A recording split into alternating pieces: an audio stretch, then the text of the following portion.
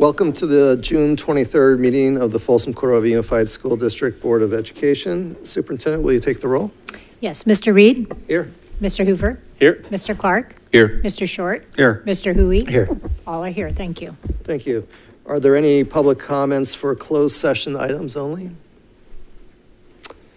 Seeing none, um, we will be adjourning to closed session to discuss student matters pursuant to section 48912 of the Education Code, employee, employer-employee relations pursuant to section 54957.6 of the Government Code, conference with legal counsel pursuant to Government Code uh, uh, 54956.9, conference with real property negotiators pursuant to section 54956.8, personnel matters pursuant to section 54957 of the Government Code, and finally, personnel matters related to um, uh, the annual performance evaluation of the superintendent pursuant to section 54957.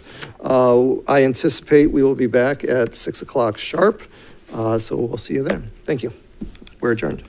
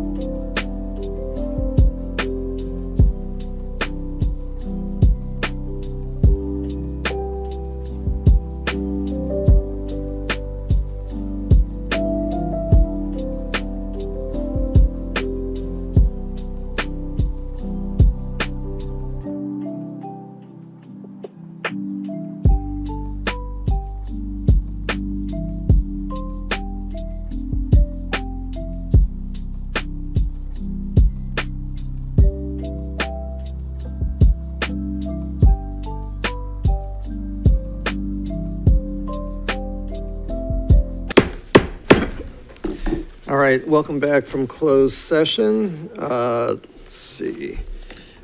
Uh, We're going to start with the Pledge of Allegiance. If you would please stand and join with me. I pledge allegiance to the flag of the United States of America and to the republic for which it stands, one nation, under God, indivisible, with liberty and justice for all.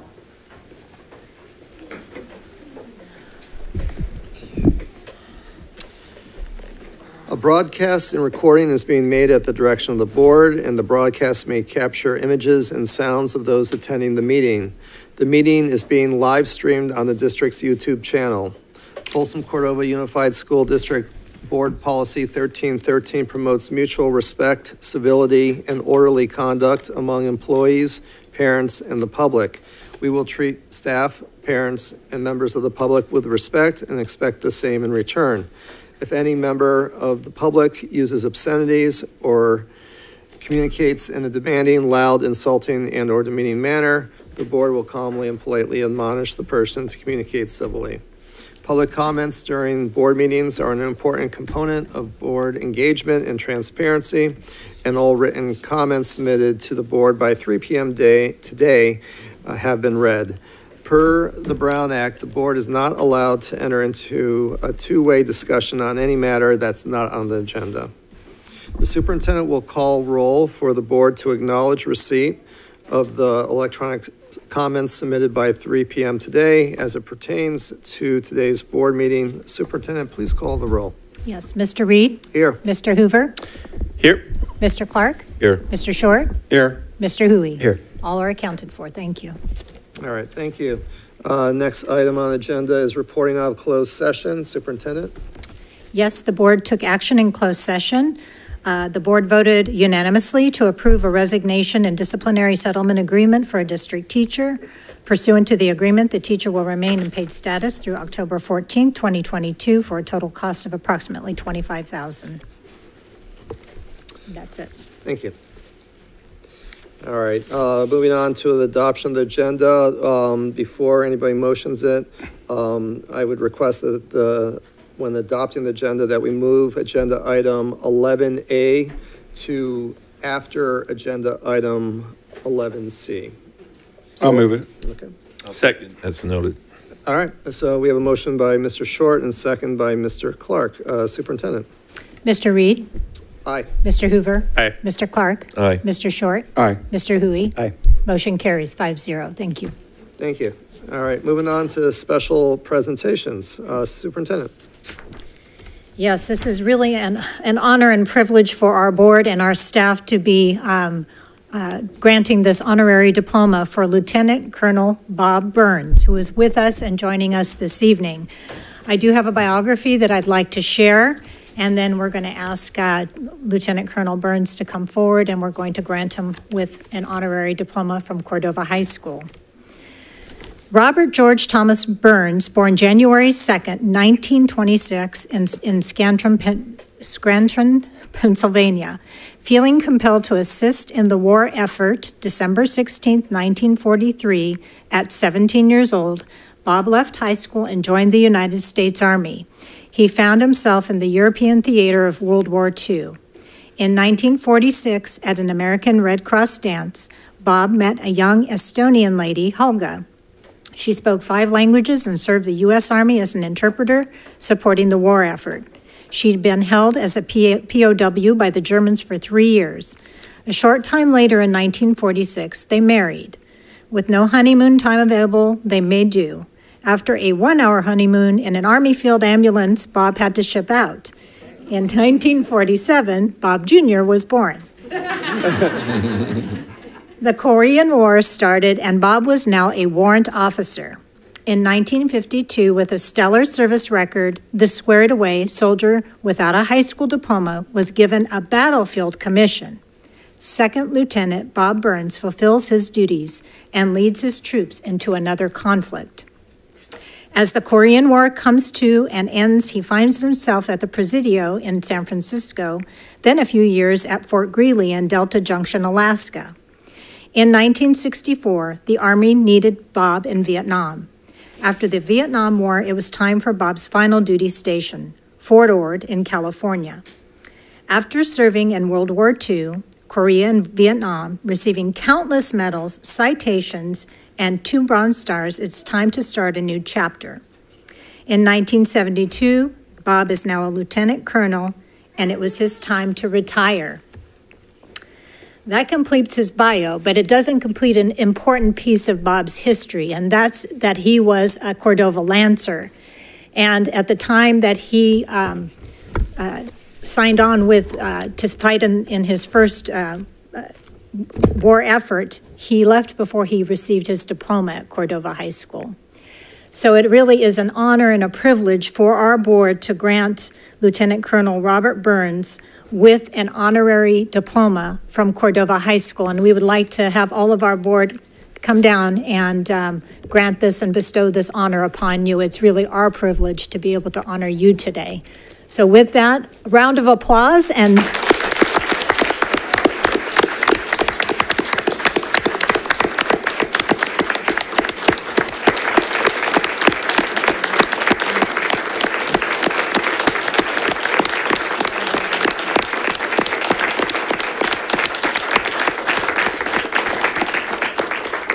I'm sorry. But then the hole is up there somewhere. You just take your time. Don't worry a thing. We're all here. We're not going anywhere. Okay, we're gonna top that. I apologize for this. It No, no it don't happen, but it does. Give me a Kleenex. Give away my shoe off there. Here, I did already. Ah. Yeah, I grad, I Okay. graduated already. all right, then, thank you. I'm sorry. You want me to get up there? Okay, everyone stay right here.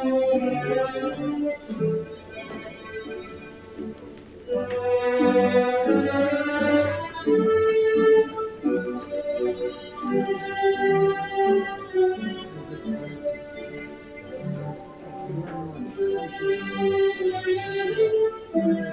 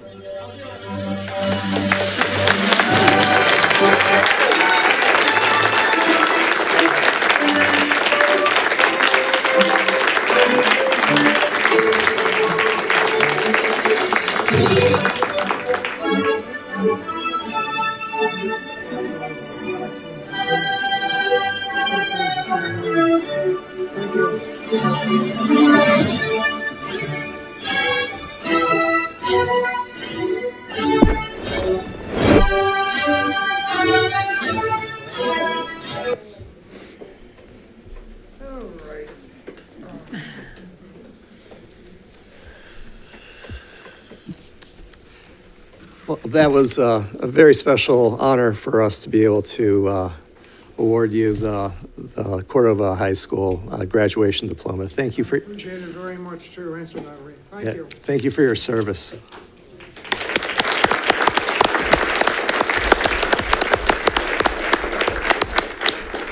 Do we have any, uh, any remarks? Anybody else wants to? No, no, I, I, I think I said enough. I mean, I've known uh, Lieutenant Colonel uh, Burns for, I think, about seven years. You've been giving me trouble ever since I showed up to that veterans celebration, especially with me being an Air Force vet. You always gave us Air Force guys a, a hard time. But I just appreciate I appreciate all you do too. I thank you very much. Well, I mean, just, you know, doing what you did and a sacrifice for our country and um, being an example uh, for all of us enlisted servicemen. I just really appreciate everything that you've done for our country, and I appreciate you, sir. So I thank you from the bottom of my heart.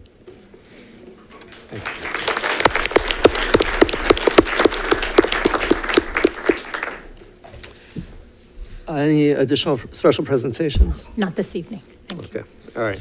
Uh, We will be moving on to public comment. Um, Public comment uh, is the period of time where anything that is not agendized on uh, today's uh, agenda, maybe uh, uh, individuals may come up and speak. Uh, We will be enforcing a two-minute time limit today. We have a very lengthy board agenda, so we'll have to keep it to two minutes. Um, For individuals who are here to speak on um, agendized items, you will have an opportunity to speak when we get to that agenda item. So, uh, let's see here.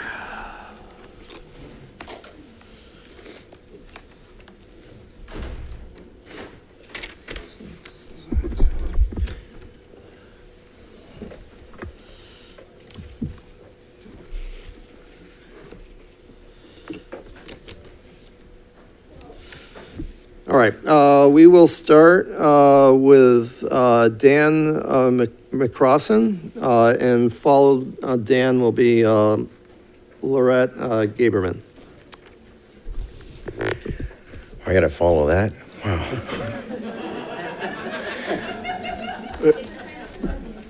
Um, I did write out my comments. I'm a professional trumpet player, not a jazzer, so we like stuff written out. Uh, President Reed, uh, board members, and Dr. Koligian, uh, my name is Dan McCrossan. I'm the music teacher at Mitchell Middle School, and I have been for the past 20 years.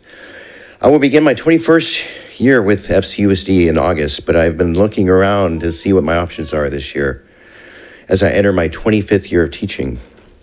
Just yesterday, I just found out that I could change districts and make considerably more money from at least two other districts in my area, one of which is much closer to my home in Rocklin. See, I've been driving from Rocklin to Rancho every day for the past 20 years, and with the price of gas being what it is, and I'm kind of weighing my options and looking to save money where I can. My wife is uh, retired and on a fixed income, so the price of everything goes up. I have to carefully budget. Looking at these other districts, the question arises what's keeping me from doing this? Why do I not go to other districts? What's keeping me here in Folsom, Cordova? The answer, of course, is my students. I've spent 20 years building a successful music program at Mitchell, and I'm looking forward to a few more before I retire. I love my students, and I love the fact that I can share my passion for teaching and music with them. I'm sure if I went to another district, I could build another program with amazing students who are able to glean my passion for teaching, but it sure would be nice to finish my career with Folsom Cordova. What is missing is feeling valued from FCUSD. While I appreciate the sentiments that Dr. Koligian shares in her emails, when it comes to bargaining salary, it has always been a fight. Every year since I've been in this district, always a fight. I remember blue shirts, I remember green shirts. This shirt's red shirts. We've held signs out in front, we've hold signs in our cars at the schools, and quite frankly, it's it's exhausting. We're asking for a COLA, a substantial COLA, for all the years we didn't receive one, a substantial COLA to offset the exorbitant healthcare cons, costs, a substantial COLA to help with gas, groceries, housing, and everything else that has gone up last year. But mostly we're asking to be valued, to be valued not just with words. Please show us teachers we are valued, and you will retain us for years. Thank you. Thank you.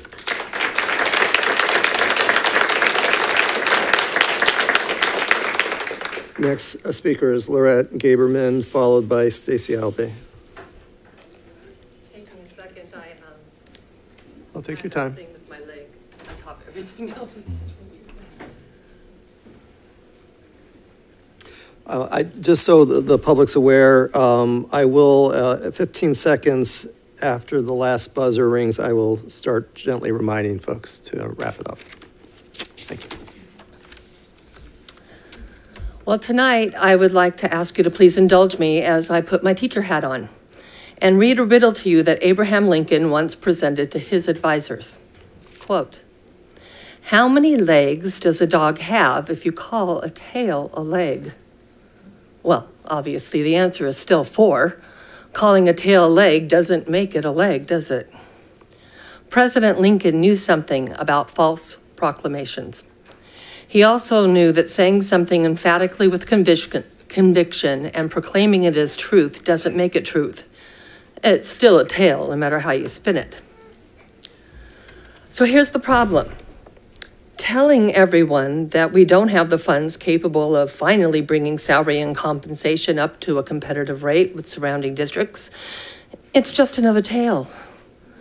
No matter how forcefully you proclaim it, it is so easy to research the true facts of all the windfalls of money the California districts are getting, and in particular, FCUSD. It is not an inability. The research has been done. It is your choice what to do with the monies. We know how many legs a dog has. I've got one right here. I want to remind you also that teachers are responsible for everything that you have, for you even being on this board. Okay, your ability to have a place to live and the food on your table is because of teachers, because teachers truly do create every job in the world, even yours. I will end now with another quote. This one from Mark Twain. If you pick a dog up and make him prosperous, he will not bite you. It is the principal difference between a dog and a man. Stop biting the hand that feeds you before there's no one left and this district starves. I can teach it to you, but I can't learn it for you. Please do the right thing.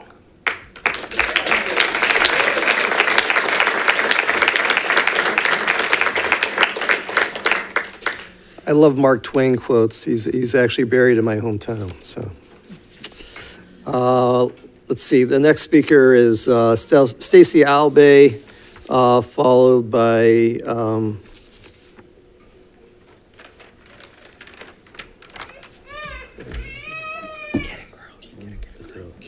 followed by Keaton Patel. Good evening. Um, at a previous meeting, I listened to Dr. Pease talk about the importance of representation in the classroom. I didn't really understand what she meant until my son had Miss G during summer session this year. His experience has been so positive and uplifting, much different from that of the last few school years, that I have to wonder if it's because he has a teacher who looks like him, who looks like me. You cannot continue to pay teachers less and expect the best. They'll leave. They'll pass up opportunities to teach here. They won't even apply. Here are some neighboring districts' cost of living adjustments going into the upcoming school years. Roseville Secondary Education Association, 8% plus benefits. Western Placer Teachers Association, 8.6%. West Sacramento Teachers Association, 7% over the next two school years plus benefits. Reminder that Rocklin and Roseville districts already compensate their educators better than FCUSD does now. That didn't stop these districts from letting their teachers know before they left for summer how much they're appreciated and valued by their district and community. FCUSD teachers ended the year with a water bottle and several missing achievement pins. Could you imagine what giving a 12% raise to teachers in this district would do? That would be an 8% COLA and a 4% raise, a raise for FCUSD teachers. The first actual raise in over 20 years. We would make the news. If you cannot find money in the budget for salary, consider giving teachers stipends for things like gas, classroom supplies, because remember, if it's pretty, if it has color, if it makes the room look nice, it was purchased with teacher salary, not by the school district. Or even for snacks, because like the pretty classroom, the teacher is often purchasing snacks for students with salary money. FCUSD must put people ahead of programs. Programs will not entice teachers of color or teachers at all to seek employment here. Compensation and competitive benefits will. Thank you.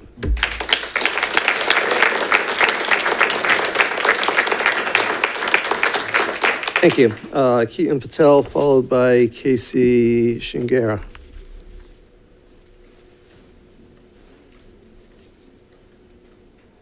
Keaton. I am pronouncing that correct, right? Keaton? Yeah, Katan, Katan? Okay. Uh, We'll move on to uh, Casey Shingara, uh, followed by um, Marina uh, Gabel, Gable, excuse me. Okay. Hello. Why are we fighting for what should be common sense and a communication through action of who, not what, FCUSD values? Currently, inflation is at 8.5%, CPI is at 8.3, but we're only being offered 6.56. That alone is not sufficient. It's tantamount to a pay cut because we are losing purchasing power next year. When the value of the dollar changes, so too should compensation. We're not even asking for a raise, we're asking for an adjustment based on what what purchasing power is. If the value of the dollar changes and it's weaker, we're going to need more to have the same purchasing power, and that's also what CPI gets into. If we can't do this, you're going to continue to lose excellent teachers. We just lost one of my colleagues this week, um, five years in. It's not worth it for her to stay here. It's not financially responsible. At present, we have 164 temps who are hired, with many more vacancies of 320 current current new hires. We have 35 retirements, 94 resignations, with more to come because we have until June 30th to make up our minds. We have to be competitive to our similar districts in pay and benefits, or we will continue to lose the very people who make FCUSD strong to these neighboring districts. Show us you value the people, the people behind the innovative instruction, behind the continued education, behind the pathways, behind the program, because people make the programs. People make the programs. And without our people feeling valued, this district has nothing. We are asking for an appropriate change to be competitive, to have our pay reflect the changing value of the dollar. That's all we're asking for at this point. It's not even a raise. So, how is it not common sense?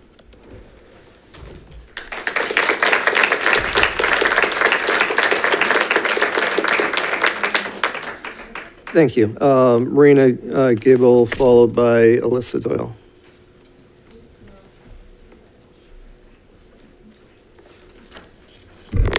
Hello.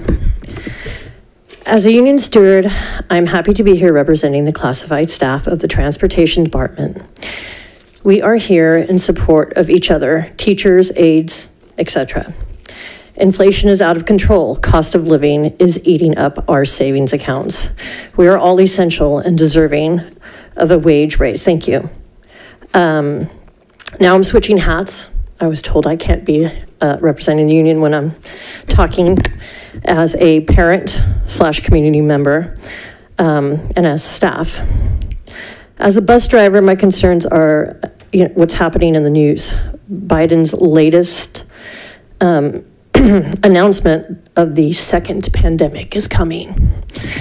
Um, the continuation of masks, testing, and vax pressure, as well as COVID clinics on school campuses, are issues. We fell for it once, never again. Science says the masks don't work. If masks are brought back by choice, it should be choice, an option, not a job requirement. Testing needs to stop for staff if vaxxed can get COVID and spread it, yet they do not get tested. Why? It is also a form of medical segregation when unvaxxed are forced to test as a job requirement when vaxxed people do not have to, to deal with the testing or the possible loss of employment. This is a reminder if legislation for employees and students to get the vax, the, the jab, um, happens July of 2023.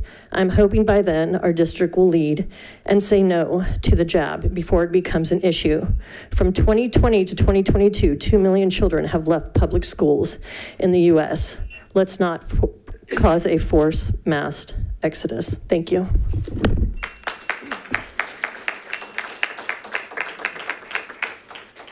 Thank you. Uh, next speaker is Alyssa Doyle, followed by Chelsea Bogan.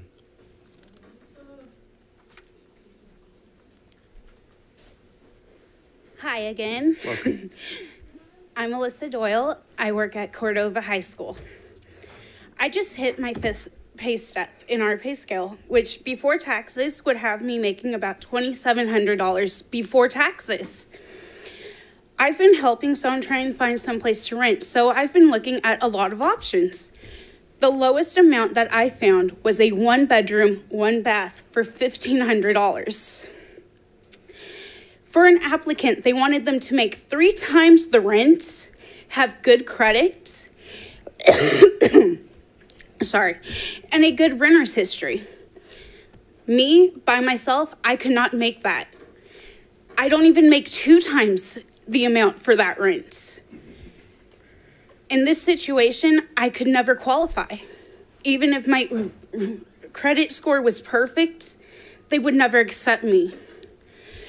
I'm grateful to have her in my life. She lets me stay at her house with my husband and child. I live in your school district. My child has to be on homeless services. That's not okay.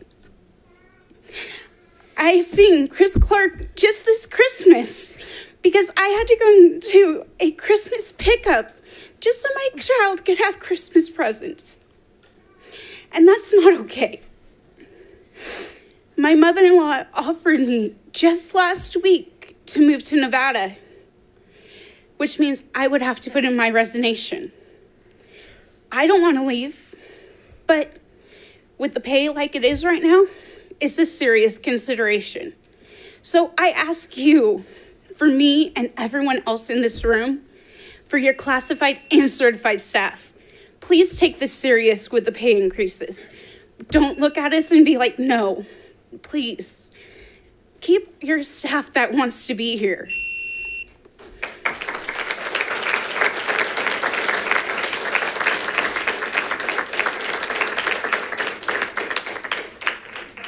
Thank you. Uh, Next speaker is Chelsea Bogan, followed by Mary Johnston.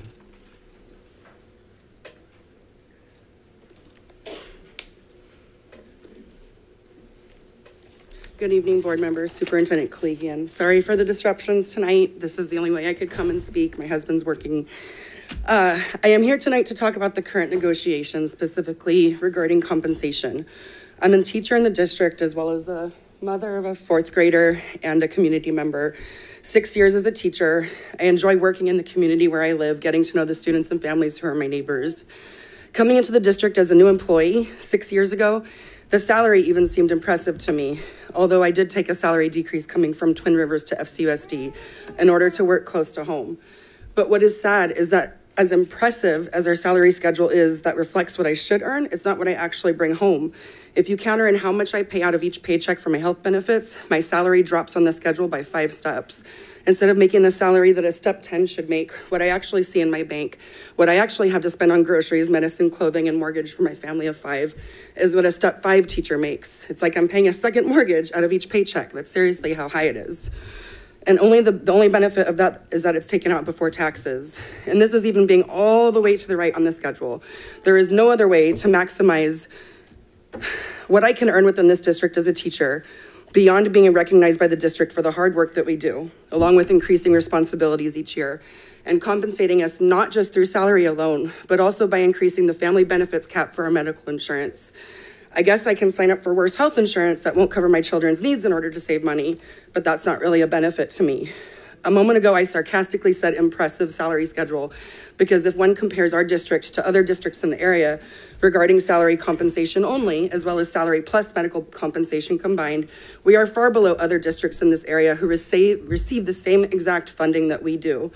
Our medical premiums are higher, our salaries are lower. Why are they able to provide more for their teachers, but FCUSD is not? Do they care more about their teachers? If that's not the case, then I feel like the right thing needs to be done, as so many districts are doing around us and have been doing better compensation. Thank you for your time.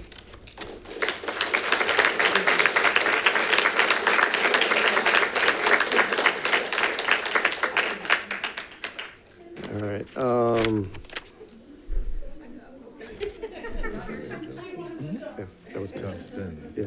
Uh, Mary Johnson, followed by Sean Copavi- Cop- Copavilla. Copavilla.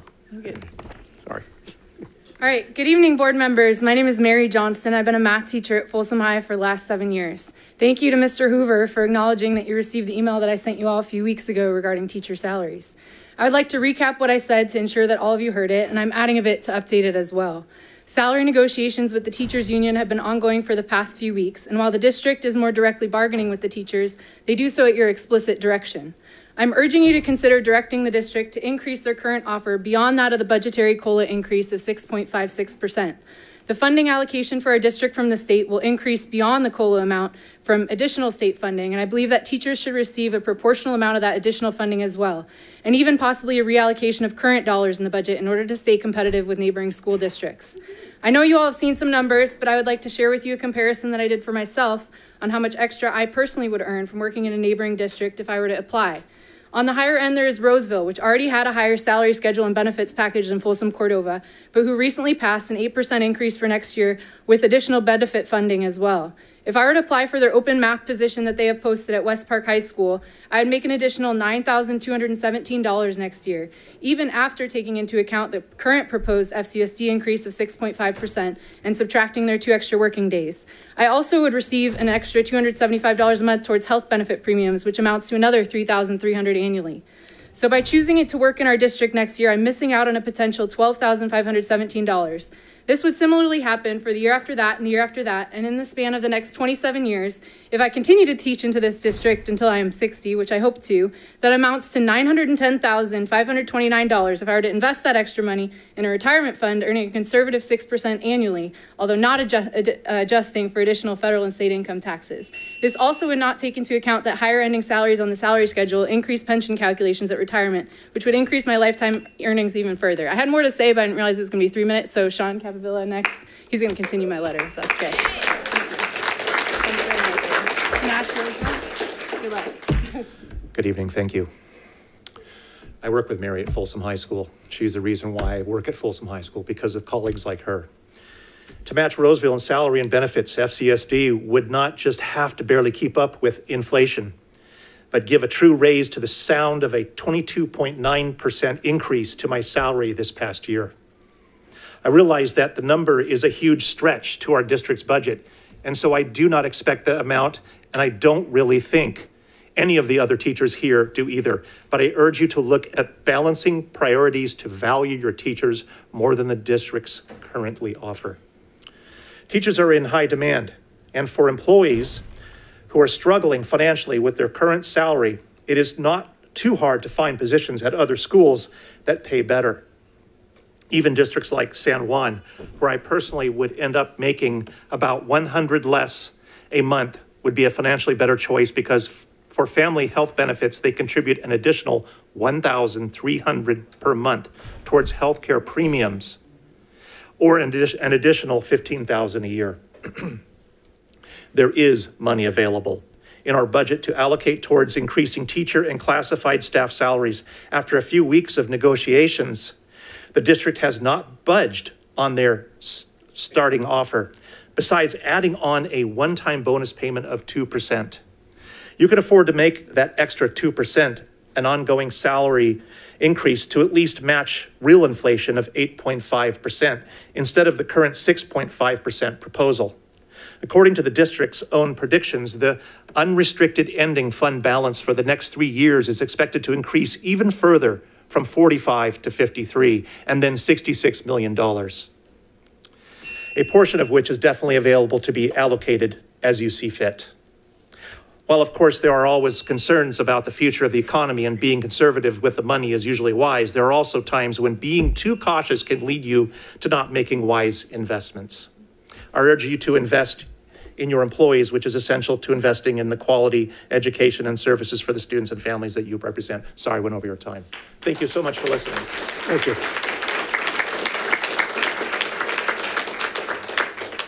Just going to go back one uh, more time. Is there uh, a Katan Patel in the room?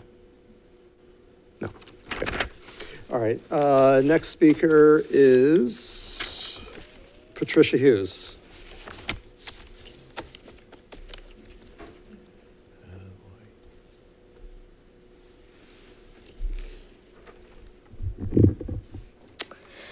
Hello, everyone. My name is Patricia, and I've been an educator for seven years now at a local preschool, and I wanted to discuss my concerns for FCUSD. First of all, as an educator, it is my job to protect children, and it concerns me that there could be a potential return of a mask mandate in schools for the fall. as well as a continuation of COVID testing requirements for both staff and children. If our children have a 99.997% survival rate and masks do more harm than good, then there's no reason as to why these mandates should be enforced but should be made optional.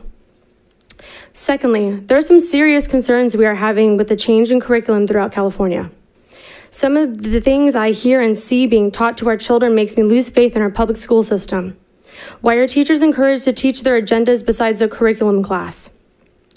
What happened to teaching children to love their classmates regardless of immutable characteristics? If we give our children the necessary tools and proper modeling of how to treat others while sticking to the curriculum and leave the rest of the parents, I would have more faith in the public school system. Thirdly, all children do not learn the same, so I urge you to be in support of school choice. Please stop thinking about losing money, but please support charter schools such as Design Tech High School and New Pacific School to be established.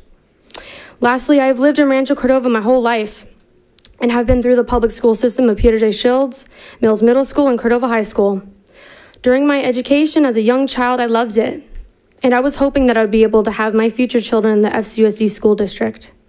But sadly, that is no longer an option, as long as the unnecessary mandates and teaching of agendas continue. This comes from my heart of fighting for the same cause as you, which is for the children. Please do better and always provide a choice for parents. Let's unite instead of divide. I'll leave you with this. 1 Corinthians 13:6. Love does not delight in evil, but rejoices with the truth. Thank you and God bless.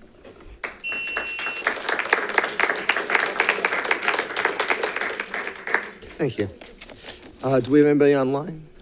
Okay. First Zoom speaker is Sarah. Welcome, Sarah. Good evening. Um, first of all, I want to say shout out to all the Lancers. Once a Lancer, always Lancer. That presentation was awesome. Um, so let me start.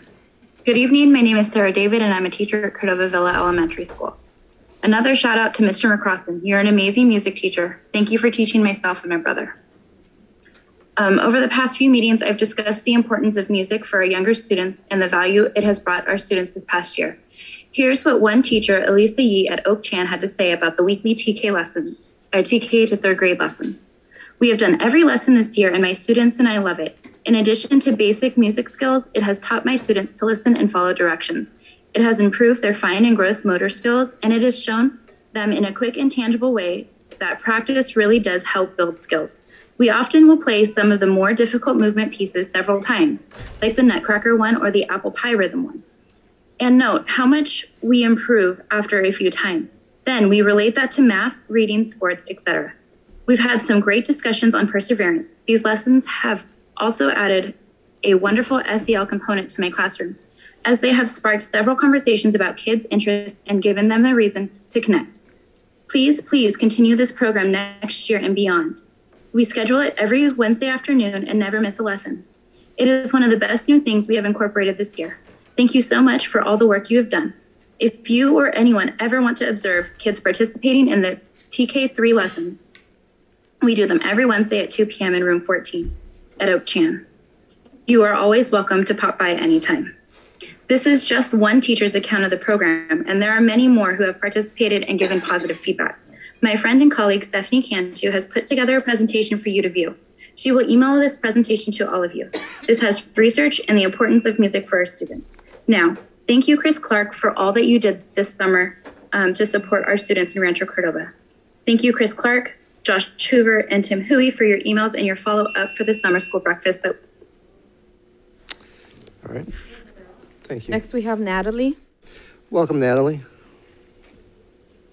Hi. Um, thank you for taking the time to listen to me. I'm a teacher in the district. Um, recently, I was looking over my family's monthly budget and I was reminded that we're paying like $300 a month for our cable internet provider. Um, and as the cost of living is increasing, our priorities are shifting. So I decided to call in and cancel or change the service to something that makes more sense for our family. After being placed on hold for 15 minutes, optimistically, and speaking to a representative, I was transferred to their retention department where I was offered an outrageous discount and some free channels to keep our business with the company. Now, as a matter of fact, I used to work at a service provider in my pre teaching days, and I understand exactly why they fight so hard to keep their customers. It's so much easier and cheaper to maintain current customers than to recruit new ones. New customers need a sales pitch, a technician to install the service, some training to understand that new service. And current customers might, customers might call in with questions or concerns occasionally, but they don't need much hands on maintenance. Um, while providing a discount to a current customer might decrease the profit margin slightly, it's ultimately much more beneficial to keep a long-time customer than to recruit a new one. And this feels especially relevant to the current state of the teacher's pay in Folsom Cordova. Um, I am a relatively new teacher in the district, and I know that the district has invested a lot of money in me. They paid for my two year induction process, including monthly meetings and mentorship, and I've also been sent to additional trainings that I'm very grateful to have attended. Like a new customer, there's been a significant investment on the part of the district for me to be here. However, as much as I appreciate that and love my students and respect my colleagues, I'm starting to pay more attention to what other districts are offering their teachers. With the cost of living going up, my priorities have to shift by necessity. My cable provider makes it a real hassle to quit them, and I'm relatively happy with them, but eventually the financial benefits are going to outweigh the inconvenience, and I will leave. It's much less of a hassle to leave my job in Folsom Cordova, and the impact on my family will be greater. So please consider Next, we have Courtney. Okay, uh, uh, just a reminder for those who are on um, line who are calling in, um, the system turns off the, the mic at the two-minute mark, um, so try, to, if you can, uh, to get your comments in prior to that. Uh, Courtney, you said? Yes. Uh, Welcome, Courtney. Hi, um, I yield my time to Sarah David so she can finish hers. Thank you. Okay. Would you like me to call Sarah? Yeah, yeah, that's fine. Let me find her.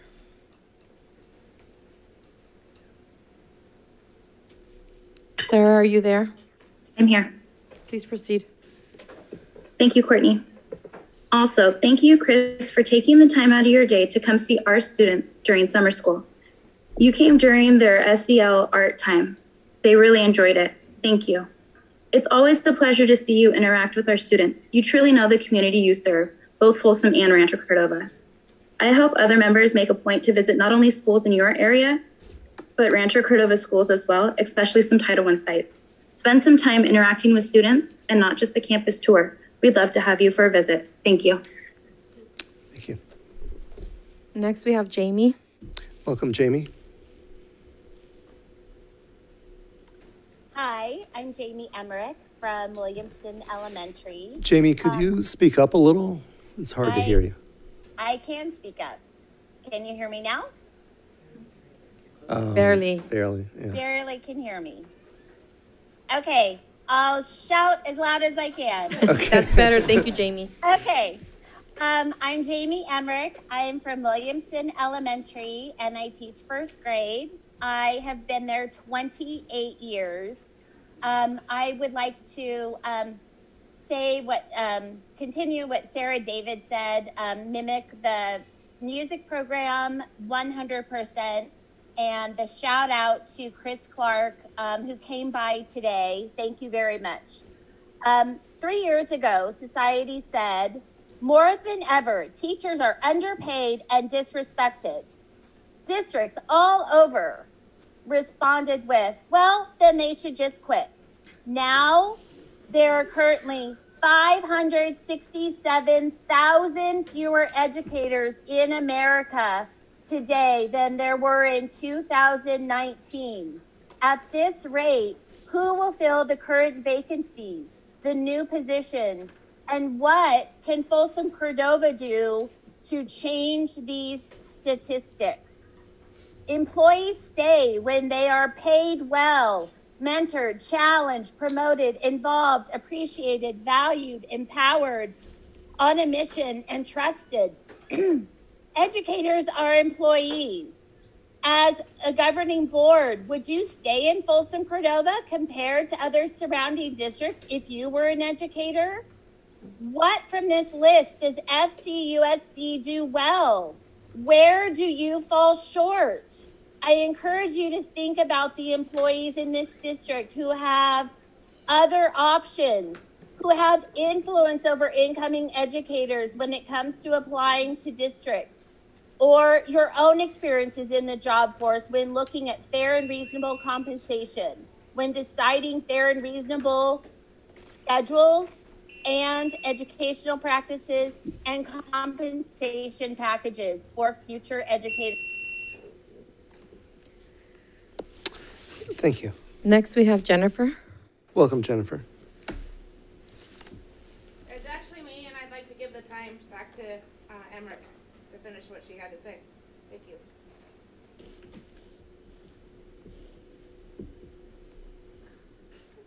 Jamie, are you there?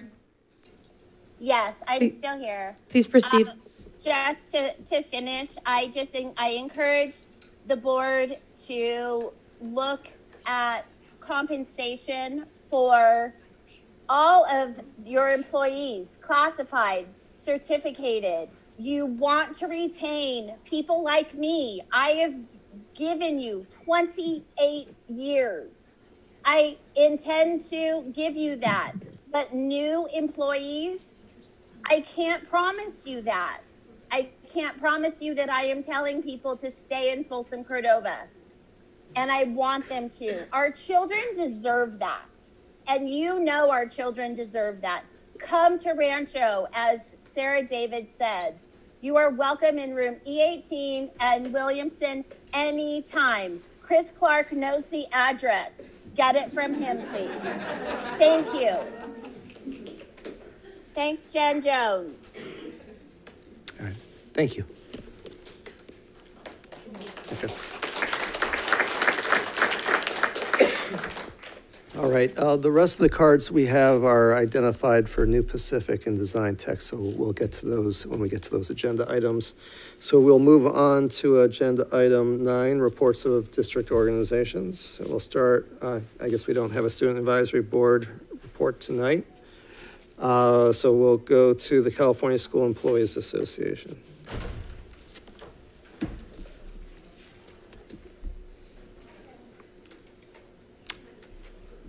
Anybody from CSEA?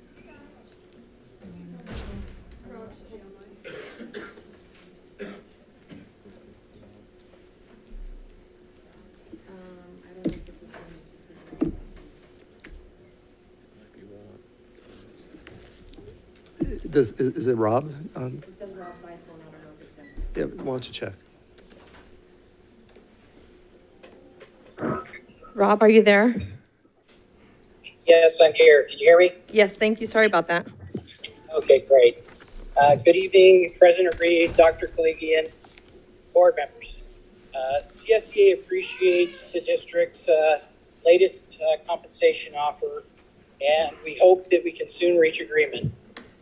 However, with inflation at 8.5%, we all need help with rent, gas, food, with all of our increasing expenses. Um, and CSEA needs to do everything we can to uh, to take care of our, our folks, and they need to take care of their families. Um, CSEA has a responsibility um, to protect their interest. Um, if there is a medical cap increase, we need it.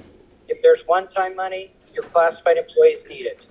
We love serving our students and are ready for a great 22-23 school year.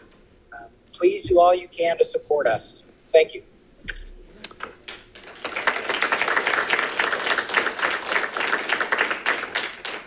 Thank you, Rob. Uh, Next is the Folsom Cordova Education Association. Have Debbie, have that raise your hand. Um, Good evening, Board. Um, Tonight, Tracy Suter is giving the report. Okay. Yes, yes, I am. Um, and let me just start by saying, when I was here on May 19th, I personally expressed doubts as to whether or not you could bring a, a tolerable something to the negotiating table. So it's only fair I, do recognize that you did make a good faith offer at 6.56%. And, and we did see that. Um, but there were questions that you raised, and we have additional concerns that we would like to address. So if you would like to, um, We'll go through these too quickly. As others have spoken, uh, in real dollars, we're losing money. Please note, this chart ends at 2021. It doesn't even include this year. But if you look at the raises we have received, offset by the increasing costs, we, we aren't making more money. It may look like it, but the net effect is not positive. Next slide. We also saw this last time. Just to recap, the blue dot at the top is your LCFF funding, our percent change over time. The orange is the cumulative COLA, both of which are outpacing the FCEA cumulative salary change. So it just echoes what we said in the last one. We are going in the right direction. It is up, but it is lagging where your funding is. And the gray bar, again, doesn't even include the last few months, uh, is certainly above that as well. So we're losing ground. But Mr. Hoover brought up a really a smart point, a valid point, and that is that our funding for unduplicated pupils is different from some of our neighboring districts. So Deb Krikorian took a deep dive back in the data for you, and she pulled up districts with similar unduplicated pupil counts because that's where our funding comes from. We're going to pay particular attention to San Marcos and Saddleback because their per pupil unduplicated pupil counts are virtually identical to ours at 35%. So we went back through. I'm going to focus on the right. On the chart on the right, we have the cap for a single person in addition to compensation. If you notice on the right-hand side, Saddleback Valley would be the green bar that is the highest. Um, just slightly below average is San Marcos Unified, and in red, that would be Folsom Cordova, working with comparable dollars, and this would be starting um, teachers. Next slide. If we look at someone sort of in the middle, they've been here 10 years, they may have kids, they're clearly listening to the people speaking tonight, looking at their other options. Um, Saddleback Valley is second, right next to San Marcos, both above average. Uh, looking on the right side is where I am reading. And then there's Folsom Cordova, and we are slightly ahead of Rocklin Unified. But please note, Rocklin Unified's unduplicated pupil count is 20%. We are at 35%. So they are working with a lot less funding than we are to do that, and they are pretty darn close. If we look at the highest salaries, uh, that would once again be Folsom Cordova on the right. Uh, Saddleback, um, a little bit above, above average. San Marcos, about par with average. Um, but please note that Rocklin, with their 20% unduplicated pupil count, significantly ahead of Folsom Cordova. They would be to our left by about three boxes there. So when you look at likely like funded districts, we're still not exactly shining. Next slide. We've talked about this before. Please note that those rollover amounts include paid um, funded positions that haven't been filled. They include sub days for special education teachers who can't take them and haven't been able to utilize them. There is padding in that, in addition to the enormous amounts that are rolling over. So we ask you, how is it that comparably funded districts are able to pay and compensate better? Rocklin at 20% versus our 35% is able to compensate better is because the choices that they're making. We can talk about how we choose to spend our money, and certainly we've seen an awful lot of tools and programs and professional development. But without the people to implement those tools, without the people to implement those programs, you're not spending your money wisely. And right now, you're paying an awful lot of money for professional development that then goes with that teacher to their next school district when they leave. So we need to make wiser choices as to how we're doing this. We need to put people first. So back to the immediate compensation, as you heard behind me, an awful lot of people are considering whether they want to keep working here. And if you have a house and if you've got kids and you have a life, then you're looking at San Juan and Elk Grove, because everyone knows they have really good benefits. You're looking at Rocklin, who with considerably less funding is doing better than we are. Uh, you're probably not looking at us, to be honest. And the slide you'll note has an additional 5,000 medical. We actually bumped that down a bit in the interest of negotiations. Please note none of these monies and uh, amounts reflect any settlements that may have been taking place. This is prior to any of that happening.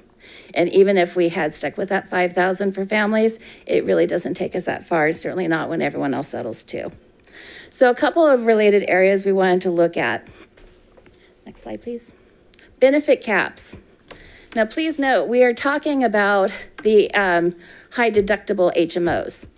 If you are a single player, and I'm going to go with the 10 monthly payments, partly because that's what I do too, the amount that we schedule for the single coverage does, for the most part, cover the high deductible plans. If, however, you have a family, we're running at least $500 short.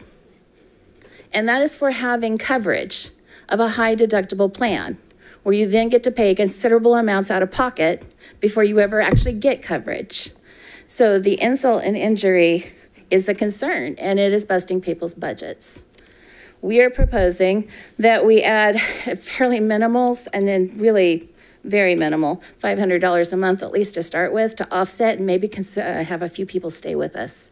At least would bring them close to being on par with those high deductible plans, at least the upfront costs, before they actually get into the high deductible part. Next slide. Another problem that you're having is keeping your special ed teachers. Special ed teachers are like unicorns, and everyone wants them. And our teachers are getting these flyers in their email boxes. Twin Rivers is offering $2,000 annual stipend. Now, we've made efforts to try to retain and respect our special ed teachers who not only have to teach, but they also have enormous amounts of paperwork that come with it. So we offered four days of sub time so they could do their paperwork. Subs are not widely available.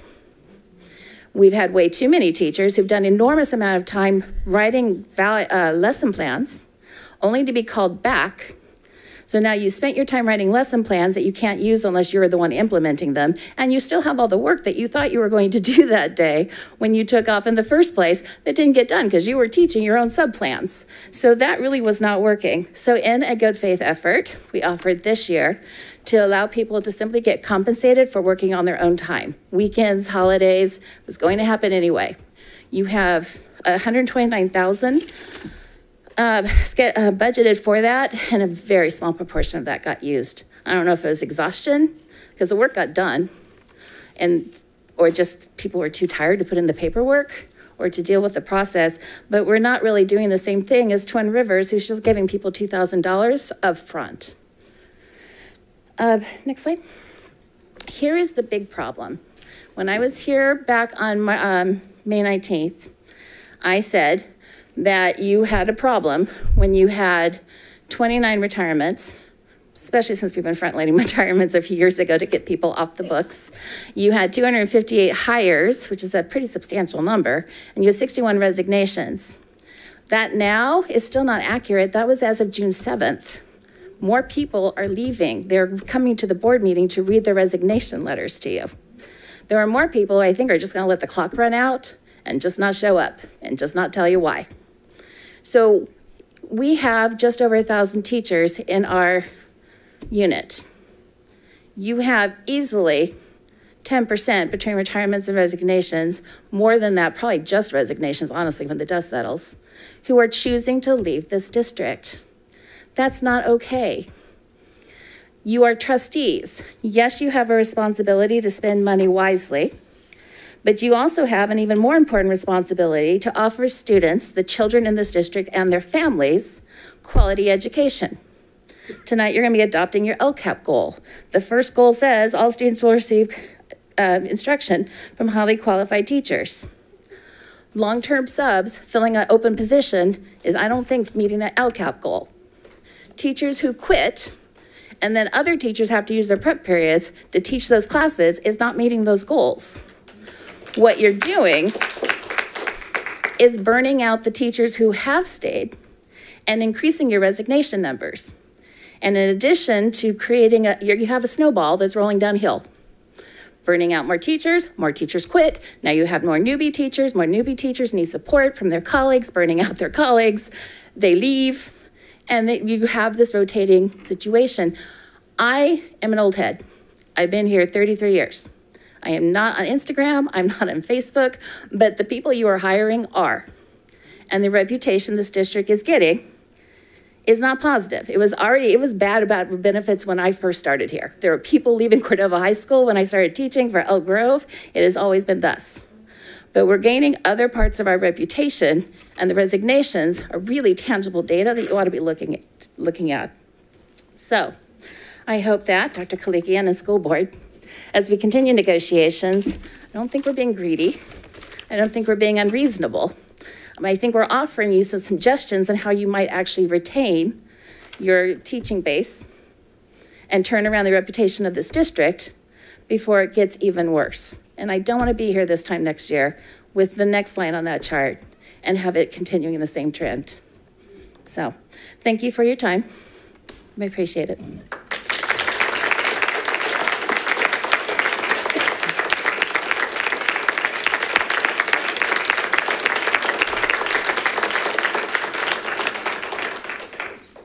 Thank you. Uh, Next, we have the Folsom Cordova Leadership Association. We don't have a report tonight. Okay. And then uh, the District English Learner Advisory Committee.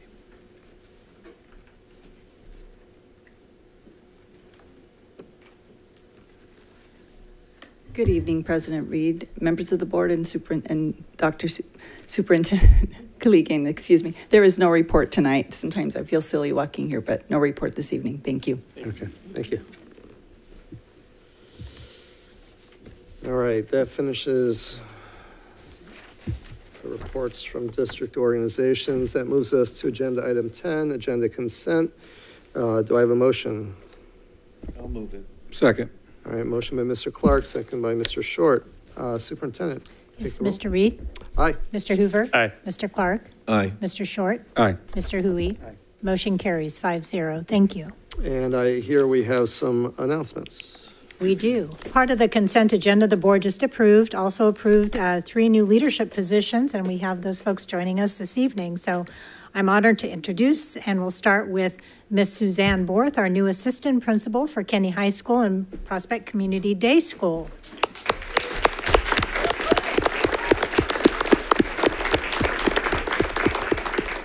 Ms. Borth is a familiar face in our district for the last 20 years and the last two years as a curriculum and instruction specialist supporting TK through 12 instruction as well as professional learning communities.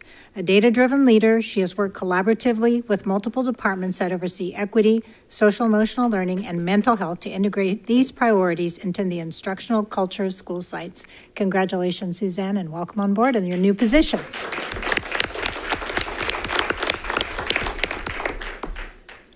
Thank you so much, Dr. Um, Dr. Koligian, President Reed, and the board, and our superintendent, assistant superintendents. I really um, appreciate this opportunity to put on this new hat and continue to support FCUSD in our community. Thank you. Thank you. Next, it's my privilege to congratulate um, Amanda Turks, our new Coordinator of Health and Wellness. Congratulations, Amanda. Let's give her a round of applause. Good evening.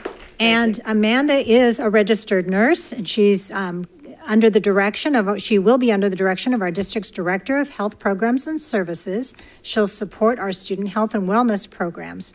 She is experienced as a registered nurse in hospitals. She has spent the last six years in school districts, working with health staff and with advanced health technology to provide school-based health services. Very excited to have you join the team, and welcome and congratulations. Thank you so much. Good evening, President Reed, Dr. Koligian, and the members of the board. I'm thrilled to be back with this wonderful program. It's a great community we have in Folsom Cordova and health staff. It feels like I'm getting to come home, so thank you.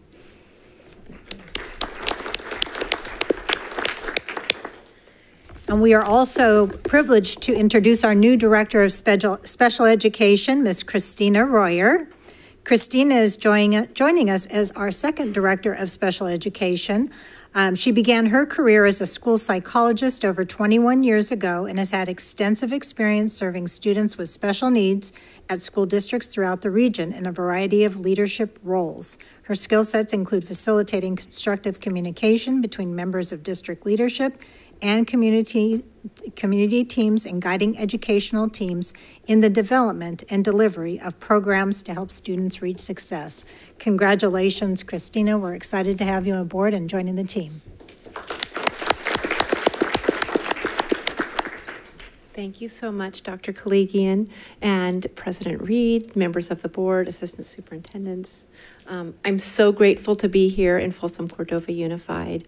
I'm really looking forward to spending time getting to know each of you, visiting the schools, learning about our special education programs and, and all the schools in the district. Um, I live close by, and so I'm really grateful to have a short commute here and um, spend more time in this beautiful community. Thank you so much. Thank you. All right. All right, that moves us into our public hearings. Um, As we mentioned at the beginning, we are moving uh, item A to after C. Item A is the uh, item, the public hearing on Design Tech High School. So we will start with item B, which is uh, the charter petition to establish New Pacific uh, School in Rancho Cordova. And before we uh, gavel in, I just want to uh, indicate uh, to the public uh, and the presenters um, the process we're going to be uh, taking on this app, on this uh, item. Uh, We're going to, after gaveling in, um, we're going to invite district staff to make a presentation. Following the presentation by district staff, we will invite um, representatives from New Pacific uh, to make a presentation. Uh, Following that, we will be taking board questions uh, for both the district staff as well as uh, representatives from New Pacific. Um, After the board questions, we will be taking public comment, uh, and then um, uh, we will close the public hearing. So, let's get one. All right, this is a public hearing on a charter school petition to establish New Pacific School, Rancho Cordova. Um, Superintendent. Yes, uh, we'd like to welcome Dr. Paul Kiefer to come to the podium. He is the petitioner that is presenting us with the New Pacific School Rancho Cordova petition that we received on June 2nd, 2022. Which one? And I believe he has a presentation he'll be sharing with us this Oh, evening. th- Welcome. And there is no staff presentation tonight, correct? Correct. This is the first public hearing. My hearing. apologies, my apologies. Good. I think I'm, I'm being uploaded. No problem.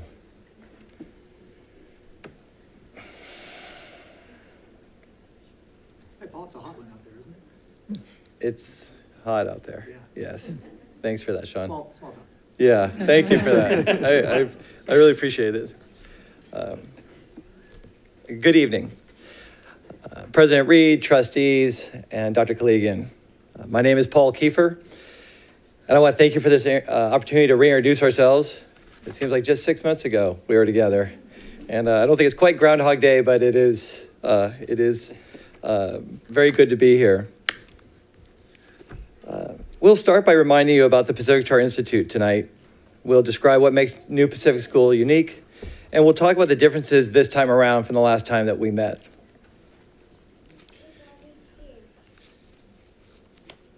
And so first, a little bit about myself. For those of you who aren't familiar with me, I'm the executive director of Pacific Charter Institute.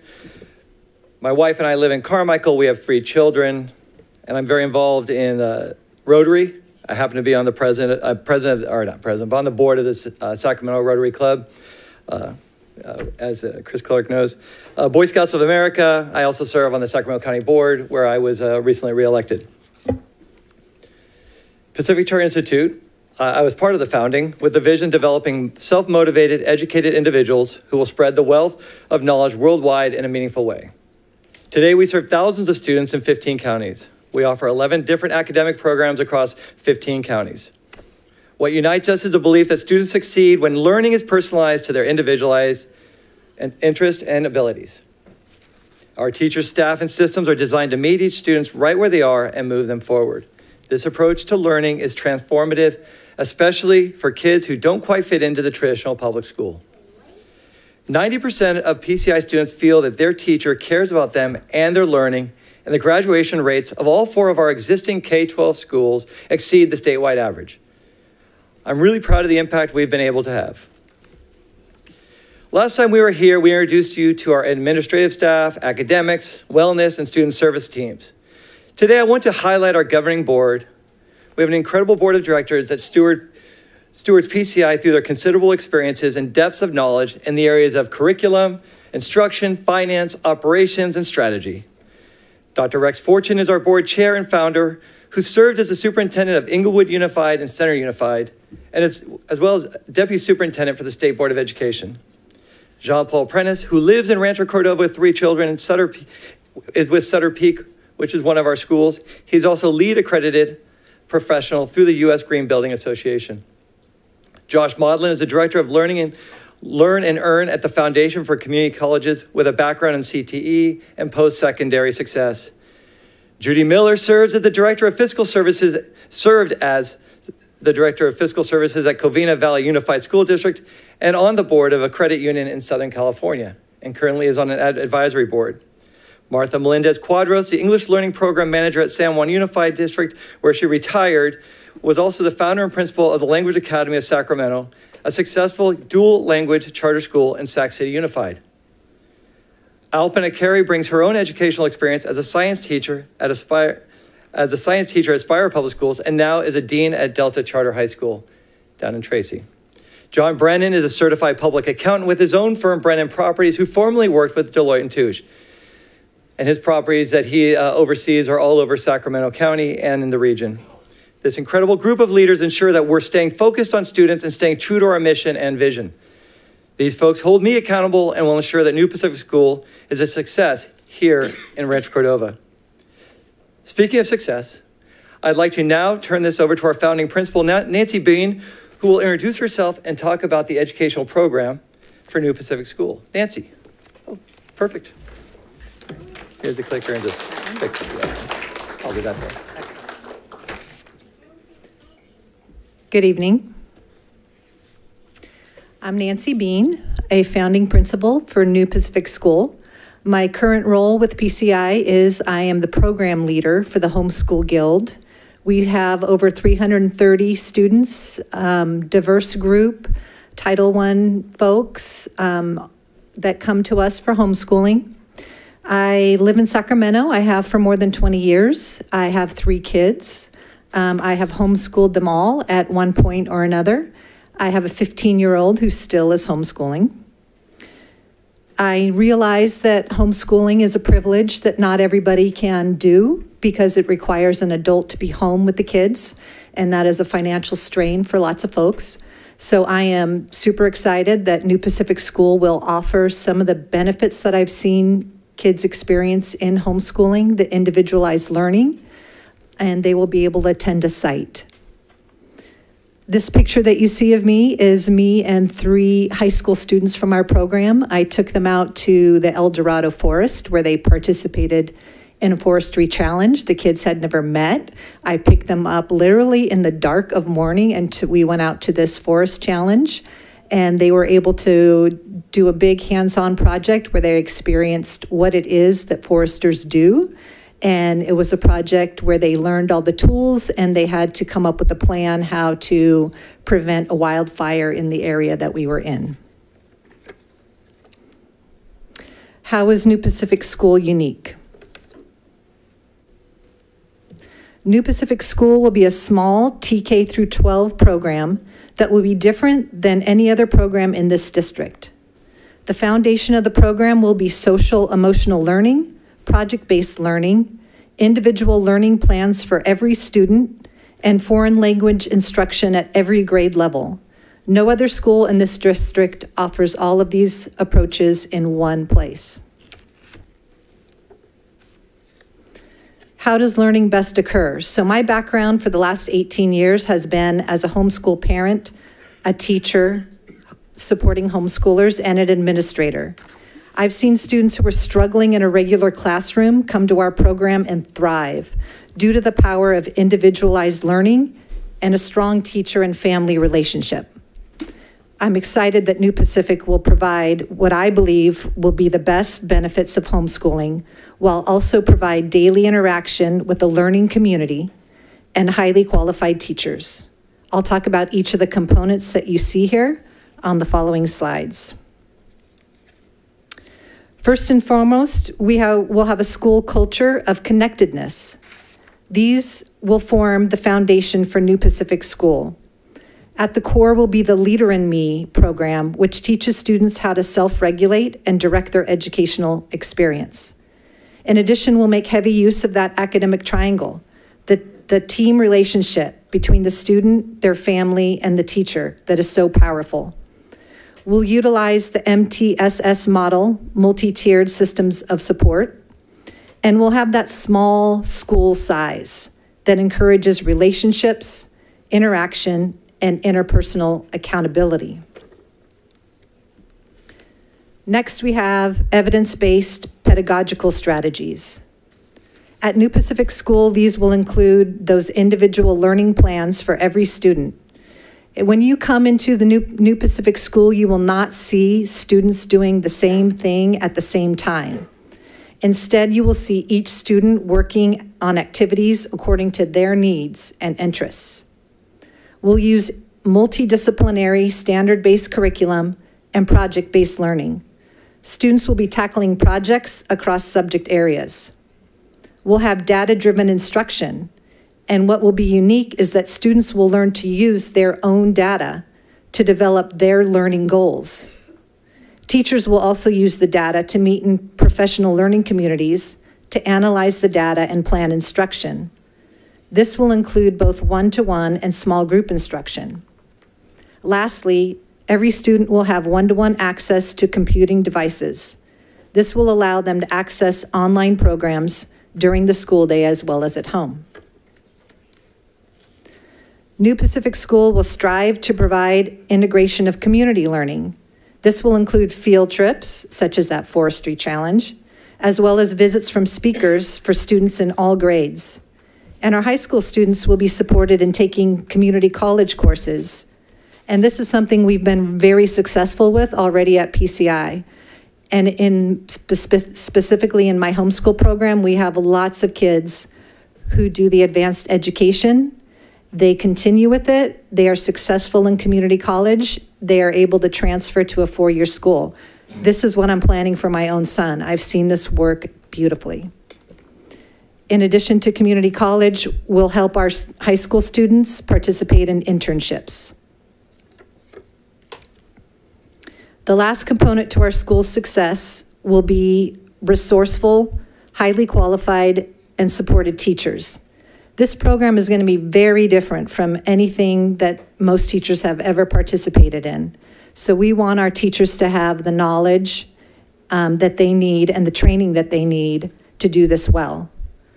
To support our teachers, we'll provide time for collaboration and professional development. Teachers will be in, largely in a guide on the side role, and there will be a paraprofessional in each classroom. Teachers will also have access to mental health and wellness support. We know it's extra challenging to be a teacher these days, and we want to take care of our teachers as well as our students. Now I will turn the presentation back to Dr. Kiefer, who will address the question, what's different this time?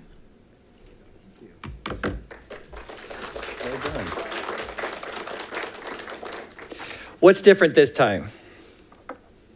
I'm out of memory. that's, that's different. I can, uh, I won't wait for it. First, we successfully uh, worked with Roseville Joint Union High School District and have New Pacific Roseville approved in February of this year. Our Roseville team has been busy hiring, training, and preparing to open in August as we hire our principal, business manager, teachers, paraprofessionals, and office assistant in the last two months. In fact, we have some, ranch, we have some Rancho Cordova parents here tonight who will be commuting to our Roseville campus. I feel it's important to also mention and clearly demonstrate what we were able to do in six months from concept to launch. In February, we were approved, and we're opening doors in August. After approval these, during these inflationary times and recessionary times, we're very proud of the fact that PCI has a grounded human resources team and a budget that allows us to be competitive with the community, charter schools, other school districts. And we feel that's going to be our advantage when it comes to making sure that we're successful, which I'm sure that's what everyone in the room wants if the school is approved.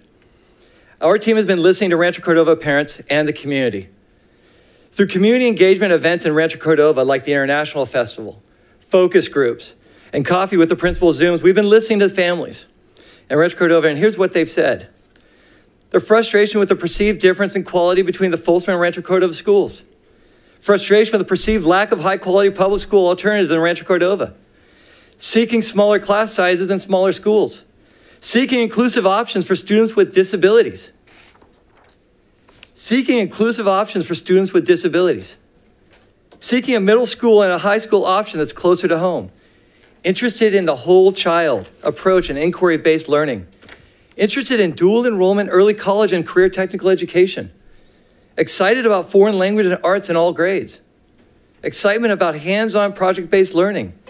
Interested in, in Riverview STEM, but unable to get on because of waitlist. Willingness to drive up to 20 minutes to access a great school. Needs for safety and before and after school care.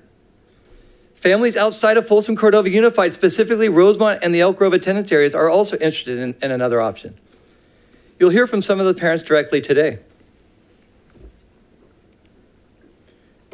We've been listening to the district as well. Certainly, it was important that we, we heard what you said and we made the uh, changes that we know we are capable of making that still fit with our mission. First, we updated the charter and the appendices to reflect the new charter term, term of 22-23 to 22-2028, and conform with laws enacted this January. We've heard the concerns from the district. We've added more detail in response to the staff report and questions received the first time around. Based on district feedback, we've broadened the focus beyond addressing chronic absenteeism to serving all students in need in this small hands-on school. We've tightened our focus to serving families south of Highway 50 in Rancho Cordova.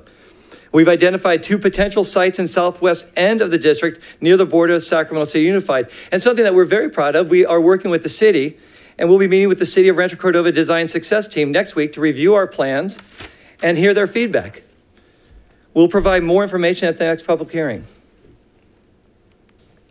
I know it's a long night, and I do appreciate your time. I uh, appreciate the fact that we're in front of you, and and uh, and a lot of heavy decisions are being made, both what was presented today and and also what we know is coming in the future. But I do want to thank you and your team for reviewing the petition.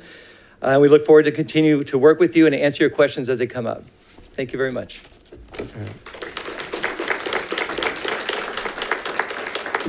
No. Uh, Mr. Short, any questions? Yeah, yes, I do. Okay. Uh, Thank you, Dr. Kiefer. Um, You mentioned the location. Last time we talked, uh, it wasn't a kind of a general location. Do you have a specific location? You said you're meeting the city uh, staff, and do you already have like a tentative lease together and a plan together to get a permit? Because I understand you want to open up in August, or when? When do you want to open up? Uh, 23. 23, Oh, so 23. Okay, yeah, so so, you- um, when we were approved in February by Roseville Joint Union High School District in the city of Roseville, we did not have a location. Right. And, uh, and now we have a location. And so it's not by law, we don't have to have a location prior to opening. We just need to, uh, because at that point, we're dealing with the city and, uh, and their planning and regulations. It's no longer a district, district uh, requirement to make sure that we are doing that work. We don't open if we don't have a location. Right, but so you said you're meeting next week, so you do have a location. We have two locations. I don't have the addresses Can you me. share those with the board? I don't have them now. I think one, I don't have them with me now. Okay, uh, okay, I'll move on then. Um, You had, you said you applied to uh, the other districts. Uh, Roseville is one, and there's others that you're applying to right now? Which We're applying here, certainly. And We're where other, where other ones are you applying at? Yuba City. Yuba City? Yep. And you said you got uh, approved in Roseville for the high school and and K through 12? PK 12. T through 12. Did you apply to the elementary, because there are two different districts, there's K through 8 and K through 12. You got approved by just the high school and then the elementary had to come along because they approved it? So state law states that you must be able to serve the district grade levels that you're serving, and you're allowed to, to serve students outside of that grade level. So you didn't get the K through 8 districts approval? It, it's, you can't do that. You can't- You can't be approved by two different districts for the same school. So, but the, the elementary district is held hostage now and has to go? I don't know, I don't know what that means, held hostage. Well, What does that mean? The high school district approves it, but the elementary school didn't have a say in it and they, they have to go along. I, I don't know why that's held hostage. That's a Well, state law. They, they. State law. They have to go along, but they didn't approve it. Is that correct? They did not approve it. We could have gone to the K, the K-8 first, uh, but we felt like the, the Okay. intricacies of high school. So the, the K Didn't is that the part of it, but they didn't approve it. Okay, thank you.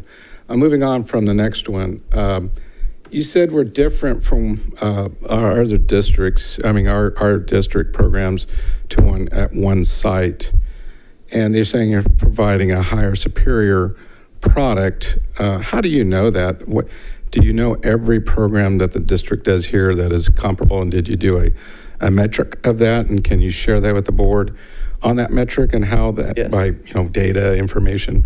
Because we don't have that data. We put that in the charter petition. Okay, so we will look at that for next time, okay.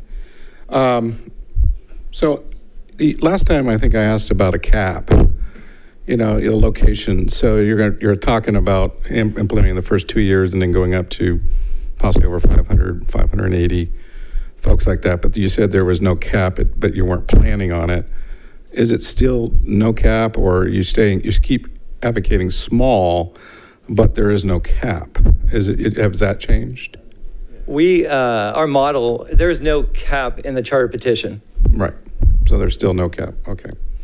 And my and last time I asked, and this will be my last one for right now because um, I'll let the board talk to more. I might have more later, but uh, we talked about what's the difference in uh, independent versus dependent.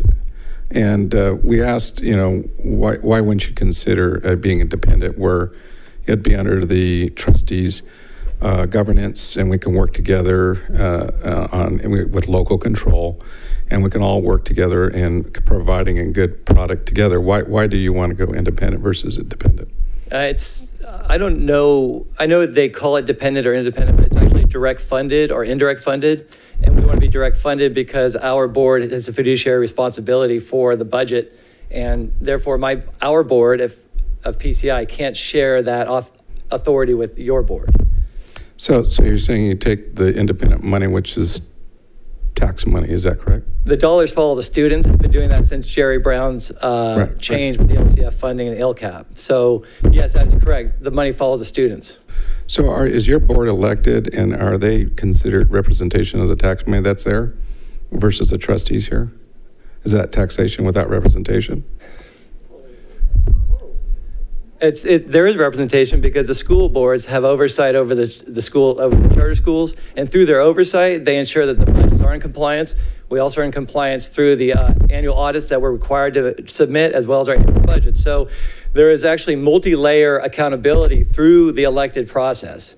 As a county, sitting county board member, I sit and I actually review the budgets of the district that, uh, the county authorized charter schools.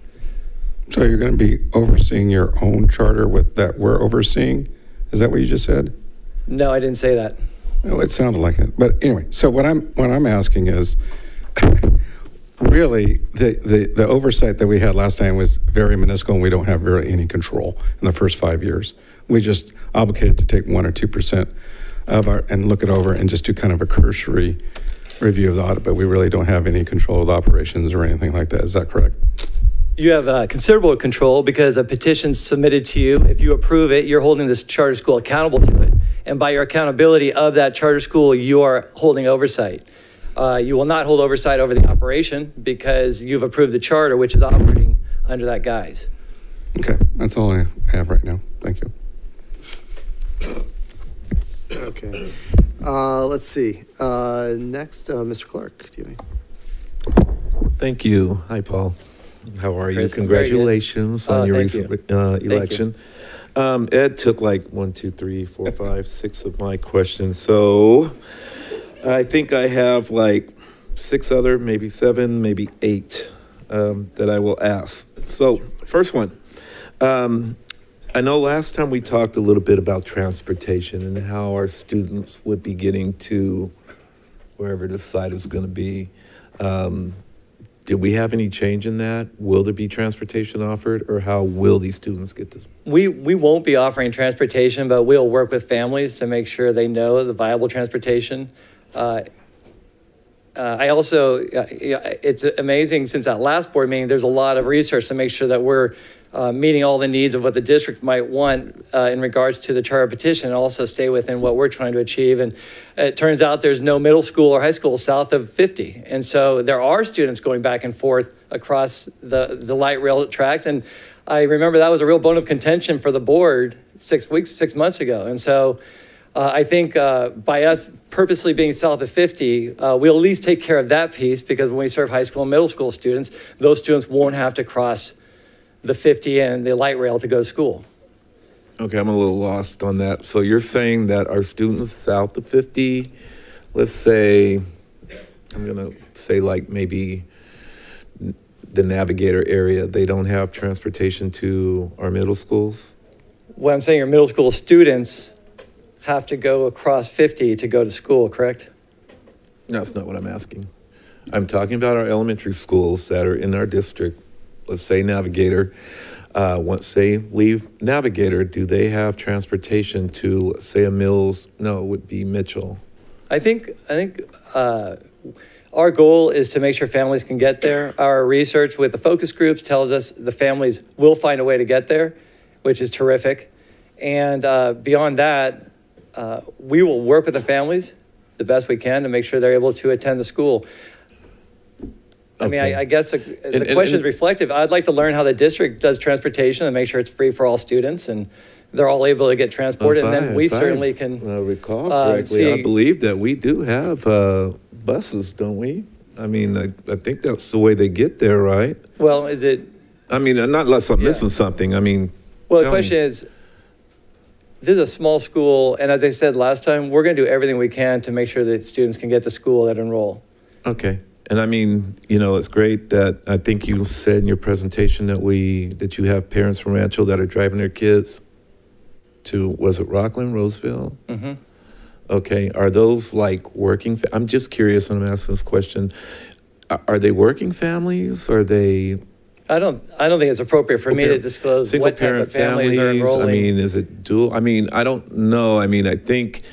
I mean, I- don't know if we're understanding- sorting Understanding the demographics in in Rancho Cordova, and we've talked about this before, uh, some of our families were working like two jobs. They're, you know, just trying to figure out how to make ends meet, but all of a sudden. I think we're going to really try out to, really try to mirror the work that's being done at the Riverview and how, and when it comes to making sure students can get to that school, Oh, there's they're a making, yeah, list. yeah. So uh, I think, you know, it'd be good for us to know how it's done there so that those families know there could be another opportunity for them. All right, all right. I, I, I promise this time around I won't give you a hard time like the first time. So I'm just going to move on to um, some similarities uh, that we have in our district.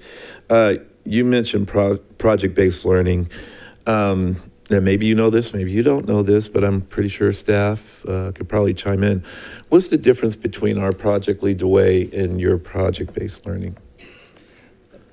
Well, they're two different products. Project Lead the Way is a scripted program, and project-based learning that we'll be implementing will be student-centered, which means we'll be able to adapt to student interest.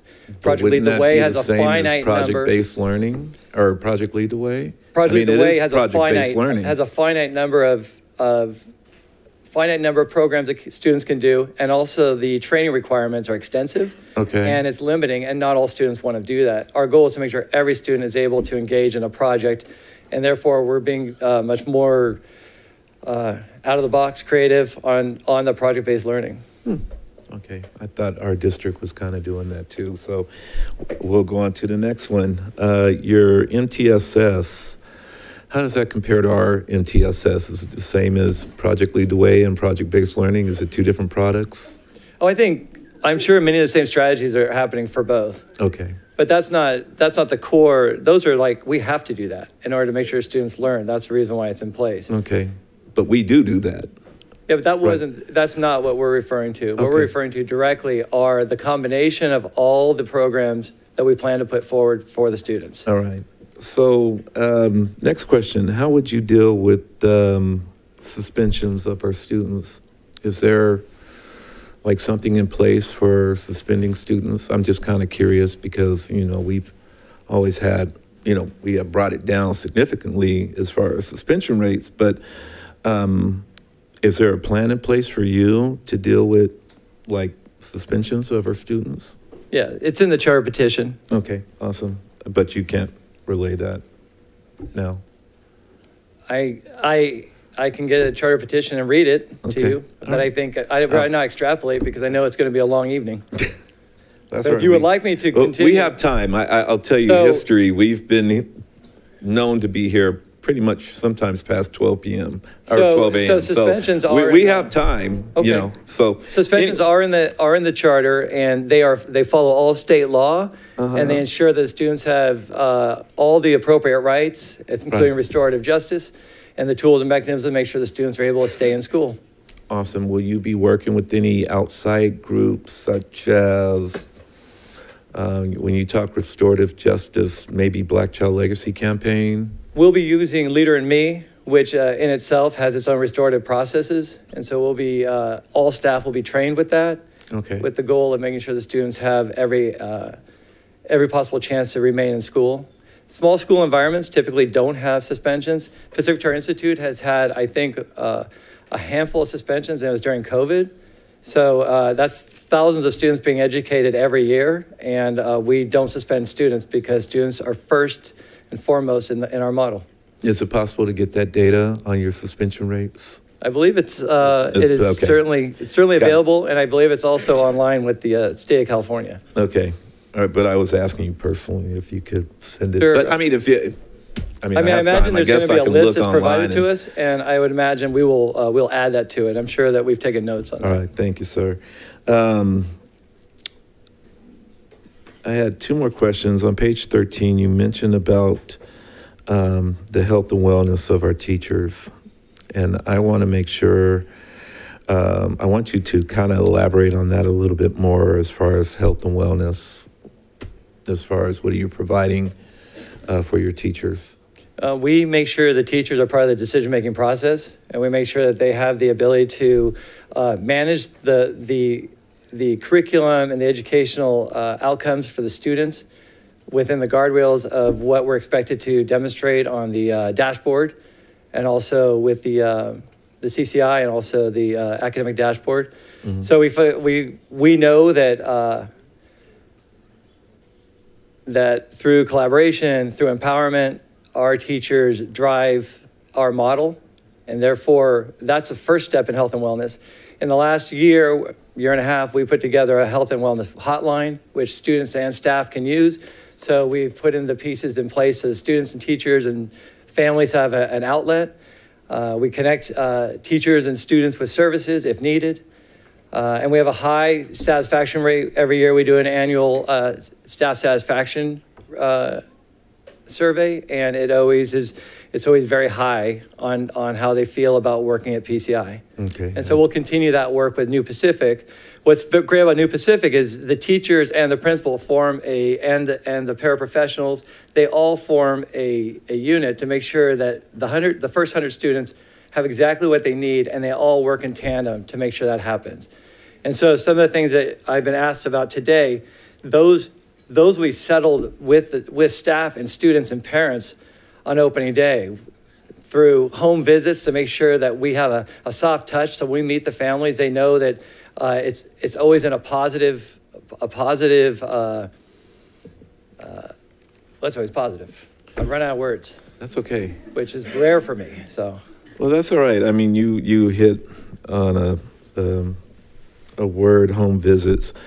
How, how would you do that? Do you have teachers that go out through the day and do So this is our first year, and uh, we, we, we visited a school in Chula Vista that uses Leader in Me. It's over a thousand students serving community, uh, neighborhood students. And so we, we learned quite a few i- important uh, tools they use and methods they use to ensure that they have families uh, really engaged in the school. And so it's a very positive environment. And they actually do, for over a thousand students, they do home visits at the beginning of the school year. And so it's something that we want to do. And I look forward to doing some of those home visits myself. Okay, uh, well, I'll ask this question again.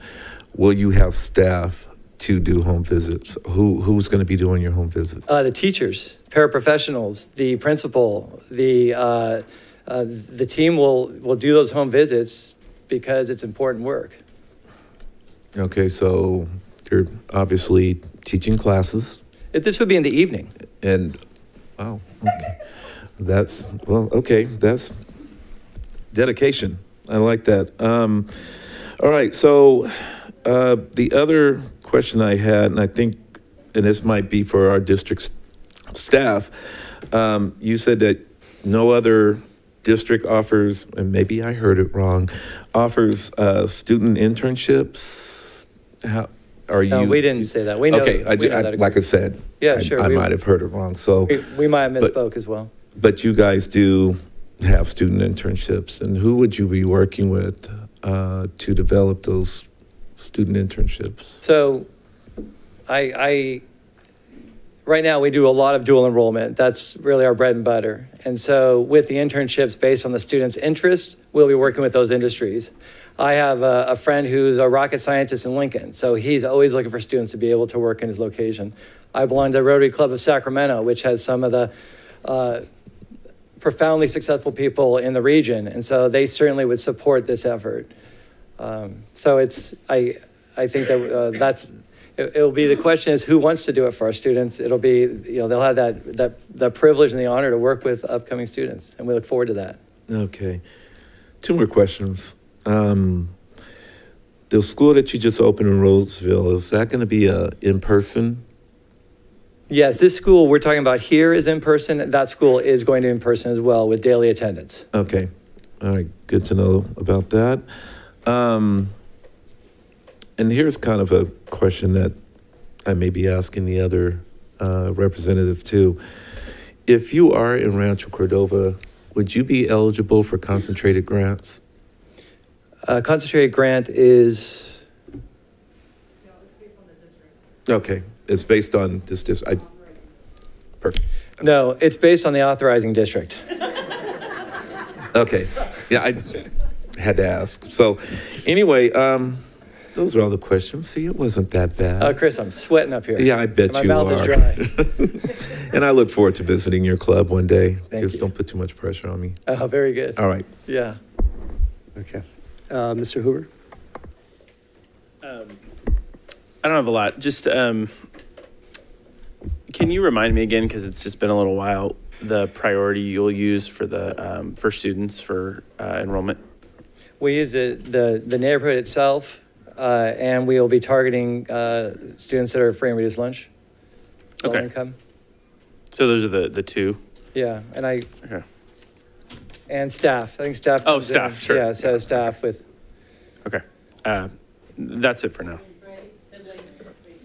Of, yeah. and sibling. Okay. Yeah, and and siblings. So so those are pretty standard, you know, staff siblings. Oh, thank you. Um, um, um, and so not Rancho specifically, but uh, the neighborhood. How is it? Sorry, just one more. How is it? Would the neighborhood be defined just the same? Is it a certain geographic boundary or? Yeah, that would, that would, that would be the priority. Okay. Uh, And so the question then is, will we attract the most number of students in need? Uh, We'll do our best to make sure, but it, it's a school of choice, A, and it's a, and it's a school that's focused on uh, a different modality of, of instruction. Right. And as always, uh, I always ask this question, but uh, enrollment is voluntary, correct? Exactly. If we are, on it- exactly, yes. Thank you. Yes. That's it for now. We're present.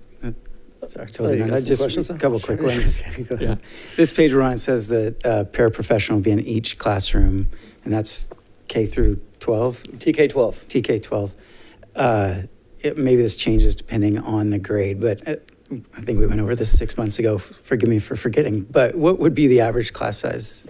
So our class size will be 30 students with one teacher, one paraprofessional. So Okay. 1 to 15 student-teacher ratio, Okay. stu- adult-teacher ratio. And then last thing, just to follow up on uh, what Mr. Short was mentioning about the locations, uh, is that something you could email to the board, the locations that you are looking at?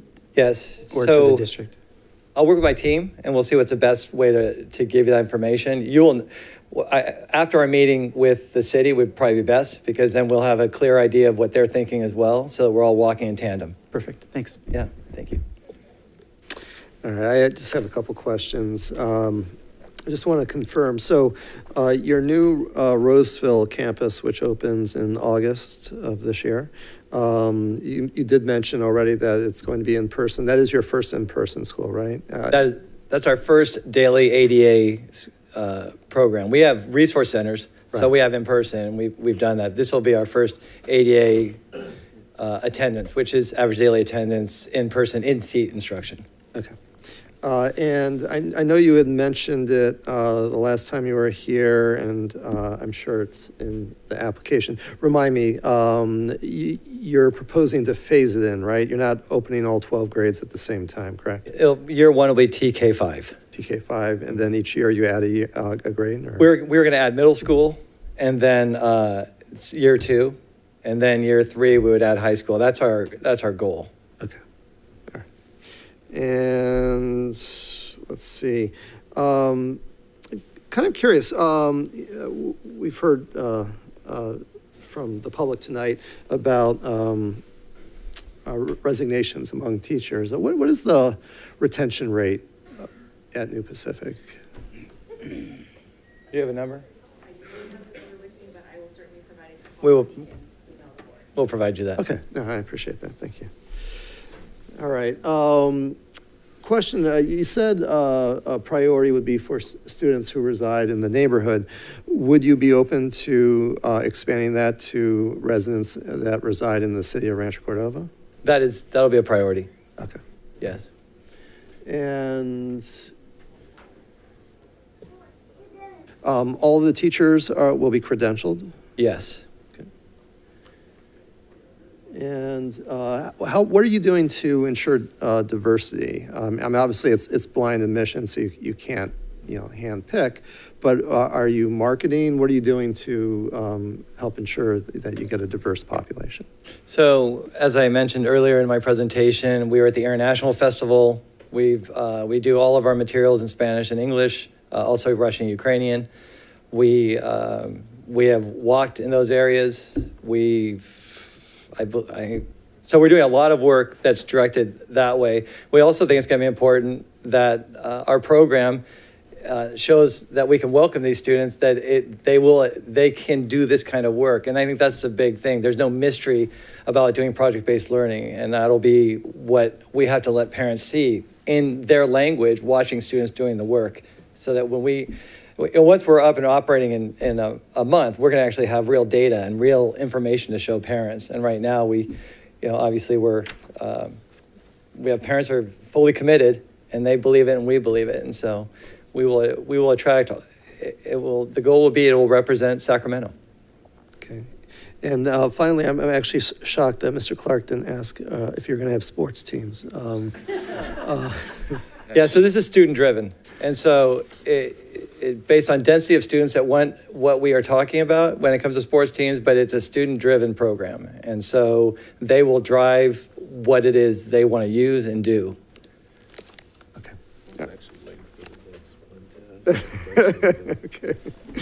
Um, That's all the questions I have. So let's go to the public. Uh, Uh, Mr. Prescott, just do one follow-on to Yeah, your please- question. please go. On sports and location, would you be enacting Prop 39 for using the existing Folsom Cordova School District uh, playfields? if No, we would not sports? enact Prop 39. Uh, But if there's an opportunity to do an MOU with the district to use a field, we would look forward to doing that if, if the students have a need. Okay, thank you. All right, uh, let's see, New Pacific, uh, we will start, uh, again, uh, two minutes on the clock. Uh, We will start with uh, Chris Bertelli, uh, followed by Kristen Connor. Welcome. Hi, good evening. Um, I'm a parent in Folsom Cordova Unified School District. Uh, I was here six months ago uh, uh, in support of, of New Pacific School. I, I'm here today in support of New, New Pacific School. Um, my daughter, who used to attend Folsom High School, is currently attending one of the PCI schools um, because uh, of the excellent personalized learning um, environment that they have. Uh, she's thriving. Uh, as a junior next year, she'll be taking at least two community college classes as part of her curriculum. Um, her entire education is being tailored to her interest and her needs. Um, the petition that they've submitted now, after six months of, of kind of going, of hearing what you guys said, is different. They've responded to your concerns from six months ago, and since then, they've also been um, unanimously approved um, in a neighboring district. Um, over their entire existence, they've been approved and reapproved and, and authorized and reauthorized a number of times. Um, this is a high quality, this is a school that delivers a high quality education, a high touch education with students in a very personal environment. And I really hope that the district um, uh, rethinks its decision from six months ago uh, and uh, supports uh, students in Rancho Cordova who and their families uh, who desperately need school choice. Thank you. Thank you. All right, the next speaker is Kristen Connor, followed by Angela uh, Binkelman. Welcome. Good evening. My name is Kristen Connor, and I'm a school psychologist with Pacific Charter Institute, as well as a resident of Rancho Cordova. And I'm here tonight to speak in support of New Pacific School. I've been a school psychologist for 10 years, and the past five have been with PCI. In that time, I've been fortunate to work with a fantastic group of people, led by Dr. Kiefer, who are passionate and dedicated to student achievement. And one of those wonderful people is Nancy Bean, who you just met a few minutes ago, and who would be the principal of New Pacific School. Pacific Charter Institute specializes in providing students and families with unique and personalized learning opportunities that, frankly, I had no idea existed back when I worked in a traditional district environment. In these last few years, I've seen firsthand how students who have experienced different types of challenges in a typical classroom setting are able to truly thrive when they get a chance to be part of learning programs that are flexible and tailored to their individual interests and needs. This is the case for students with disabilities who we do fully support through special education and accommodation plans. Um, as well as just students who need a, something a little bit different um, to spark their curiosity and help them to develop a lifelong passion for learning. I am proud to be a member of this community and I encourage you to vote in favor of New Pacific School so that the great families here can have another choice when it comes to their children's educational experience. Thank you very much. Thank you. The next speaker will be Angela, Angela followed by Stacy Boydell. Hi, uh, I have two young boys. Sometimes it feels like three, at least. Um, and I'm here to express my enthusiasm for New Pacific as both a parent and a teacher. I'm most excited about the goal of personalization with hands on small group learning. My children each have clearly unique strengths and challenges, as do my husband and I in parenting them. And I believe that children learn best when they are given just right challenges in a safe and supportive environment. We work on this at home, but full time home learning isn't sustainable for us. In a traditional classroom, too often teachers are pressured to stay on pace, lesson by lesson, with their curriculum, even when their students are not ready. As a math intervention teacher in a nearby district, uh, this whole class education model keeps me employed for my pullout, but I think a better system for kids is to create a curriculum around personalization and small group learning. I'm also very excited about project-based learning. As a veteran teacher in project-based learning schools um, in a different county, where yes, we've done home visits on the nights and weekends, um, because I see the connection it builds with families early on that we can then capitalize on in the classroom. I've seen firsthand how project-based learning improves engagement, attendance, family school connections, and students' feelings about school. There's a lot of research to back up this claim, but I'll share just one example from experience. During distance learning, it was notoriously difficult to fully engage children in their learning, right? Um, the most excited I saw my kids in our PBL school was when my fifth graders did their Genius Hour projects. They investigated their own questions based on an interest. Students were connected with a professional mentor who provided startup advice on their project. They created a product and a presentation to demonstrate new learning. And I saw some of the best writing and the most growth on this project because children had voice and choice in their work. The adult connections, public audience, and student centered creation process made their work important. I want my sons in a school where project based learning and personalization are the expectations every day and not the cool exceptions. Thank you. Thank you.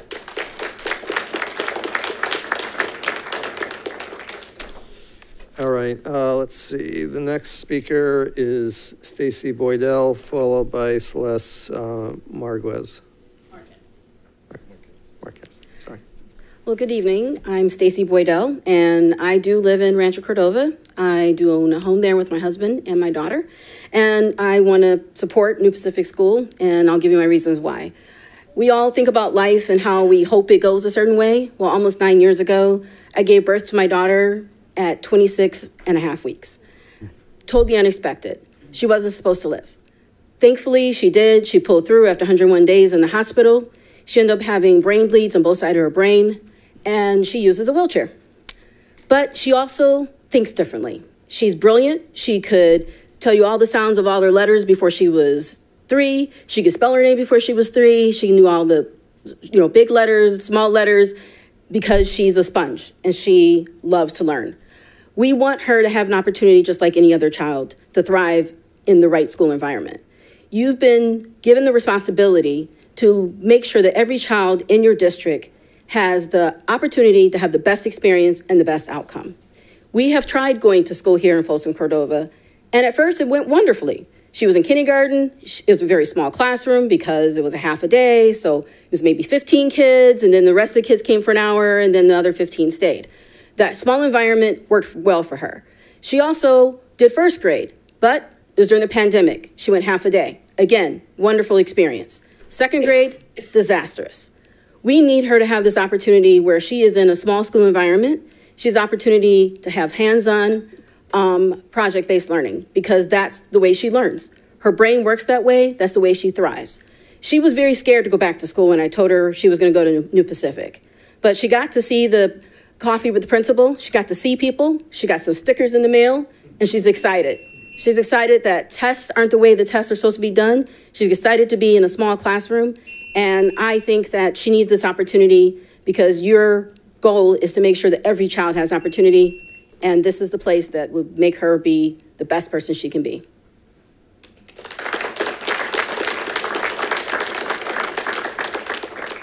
Thank you. Uh, The next speaker, uh, Celeste Marquez, followed by Anna Rohrbaugh. Okay, thank you, thank you. Um, so one of, um, we currently actually go to El Dorado Hills. My son attends uh, Mandarin immersion in El Dorado Hills, and we have several several families that go to to El Dorado Hills for a charter school, to Sacramento, and to Orangevale. And a lot of them um, are going because they're smaller classrooms where their children get that one-on-one time with the teachers and they get to know them.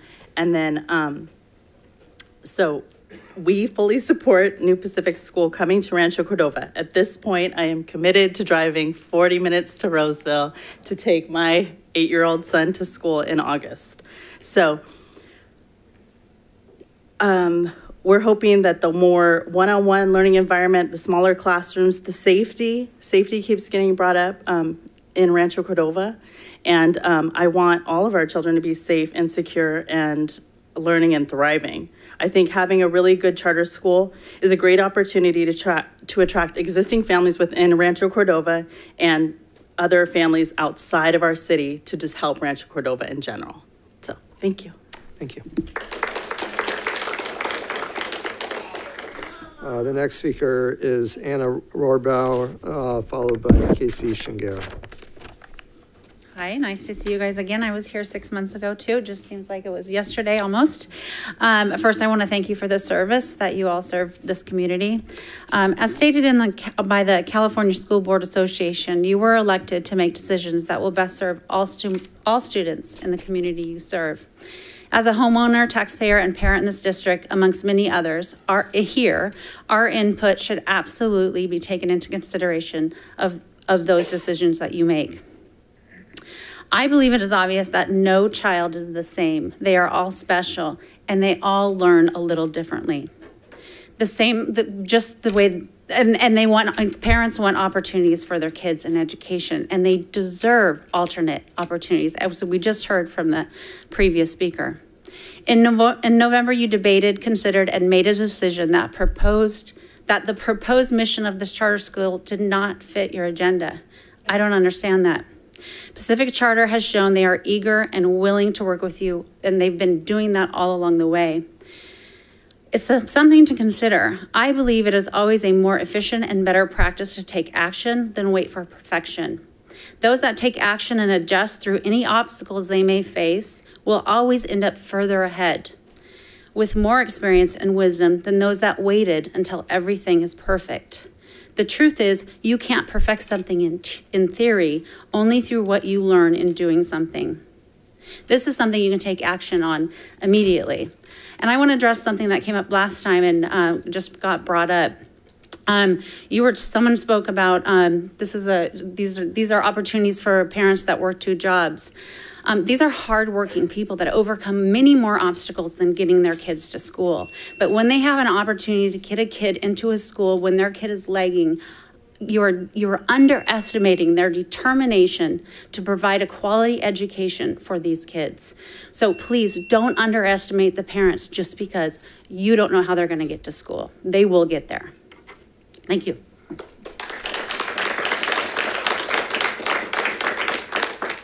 Thank you. Um, Casey Shingar. All righty. Hello. Um, I'm going to do more of like a bullet point approach here. So, um, in learning about PCI, Roseville is not Rancho. I grew up in the Roseville School District, K through 12. I promise you, not the same demographics. Both are wonderful, but they're wildly, wildly different. Um, currently, PCI, only 11% of their student population is SPED, which has me concerned about adequate support and adequate planning IEPs, accommodations, what have you. Additionally, when they say that they have a 15 to 1 ratio of teachers to students because they have a paraprofessional in the classroom, paraprofessionals, IAs, you're badasses. You really are. But that is not a credentialed teacher, so that ratio is, is inappropriate. It's not accurate. Um, let's see, um, project-based learning is not project lead the way. Project-based learning can occur in every single subject matter. I'm dual credentialed in English and social science. I've taught English for the last 10 years uh, here in Folsom, but I taught social science before in San Juan. I've done project-based learning the whole way through. You can do it in math. You can do it in science. Um, you don't need a dedicated school to do it. The home visit component has me very concerned. Um, teachers, yes, are mandated reporters. That this is asking a, a good deal. I also wonder about the appropriateness and are all families going to be open to to having visitors in their home? Is that something they are comfortable with? Um, additionally, with transportation, when they say it won't be provided, that that scares me. Um, my parents both work nights all my life, three nights a week. I spent nights at my grandparents' houses. I would not be able to go to school if I went to these schools. My parents did not have the ability to drive 40 minutes one way after working a 12 hour night shift in a hospital. That would be dangerous. Um, what I hear here is they have a lot of internship interests, um, but it sounds like it's all about who you know and they don't actually have a program and a pathway designed. So it sounds like a lot of good generalizations, but no true concrete plans that are reflective and celebratory of the Rancho community. Thank you.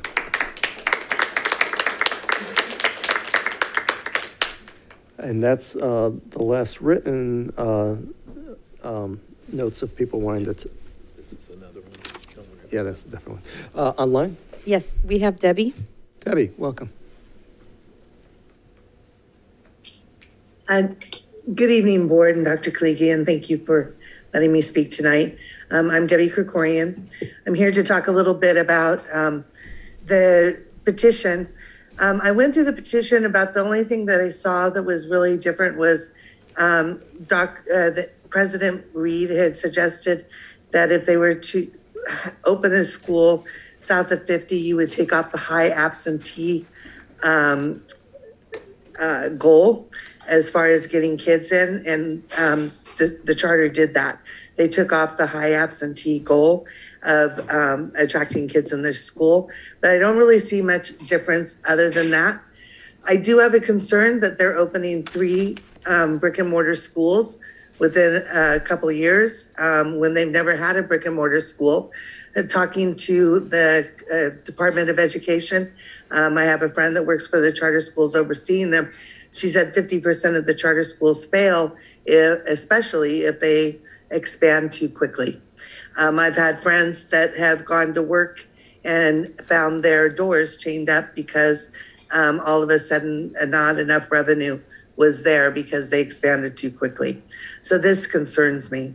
Another concern is the fact that New Pacific Charter has um, continually compared us, saying that we're not offering these um, programs and that we're not doing diligence with our students, when in fact we have project-based um, learning through Project Lead the Way, through History Day, through our math programs. We have it throughout the whole district. If you go to our students and talk to them, um, you you can see that the project based it is good and is what excites them. Um, but we're doing that. Uh, When you talk to the students about internships, we you listen on Saturday um, to uh, Leisha Cadell. We're doing fabulous programs when it comes to internships with our students. Thank you. Next, we have Rob. Rob, welcome. Good evening, School Board, Dr. Koligian. Um, I'm back. Um, I'm confused about the new, new Pacific Charter petition. There's still no student transportation. There's still no campus location. There's still no plan for outreach to Rancho students with high needs or attendance issues. And New Pacific apparently plans to look to Riverview as a model. How does that enhance our district offerings? Why don't we see how New Pacific actually performs as a brick and mortar school in Roseville? Once we have that data, the board will be in a better position to make a good decision. Thank you. Thank you. Next, we have Claire. Welcome, Claire. Uh, hello, it's Claire Crawford with In the Public Interest. Um, I would uh, just like to express similar reservations to the reservations that I expressed in public comment the last time this petition was before you.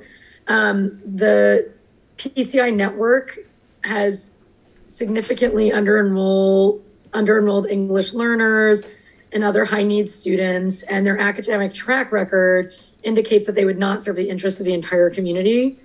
Um, I think that the concerns that the staff raised with the previous petition around the impact on the the entire on the interest of the entire community continue to exist and were not able to be addressed by this new petition.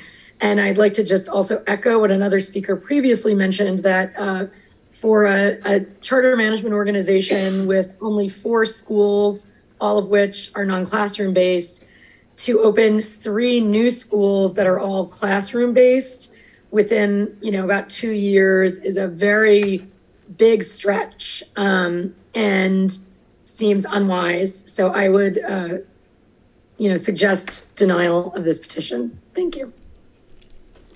Thank you. No more. That's it. All right. Uh, Back to the board. Any final questions? This uh, will be back on the agenda in August. Correct, the second meeting in August, yes. Se- Second meeting in Yes, August. August 25th. Okay, August 25th. All right. Uh, Then uh, I will gavel out uh, um, by unanimous consent unless there's uh, objection. Okay. All right, and then that starts our next public hearing. Uh, uh, Item C, Special Education Local Plan Area, uh, SELPA Local Plan. Section D, Annual Budget Plan. Section E, Annual Service Plan, Attachments 1 through 7, 22 uh, through 23. Superintendent. Yes, this is our annual SELPA plan. Um, As you described in the title, it describes the services for our special education students, related services, as well as bud- budget and expenditures. Um, Following on the agenda tonight, after the public hearing is closed, there'll be action to approve this for 22, 23. Uh, Ms. Wessinger is joining us virtually if the board has any questions. Questions from the board? Any? No? Uh, We do, we'll go up for public comment. We do have uh, one, uh, Chelsea uh, Bagan. She's out here, I'm gonna grab her. Okay. We'll just wait one second.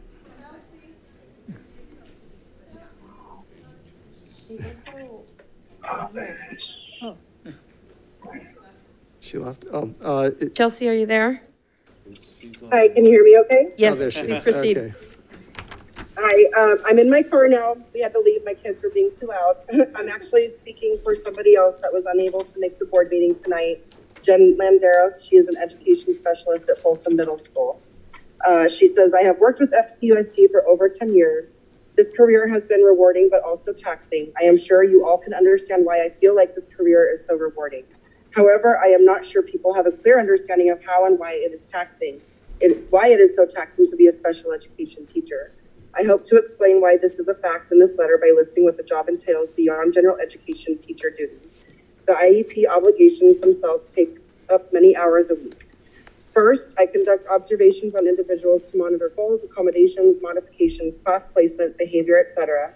Second, I talk with general education teachers, parents, specialists, and IAs regularly to assist students in many forms. Third, I manage IAs daily who work in my classroom. Fourth, I write, prepare, and conduct at least 35 IEPs for students with disabilities. Meetings are a minimum of one hour and can sometimes take place more than once per student and over two hours. Fifth, I schedule meetings, make sure parents, administration, service providers, and general education teachers attend within the deadline.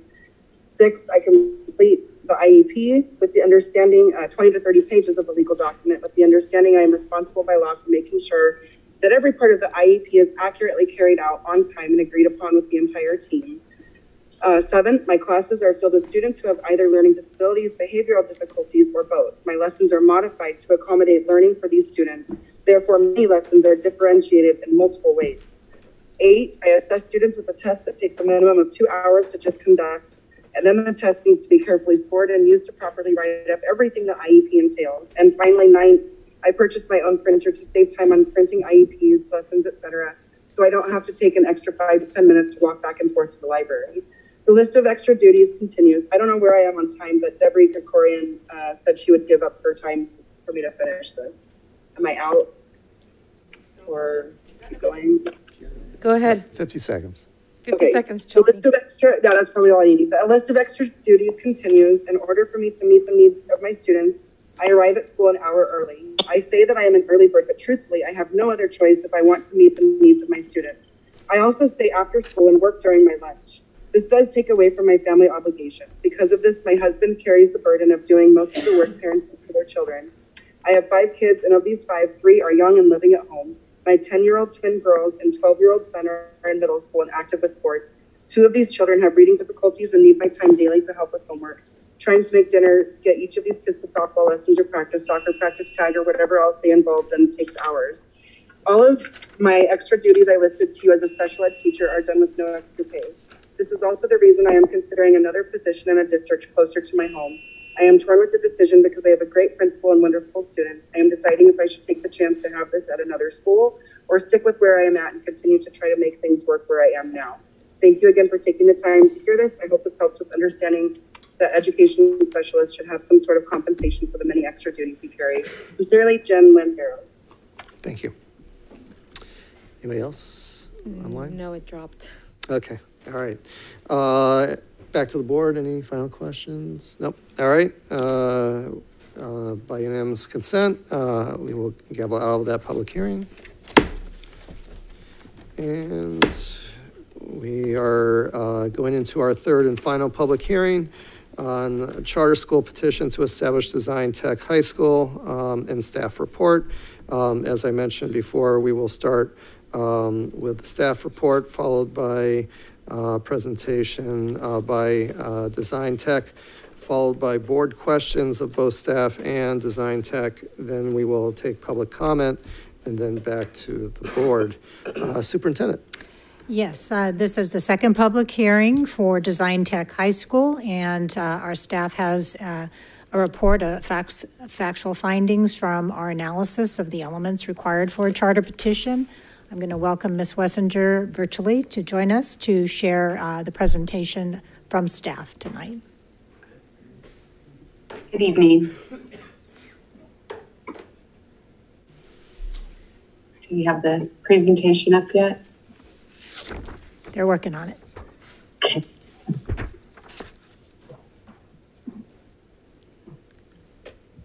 Great, thank you. Good evening, Dr. Koligian, President Reed, members of the board, colleagues, and community. Tonight, I'm bringing to you a summary of the Folsom Cordova staff report on the Design Tech High School Charter petition. I want to acknowledge and thank the team of 20-plus district staff representing various areas of expertise who participated in the review of the petition, including fiscal services, human resources, facilities, curriculum, instruction, site leaders, to name a few. District also sought legal guidance in the preparation of this report. Next slide, please. Design Tech High School submitted a petition to establish a new charter school on April 22nd, 2022.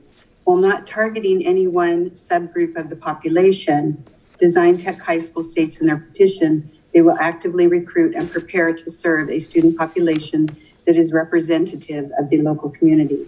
Components of the program include a competency-based curriculum, variable and flexible schedules, an A through G approved design thinking class for every student, an innovation diploma program, industry-based intercession program, and access to high and low tech tools. Next slide, please. California Education Code 47605C sets forth the guidelines to consider in reviewing charter petitions. Findings are divided into three categories, including areas considered met, areas considered deficient, areas considered significantly deficient. Note that these items support the staff findings and recommendations for denial of the petition. Next slide, please. Summary of the findings. Following a comprehensive review and analysis of the petition by Folsom Cordova Unified School District, denial of the petition is recommended based on the following recommended findings of fact. One, granting the design tech charter is not consistent with sound educational practice and with the interests of the community in which the school is proposed to locate. Number two, Design Tech High School is demonstrably unlikely to successfully implement the program set forth in the petition. Number three, the petition does not contain reasonably comprehensive descriptions of the required elements of a charter petition. Number four, Design Tech High School is demonstrably unlikely to serve the interests of the entire community in which the school is proposing to locate. Analysis of this finding includes consideration of the fiscal impact of the proposed charter school. Next slide, please. Design Tech High School staff report. This is the uh, first of the areas that we considered. These are areas considered met. This is a, uh, includes a description of vision, mission, and educational program, measurable pupil outcomes, student progress measurement, and governance structure to name 15 areas are considered met. Next slide, please. While these areas are considered deficient, they do not form the basis for our recommendation for denial as we feel these areas can be remediated. Next slide, please. Areas considered significantly deficient, qualifications of individuals, community impact, and sound educational program. These items support the staff findings and recommendations for denial of the petition, and the analysis will be provided under the findings. Next slide, please. Thank you.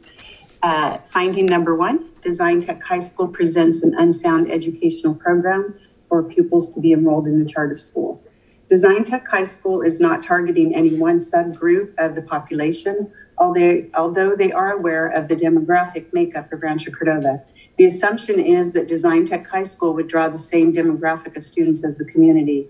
Design Tech High School states in their petition they will primarily aim to serve families in the Folsom Cordova Unified School District residing in Rancho Cordova and the surrounding area. Since most of their students would come from Cordova High School, comparisons are made with Cordova High School. Next slide, please.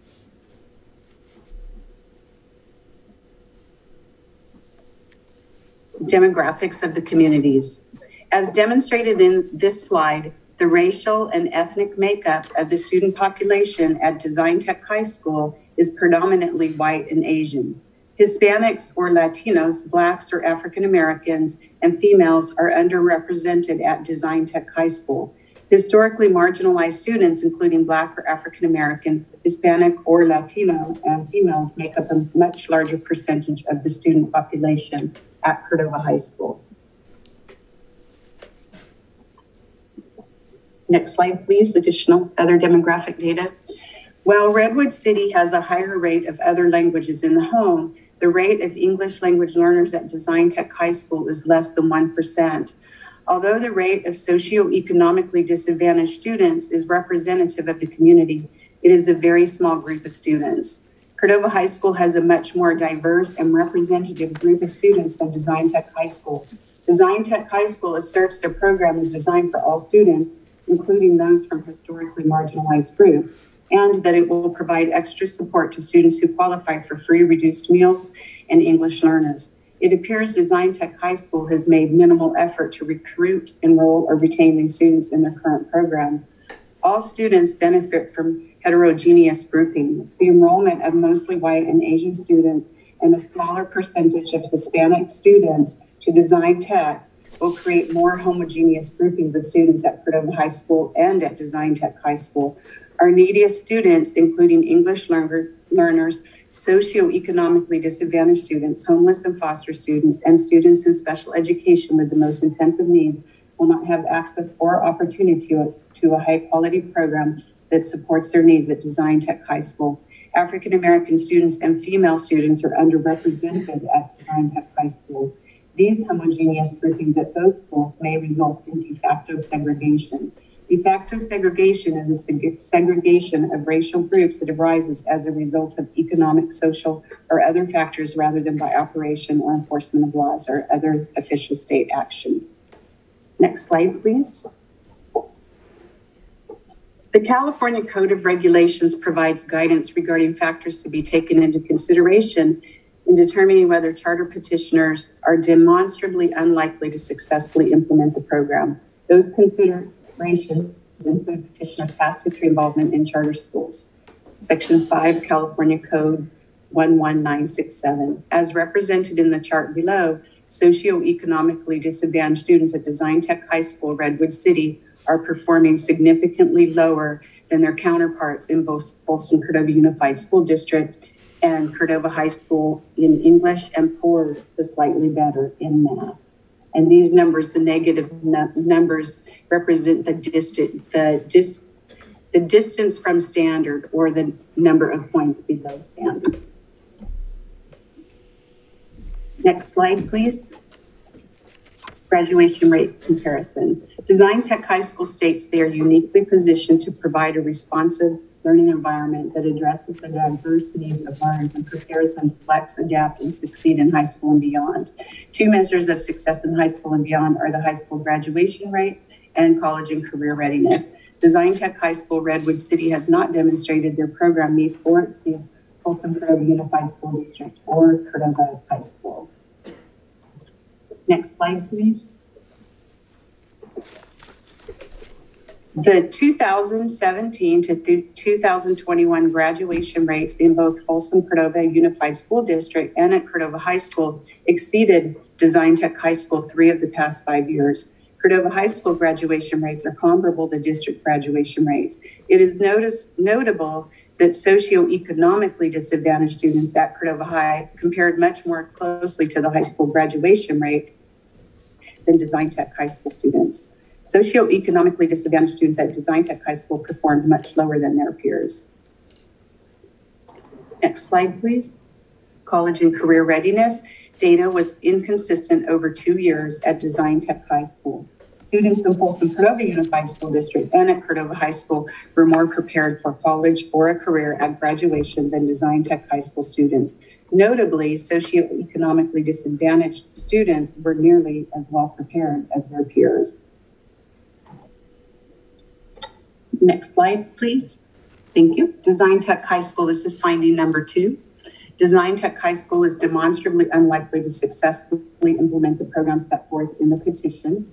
Special education. Two areas of concern are the charter petition lacks clarity on SELPA membership and staffing concerns. Uh, I do want to note that the staff, district staff did receive responses to questions submitted to Design Tech High School, but not in time to address them in the staff report. Design Tech did clarify their intent to join El Dorado SELPA. Uh, they have not had communication with them. However, this does not alleviate the budget concerns entirely for the following reasons. Design Tech only budgeted one teacher at $4,000 less than general education teacher. In their response to questions, they indicated they would take $4,000 from the 20,000 for additional expenses. This leaves only $16,000 in year one for related services like speech, occupational therapy, and specialized equipment and other things. Design Tech notes a teacher to student ratio of 20 to 1 for special education, which would cover all students regardless of disability or need. Folsom Cordova Unified School District staffs at a district average of 14 to 1, which is a 20 to 1 RSP ratio and an 8 to 6, 8.6 to 1 SDC ratio. Design Tech High School states they served 81 students in 21 22 with a staffing ratio of 20.25 to 1 teacher and only one instructional aide, whereas FCUSD staffs every special education teacher with instructional aid support plus one-to-one IAs. This would indicate that design tech is not serving students with intensive needs. Next slide, please. The next issue under, uh, or the next issue is finding three. And this is, uh, the petition does not contain reasonably comprehensive descriptions of all required elements. This is related to qualifications of individuals and credentialing requirements. The petition states teachers employed by a charter school during the 23-24 school year shall have until July 1, 2025 to obtain the certificate required for the teacher certificated assignment. Once again, on this, uh, related to this area, we did hear from Design Tech High School, but it was before, um, it wasn't in time to address it in the report. Um, so uh, they have indicated they will affirm compliance with AB 1505. However, it is unclear if Design Tech is in agreement with the district's interpretation of AB 1505. But this is an area we feel uh, could be remediated. Design Tech High School staff report finding four. And this is community impact. Design Tech High School is demonstrably unlikely to serve the interests of the entirety entire community in which the school is proposing to locate. And this analysis under of community impact will include fiscal impact, duplicity in proposed program, and capacity. The summary of the fiscal impact. This is a summary of the fiscal impact. The fiscal impact does take into consideration the cost savings that would come from a loss of enrollment. Before the cost savings, the fiscal impact from the enrollment loss is twenty-nine million, four hundred and fourteen dollars, four hundred and fourteen thousand, five hundred and seventy dollars. We calculated the net loss after taking into account the savings four ways, with between seventy to one hundred percent of design tech students coming from Folsom Cordova Unified School District. Next slide, please. The summary of the, of the fiscal imp- impact of the loss of enrollment. The estimated cumulative net loss is between fifteen million two hundred and fifty-four thousand one hundred and eighty-four and twenty-one million seven hundred and three thousand three hundred and ninety-six dollars over five years. These estimates in ADA loss include potential savings from a reduction in FCUSD staff to adjust for a reduction in enrollment before the cost savings, the fiscal impact from the enrollment loss is 29 million 414.570. The total teacher loss ranges from 16.24 FTE to 23.20 FTE.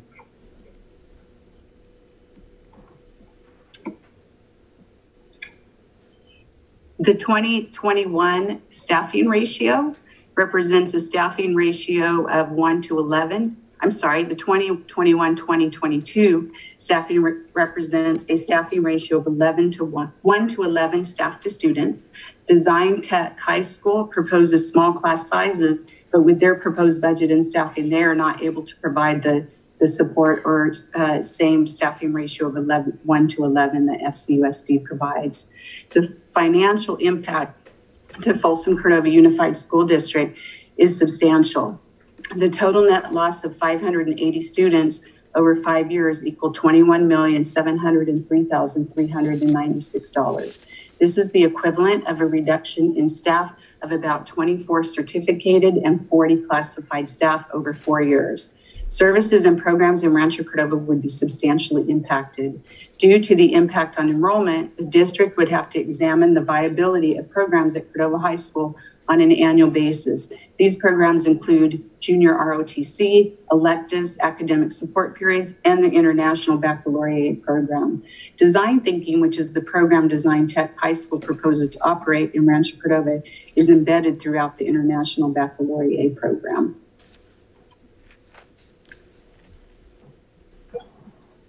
Duplicity in proposed program. Design Tech has high school lists six elements that create a unique high school experience. One, a competency based curriculum. Two, variable and flexible schedules based on student need. Three, an A through G approved design thinking class for every student. Four, innovation diploma program. Five, industry partner based intercession program. And six, access to low tech and high tech tools. Each of these six elements currently exist within Folsom Cordova Unified School District. Many of the experiences Design Tech High School outlines as unique to Design Tech High School as reasons to open the charter are experience that are offered throughout Folsom Cordova Unified School District. It is unclear whether Design Tech High School is offering any additional educational services or programs beyond what already exists within Folsom Cordova Unified School District and are available to the parents and students for which Design Tech School proposes to serve. Also, there are no data points to show that Design Tech High School will be more successful than schools and programs already provided by Folsom Cordova Unified School District. Folsom Cordova Unified School District is responsive to the needs of the community, whether it be innovative programs such as International Baccalaureate and Career Technical Education, quickly moving students and faculty into distance learning through one-to-one computer distribution and hundreds of hours of technology training for teachers, moving their instruction to online learning, being the first district to bring students back to in-person learning in Sacramento County, or opening a brand new K through 12 online academy for students who thrive in that environment, Folsom Cordova Unified School District has a long history of ex executing and supporting innovative educational programs. Next slide, please.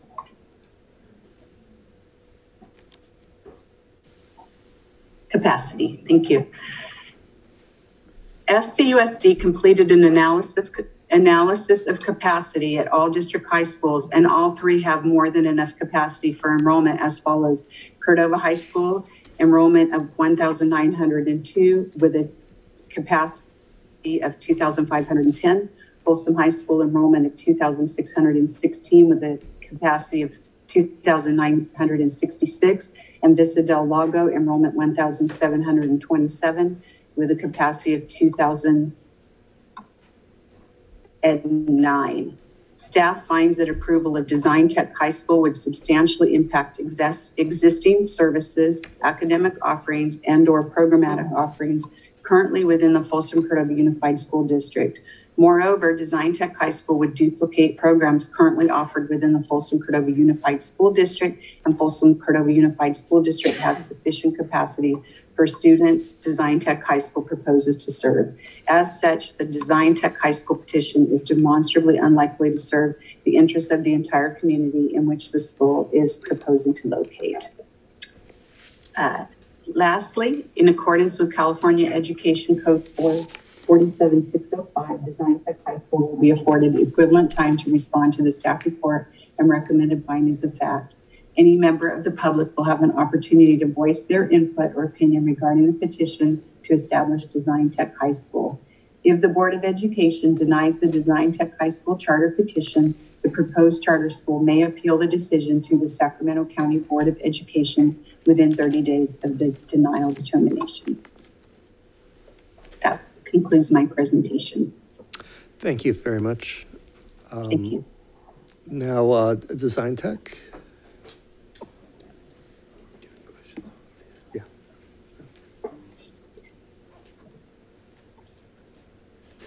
Welcome.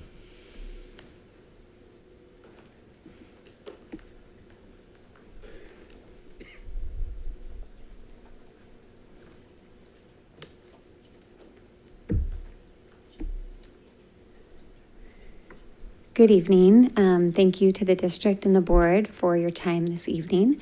Um, my name is Dr. Wendy Little, and um, I will be kicking off our response to the staff findings tonight.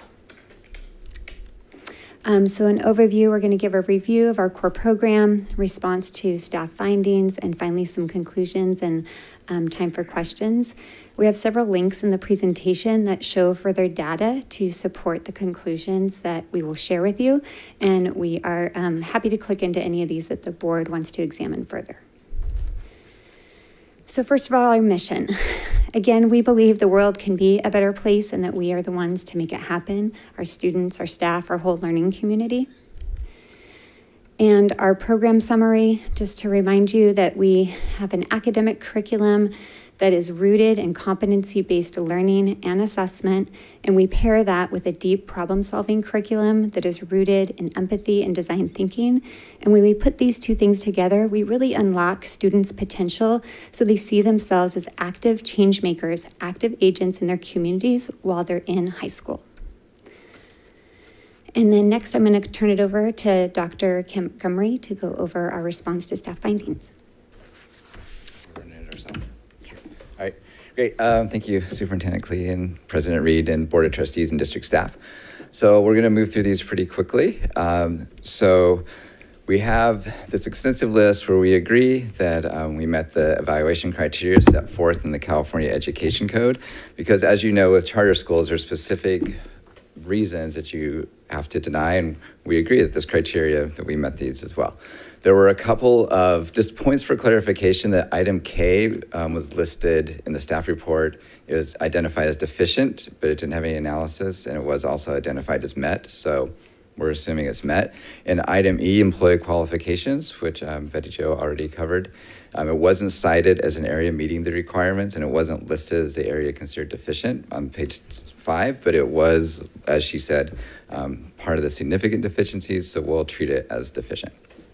All right.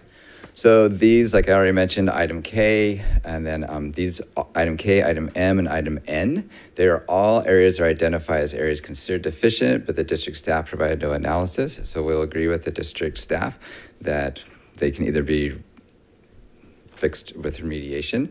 But we do want to note that identifying an area as deficient with no analysis, that's impermissible as a basis for denial of the petition.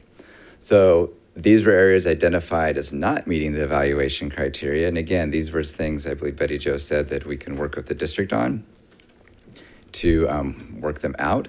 But we do want to point out that the analysis provided in the by the district for items F, G, and the facilities are factually and legally in, inaccurate, and therefore it's impermissible basis for denial of the petition. And I should also point out if you have any questions, our legal counsel, um, Janelle, is over on Zoom. So if you have any questions on um, the legal and the impermissibility of some of these things, Janelle will be happy to raise her hand and explain them. All right, so these were the areas considered to have significant deficiencies. So the first one, it sounds like we have this resolved. Like we agree that the language that the district cited on page 89, it was an inadvertent typo. And so the charter school is aware of, we agree, we will follow the guidelines of AB 1505, and it sounds like we have a very similar interpretation of it. The next one is special ed. So there are three reasons for this. First, the reason in the district analysis that there's no documentation that charter schools consulted with the SELPA. Uh, we provided an email where we were in contact with El Dorado SELPA in April 22. We cannot make this as a grounds for denial because the timelines for membership has not commenced, but we are in communication already. We started in April.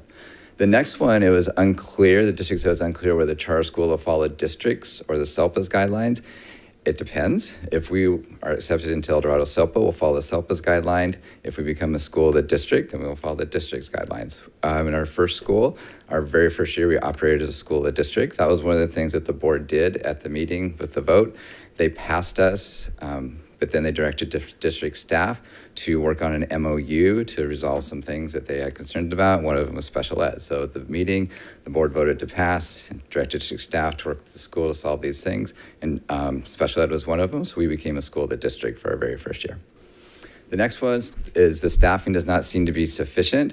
So one part of this is depending on enrollment and student need, we'll adjust our staff accordingly. That's what we do. That's what all schools do. It's also important to note that the CMO, Design Tech Learning, we will provide support to the school site. We have a director of student services who has extensive experience in special education. We also, as it came up tonight, there's a lot of paperwork associated. We have somebody that works remotely that does a lot of the paperwork for IEPs. So what you see as the staffing model for design tech at Rancho, that's not all the special ed support that's provided because there's also special ed provided through the district office or our district office, the CMO. And it's also, we have a full inclusion model. So it does change some of the things in terms of the special education program. We believe special ed students benefit the most when they're fully included. So that's one of the reasons our program might look different, the staffing might look different than what you are used to seeing. The next one, community impact. So the district identified four reasons for their findings in this area. The first one, fiscal impact. Basically, the argument was that it'll have this significant fiscal, fiscal impact, it'll undermine the existing services. Um, as the district noted in its published staff report, that the analysis does not account for the potential savings, but I see in the presentation that that analysis has changed, so we did not have time to respond to that piece of it. But also, the analysis does not take into account that in 2021, I'm sure you were on the school facility needs, that the district is projected to grow by 5,000 students. So even if 500 students are full enrollment, we are capped. I know that was a question that keeps coming up. We do have an enrollment cap. So even if 500 students come, the district's still going to grow by 4,500. So we look at it as not causing the problem, actually helping the district alleviate some of the problems that are, can be associated with a growing population and overcrowded schools. So the fiscal impact numbers do not take into account any of this uh, revenue or any of this enrollment group growth, which was the district found in 2021. Um, the next one is the, the duplication of programs. There are two reasons that this finding mischaracterizes the school's program. First off, the analysis does not actually capture our programs. Like competency-based learning, the students don't progress until they meet the standards. We don't have Ds. You have to like this proficient. And so you could see like some of the data, especially on A through G completion, would look very differently if the district really were grading all their students on a four-point rubric like we do, like really doing competency-based learning. Same with intercession, the innovation diploma. And again, we during questions, we're happy to talk more about how these really are different, but it just doesn't adequately characterize. Like the innovation diploma, that's something that we created that we have we support schools around the world in enacting that so to say that the same program is offered in the district is really mis, a mischaracterization and it's also important to note that the programs cited by the district as being duplications they're not found in a single school site they're across the district and they're least accessible to the families in rancho cordova advisory every school except for the families in rancho cordova flex time not in rancho cordova the CTE pathways, all the CTE pathways that lean very tech heavy, not in Rancho Cordova. So when you're saying that these, these programs were duplicating it, compared across the district, they're mischaracterized and they're actually least accessible to the families in Rancho Cordova. And the last one, um, this one I didn't fully understand it, but it's basically it's just saying that the existing program, which I assume is a district program, has the capacity to support the pupils. There was no analysis provided in this, so we can't be, it can't be a reason for denial for factual and legal reasons. So I'm going to now pass it off to Nicole Sinner, Director of Learning, to talk about the educational program. Good evening, everyone. Um, so the district uh, report claimed that the school has an unsound educational program based primarily on two reasons um, the demographics at Design Tech at Oracle being different from the demographics at Cordova High School, and Cordova High School um, having a greater success in educating uh, socioeconomically disadvantaged students. And I'll address uh, these reasons. All of these reasons fall into one of these three categories. They're either legally impermissible, uh, they're a mischaracterization of demographic and achievement data, uh, and or they are data used by the district that does not support the finding that they state. Regarding the legal impermissibility, um, using data on enrollment from another charter school in a different city in a different county um, doesn't provide a factual basis that's needed for a denial of a charter petition. Uh, but even if it, um, you know, was to be allowable, it's important to note that the district report mischaracterizes our demographic data. Uh, they compare the school's demographic data to a very uh, large uh, region in the Bay Area. But when you compare our uh, enrollment data to our closest local comprehensive high school, it's actually very similar. So we are attracting a similar uh, demographic. Uh, and also, our staff demographics, um, while we'd like them to align even more with our student body demographics, they do align more closely to our student body than the um, FCUSD student and staff demographics. Uh, also, the achievement data um, is maybe not as thorough as it could be and uh, therefore mischaracterizes uh, the achievements that we have made. Um, so they claim that we don't do as well as Cordova High School in educating uh, particularly socioeconomically disadvantaged students. But in fact, three out of our four recent CAST tests show that um, the DTEC proficiency rates are either similar or better uh, than Cordova High School for SED student populations. Uh, also, the uh, career and college indicator rate um, in our most recent year in 2021 significantly outperforms Cordova High School, um, and that includes for SED students. Um, and then two uh, data sets are not acknowledged in the district report, the college cohort acceptance rate uh, and also the A to G completion rate, both of which exceed um, the data at CHS and um, the A to G completion rate exceeds every school in uh, FCUSD, which we think shows actually a very strong and sound educational program. And I'll turn it back over to Dr. Montgomery. So we understand that the district's attempt to show that the educational program outlined in our petition is unsound. We understand that attempt, but the way the district goes about it, it does not actually directly analyze our school program. Instead, they compare our demographic data. Comparing the demographic data of one school to the demographic data of another school is not the basis for finding that the educational program is unsound. And again, comparing the achievement data, these are schools that are they're not they're 100 miles apart. It doesn't provide any insight into the soundness of the educational program. It doesn't say that competency-based learning doesn't work. It doesn't say that design thinking doesn't raise student achievement. It doesn't say that design thinking and an innovation to program does not help kids get into school, get into college. But even when you compare the achievement data, it's marginally better than doing the demographic data, but we compare favorably on the metrics used by the districts. And when you consider the college acceptance rate to the UC system, then our outcomes are strikingly better. I know they use the graduation rate. It's, it's a little confusing to us when we talk about the mischaracterization. I'm sure it's an honest mistake, but there was a graduation. It said our graduation rate in 2017 was 80 some percent. We had zero graduates in 2017. Our very first graduating class was 2018. So it is confusing to us to understand like how this data is presenting an unsound educational program. The same with the college and career indicators. It says 2.5% our first year. The college and career indicator data is based on once your seniors graduate.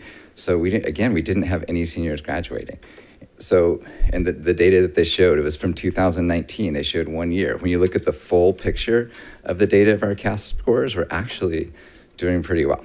And especially when you talk about college acceptance and our focus on the outcomes that matter the most for kids, which we believe is them finding their path in life and having all the opportunities open to them at the, when they leave our school, we feel that we're, our educational program is very sound. So in conclusion, that we really believe that if a vote to deny on this would be removing some new opportunities for Rancho Cordova students. We believe that our responses provide ample evidence for a vote to support the Design Tech Charter petition and for us to successfully serve students in Rancho Cordova beginning in fall in 2023. I mean, we've heard, I mean, not just, just from us, but also obviously New Pacific, that it's really about serving the students and providing new opportunities. Even when we're comparing the data with the schools, we don't want to get into this like, well, our school is better than yours. Like the big comprehensive high school, it is the right fit for quite a few kids. A smaller model focused on the things that we're focused on, that's the right fit for a lot of kids. It's not like a, there's not a one size fit all fits all kid. There's not like a one size fits all educational program. And so that's what we're really just asking for your support and giving the opportunities for the families of the district to choose. Because, like I said, it's not, we know that um, all of us thrive more when we're in an environment that is better suited, is better, a better fit for us as individuals. So let's give the families a choice. So thank you. I know we still have a little bit of time, but we're open to questions now. And again, we can click down on any of the data. So thank you. All right, uh, let's uh, go to uh, board questions for um, either design tech or staff. We'll start with uh, Mr. uh, Hui. Do you have any? Yeah, uh, let's start with uh, uh, some questions for the staff. Uh, If we bring that presentation back up. Um, And maybe start on page 18.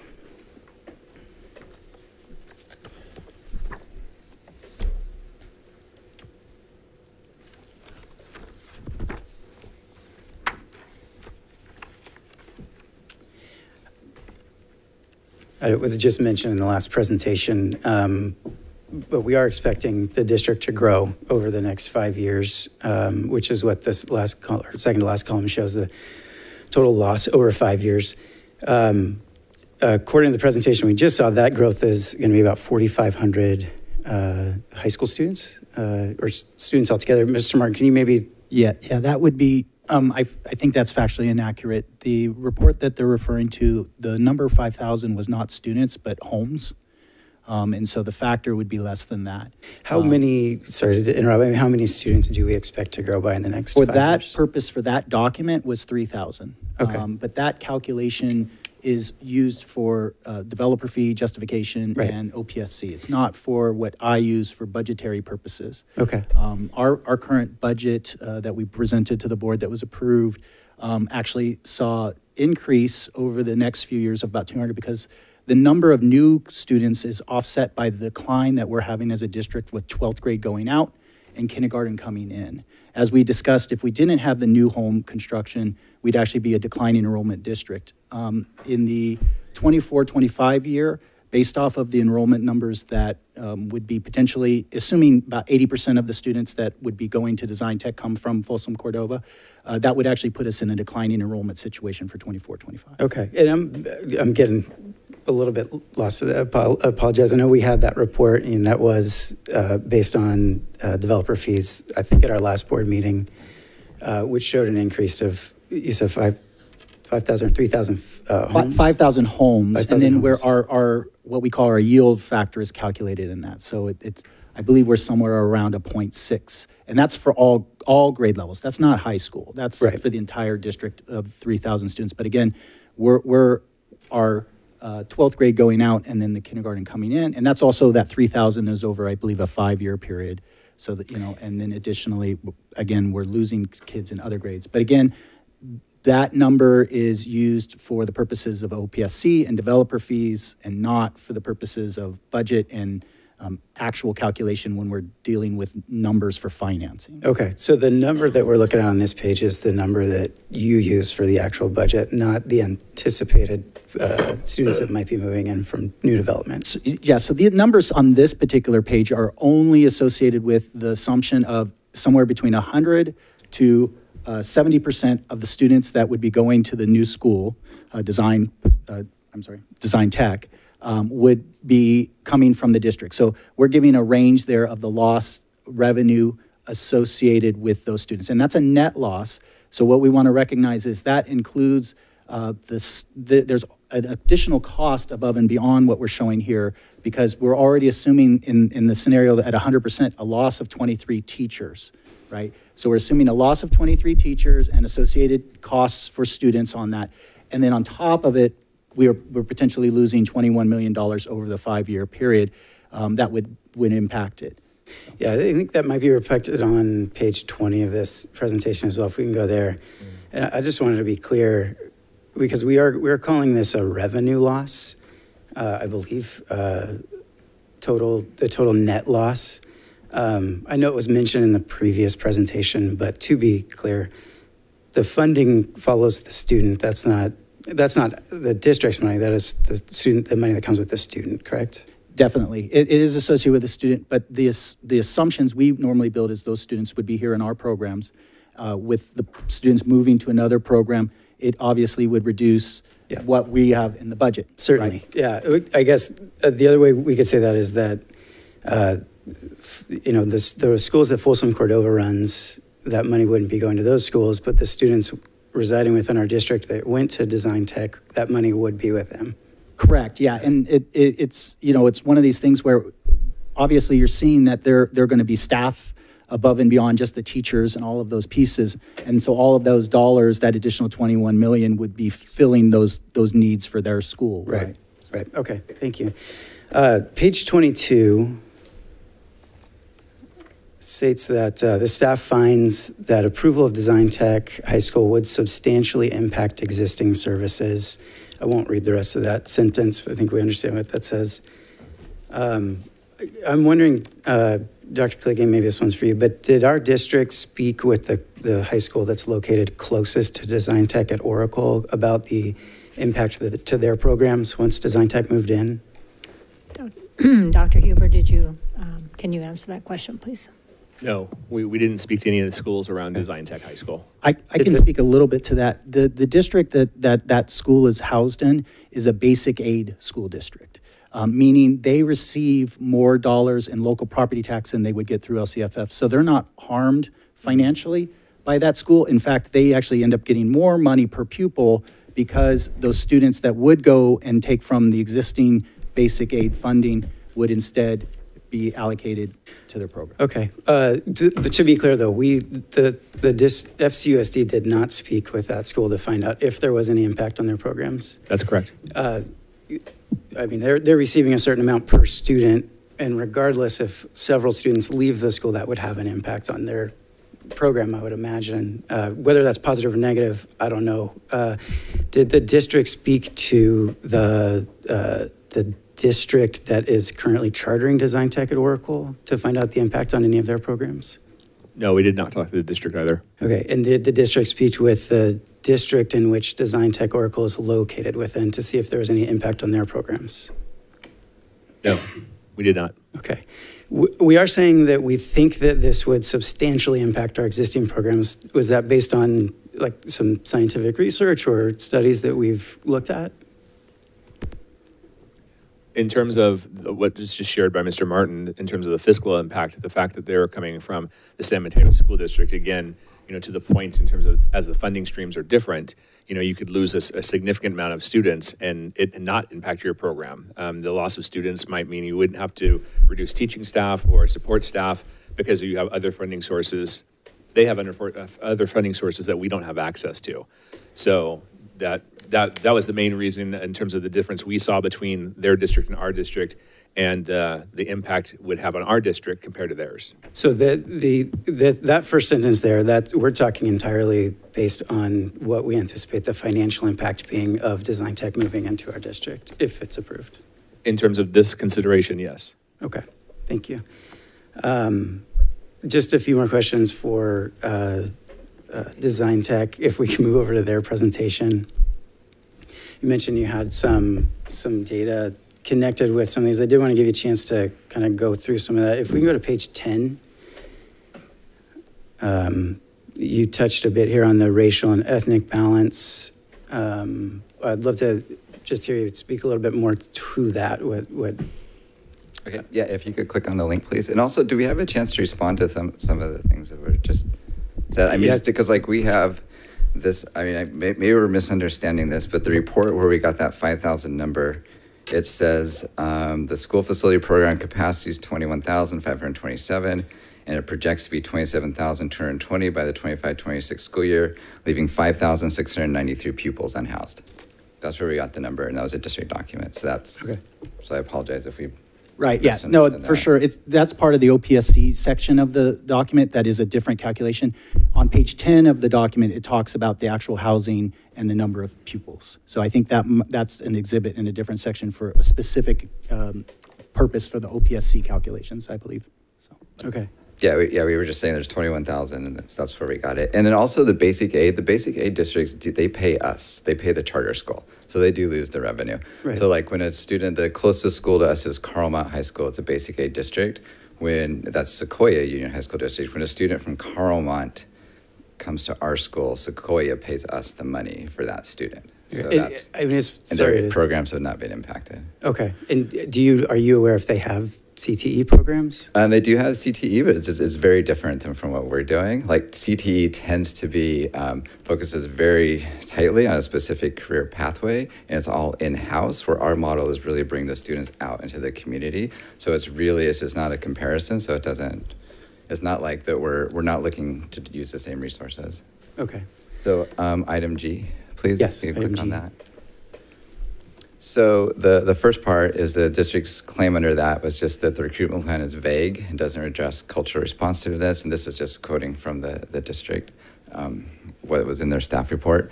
So the conclusion that recruit, recruitment plan is vague, that doesn't, that's just based on speculation. It's not on facts. And that's not a permissible basis for denial of the charter to say that our plan is vague. And we do agree, disagree with the staff's assessment that the legal requirements for this is to provide a reasonably comprehensive description. And we believe that we have a reasonably comprehensive description, and there's no legal requirement to include benchmarks, so we cannot lawfully be denied for a lack of benchmarks of certain um, demographic groups in our petition. And then if you do, I mean, I know you all have access to this. If you look at the demographic data, when you compare it, I know like the district compared it to Redwood City. We're actually not in Redwood City. We're in Redwood Shores, which is an annexed um, portion of Redwood City. And when you compare it to our closest high school, Carlmont High School, which is about two and a half miles away, we compare favorably. And we also feel that it's the the thing we, we don't have control over the demographic makeup. Of course, we will do a lot of outreach as we outlined in here, but we do have even more control about what the staff makeup. And we feel the diversity of our staff. There's work to do, just like there's work to do in this district, but we feel like it's on the, we're on the right path. I think, yeah, that's actually was my next question. On page 24, it sounds, looks like we're, there's some information about demographics and staff demographics. Would that speak to what you're talking about Yeah, right now? exactly. Okay. Would you mind showing us that data? Um, could you go to page 24, please?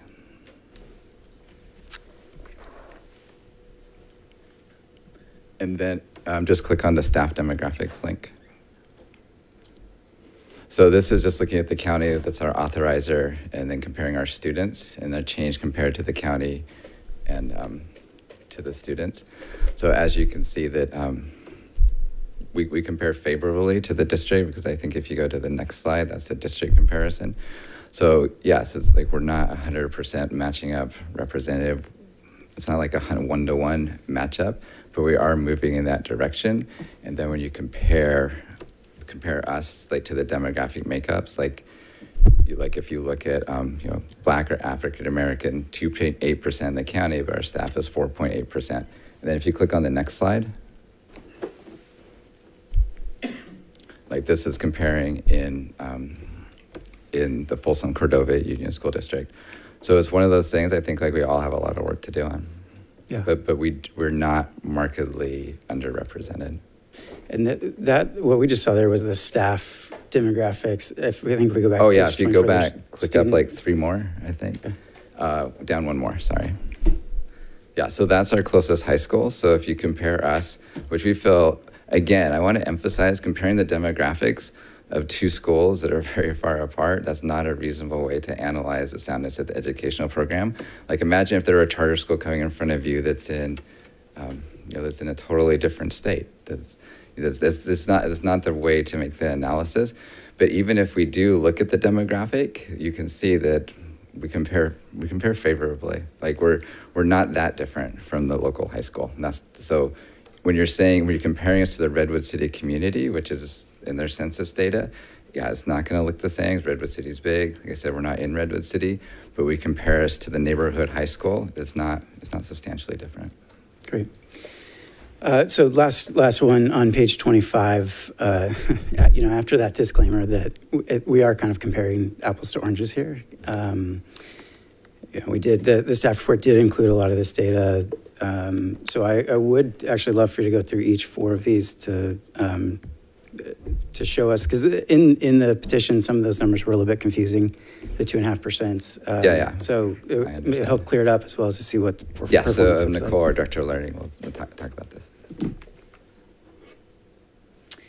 Okay, so first I'll review um, the CAASPP data. Oh, sorry, actually, I can't click on that. Um, so this data here shows test scores from 2019 and 2017. In 2018, we had a testing irregularity due to a technical issue where students uh, like finished the test before it was over. And so we weren't able to submit data for that year, which did impact obviously the um, you know indicators that you're seeing, including the college and career indicator that we'll look at um, later. But the CAASPP data from 2017 and 19, that's our very first year that we had 11th graders, 2017. 2019 was the next year that we had um, test data that was, uh, you know, regular. And then uh, after that was COVID, so we don't have test data from 20 or 21. Um, but you can see for English language arts, when we compare to Cordova High School um, in 2019, we're pretty similar. Uh, well, we're for all students, we, um, you know, more of our students were proficient in English language arts. Among um, socioeconomically disadvantaged students, we were pretty similar. Among students with disabilities, we um, surpassed uh, Cordova High School in terms of percentage that were proficient in ELA. Um, and then in math, we see um, some similar trends. Um, you know, all students, uh, we had more students proficient. Uh, among SED students, more students proficient in math. And for students with disabilities, again, more students at DTech proficient in math. Do we have a long way to go? Yes. Those are not great numbers, but we're not significantly worse at educating um, SED students than Cordova High School. Uh, and then in 2017, you see um, one test was significantly better at Cordova High School, the ELA exam that year. Um, more students were proficient. Um, but I think that we made some adjustments and improved in our program, and you can see that reflected in the data. I think that maybe with the, I don't know if these are in order, there were about four different sections on that page 25 showing some Oh, yeah, data. so maybe back to 25. Um, then there's the college and career indicator. Um, so you can see that in 2017, we didn't have uh, a cohort, a four-year cohort by then, um, because we hadn't been around long enough. So there's no data there. Um, even though the district report did include data there, I don't. I'm not really sure where that data came from. Um, in 2018, we had a 61% of our student um, body were college and career um, ready. Uh, 50% among socioeconomically disadvantaged, and not enough students in our um, students with disabilities category. In 2019, you can see it's very low, and that's again because of that testing irregularity. The CAASPP exam is one of the two things that we use to um, generate our college and career indicator. So, because we had no test data for that year, we have a very low college and career indicator. But you can see in 2020, um, once that cohort graduated, uh, our numbers were very um, similar and much improved, especially in the um, students with disabilities category.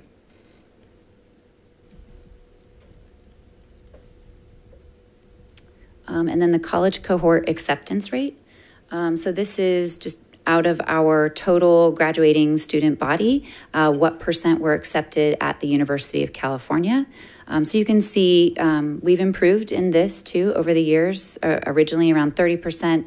Now, um, in the most recent year, we have data 35, um, which is significantly better than Cordova High School.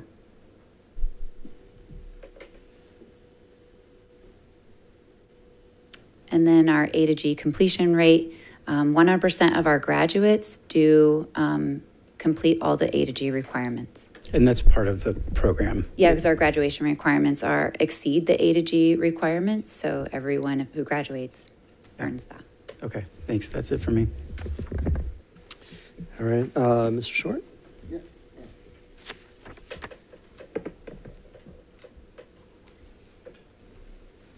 Let's see, um, hopefully this will sound better. I got- I got- Does that sound better? Yes. Oh, the other one had, looked like something ate the, ate the mic off. Um, We're talking about location again. Um, I know we've heard even from Pacific that location is not required by law. But um, do you have a location that you can at least say it's within this area? Last time you said it was going to be in the Cordova Vale area, is that correct? Yes. And do you have a building, you know, because I'm in the, kind of in the building industry and I, a lot of, I deal with a lot of commercial folks. They have tentative leases. You can, you can pinpoint a place, you can get everything lined up. You can get everything all ready with the city and, and not even sign a contract yet, but you can line it all up. Do you have something like that? Because you're going to be opening up when? Um, August 2023, so over a year. You know, two months, not even? No, 2023. Oh, 2023, Yeah, okay. yeah, So yeah. I thought everybody was saying this, so I want it clear because that doesn't give you any time to No, do that. that would not work at all. So, so do you have a location now, a little bit better? uh, to tell the the Uh, we definitely, again, we want to be in that um, area for reimbursement for the SB 740 program. I mean, some of the, we also, and Wendy can talk about this more because she was meeting with somebody from the city today who will go through and help us um, make sure everything's up to code and give us like the okay on all the properties. I mean, the, the, I, I know you're not supposed to do real estate negotiations in open session, Well, but well. I can say, I mean, the, for example, like, um, and I, I, I mean, I'm I hesitant to even throw this out because I don't want everybody like looking us up and saying that's not going to work because of this, this, and this. But like, for example, on White Rock, White Rock Road, there's a property. We're working with the commercial real estate brokers, um, CBRE, to help us find find it. So it's like, like one zero five four zero White White Rock Road. It's a place. yeah, yeah, it's a no. place that might work. Oh, that gives us an idea. I just want to know that. Okay, great. And it's a commercial building, Yes. warehouse or? No, it's more office, More office than warehouse. All right, thank you for that. And then I think the last time I asked why, you know, you know, you said we didn't have a discussion about dependent versus independent. And, and when I first interviewed you, you were, you said you would be open to probably dependent where we can run through the governance, through the governing board and, and work together and partner with community and the city and everybody else and have a win-win-win situation.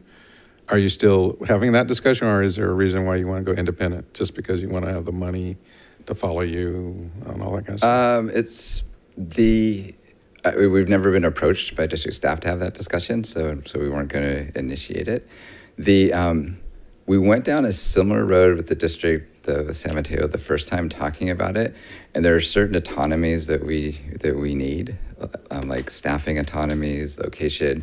And when we were looking with the district um, last time, we were just looking at like the way that we run our bell schedule, for example, and the district looked at their collective bargaining agreement and said, well, if you're going to be part of this, then we'd have to like make this a special exception the CBA. And just both the teachers union and the district staff agreed the only way for us to make our program work was to be independent. So it's not, I'm not saying it's impossible, but we would def, there are definitely some autonomies that we would need to have full control of to implement our program. Right, so, so being independent, the governing board doesn't have any control over the operations or? No, but the- you have the ultimate control that in year five, you cannot renew us. Year five, so the first five years, you have total autonomy, exact, okay. I mean, it's not total autonomy. I mean, there's definitely because the authorizer, um, there's a fee built into our budget for this. The authorizer has oversight responsibilities. Like a 1% or something like that? Um, it depends on whether it's 1% to 3%. Just kind of like a little oversight thing, but Yeah, and so they can, can't- like- We can't stop you though, but. Oh, yeah, you can. Like, so for example, there are certain things that if we're doing it at the moment, that the authorizer can during, the, like, we do this with our district, like, um, like San Mateo, they come in and they review, they look at all the credentials of our staff. And so that's, a, that's one of their duties as the authorizer to provide oversight. And so if they came in and we did not have credentialed teachers, they could effectively shut us down right there. Oh, Okay, so it, it's an instant shutdown or do we have to go? Well, not like that day. Yeah, I- there's gotta be No, some process that won't They don't like take turn out the time, lights yeah. and tell everybody to leave. That's like the county overseeing us, it, it takes a while, we get that letter. Yeah, so there are definitely some, some similarities. Yeah, there are definitely some extreme examples, or Right. not examples. There's some extreme, extreme incidences where that would Uh, Well, that'd be good to know how that works a little bit better. The other thing is, um, you know, we were talking about your denial of the staff report. Isn't it incumbent upon the petitioner to really do the analysis and really show, because it really is subjective, a lot of this is subjective, and I didn't hear any prescriptive law saying what our staff did was illegal and impermissible. You just use those words, but there's always interpretation and gray areas of law. You know, I deal a lot with law too, and I'm sure our, our president is too. is interpretation gray areas, and if it doesn't say it, doesn't mean you can't use it. So I'm, I think it's subjective at this point. So Uh, if you'd like the answer, Janelle can raise her hand and answer that on Zoom. I mean, the, the, I know that the charter code said there are certain reasons you can and cannot Well, decide. well, I I don't want to get in a pissing contest right now with two attorneys because they, they can, you can put two attorneys in a room and argue all day long. It's like, yeah, so. Well, I if you want to do that, we'll all step Yeah, outside. so- Yeah, they'll step outside, yeah. Yeah, it- it's just, again, it's a matter of opinion. So, so anyway, I just want the board to understand that's, it's an interpretation, and we were just gonna have to agree to disagree on that one. Um, Where, where are the CTE programs that you're saying, a matrix, if you will, of all the programs you're saying that we're not providing that are not equal or duplicative? I mean, you just say it, but we have a lot of CTE programs and a lot of quality programs in Rancho Cordova that we just had a workshop on that we provide, pro- provide to the public that are huge. And we've been doing it for years and they provide a lot. You just say it, but I don't, I didn't see a matrix of each program you're, that Oh, says we that. don't. Oh, we don't do CT like we don't do CT programs. So that's why I'm saying it's not a straight comparison. Academies, what, all the things you're talking Yeah, about. we we believe that um, the world is changing quickly and unpredictably, and that the best we can do for kids is to give them a transferable skill set as opposed to teaching them to really go into a certain career. Then in 10 years, that career disappears. So instead, we teach them design thinking. We have them explore a lot of different careers, like through Oracle coding classes, Oracle data analysis classes. Um, Dr. Little can talk more about the intercession programs. CTE is more, we're teaching Well, you. I'm not just talking CTE or academies. We have a, a whole menu, a different kind of design also, and projects and everything. We have a a big menu, Mm-hmm. and it's a list that the staff has. But I just wanted to know, did you do a comparison? You just said it, but I don't see that comparison. It's just a, a words you're using. Well, yeah, words. We have a table. You do have a table, so maybe you want to share that uh, to the to the board and say how you compared them. Um, And the yeah. big thing that we've, well, I mean, the big thing that we've, I think, but I think what you're saying is like a table of all of Yeah. ours compared to theirs. And, and the last question I have, um, you know, we, the last time on the, when your first hearing, I asked, you know, why, why was it competition? And the definition you came in, we're not in competition. We dovetailed with the, the community in San Mateo.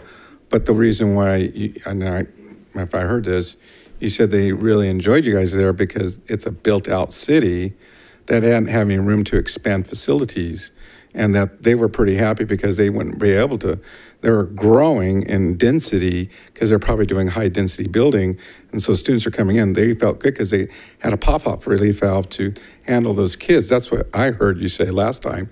We here don't have that. We have the city of Rancho Cordova has literally large rooms out here to, uh, to grow. We have schools designated. We have a lot of growth that we can do. We're not a built out city. We're not a built out area. So I don't know how we can compare the two. They're totally different concepts. A development built out city versus an expanding city. So that's where I was, I was going to ask about those numbers. And those numbers really are yield numbers, and you've seen those in the facility designs. Those are changing. So, how did you take those numbers in the Rancho Cordova area when you're looking at a facility or growth for a whole district? Folsom's growing bonkers right now. They're growing more permits per year than City of Rancho Cordova. Rancho Cordova is moving a lot slower because we have uh, the certain areas out there, they have a 13-year delay, like Elliott Homes out there just starting their models in that area. They're going to take 10 years to build. So they're just starting. Folsom's booming because they have multiple builders. So those numbers. So how how did you come up with the numbers in Rancho Cordova and not going to maybe Folsom uh, area to put your business? Why? There's where the growth is. Uh, we were more focused on student need and opportunities than so, than targeting the growth area. The district that we were in before, we did they did enjoy us because we did help like alleviate like growth. But even more so, if you go, back, I don't, it probably wasn't recorded, but the board, it was a district full of high schools that were basically all the same. They were all traditional comprehensive high schools, and they really felt it was great for their families to have an opportunity to send their kids to a small school that provided a different way of doing things. That was how they. That was really the driving reason that they felt like, wow, this is a great add-on to our district, because it gave more choice to their families. Well, those are all the questions I have right now. Thank you. Thank you. Thank you. Um, Mr. Clark? All right, um, for staff, I had one question, or, well, I needed an explanation because reading on page 20, reading this really gives me pause on a couple of things. So I'm going to ask this question. Um, when you're talking about the financial impact and the possibility of losing 580 students over five years, um, this is equivalent to a reduction of 24 of certificated and 40 classified staff over four years. So I want you to be real with me. Does that mean that the possibilities are there of closing of school in Rancho Cordova if that happens, or are we just going to? I, I, I couldn't speak to that specific. I, I think what we would be doing is uh, building in the discussion of where the priorities lie, because reduction of $20 million in the budget would have to occur, right? That's So true, too. I don't know if a school would have to be closed, or boundaries would have to be looked at, or redevelopment would have to be, uh, or, you know, design would be necessary. Uh, There would definitely have to be discussion of services that we currently pay for, we would not be able to pay for. Gotcha. And the other thing that really, and I think my colleagues would know how I am, that gives me pause, is uh, the viability of our programs at Cordova High on an annual basis.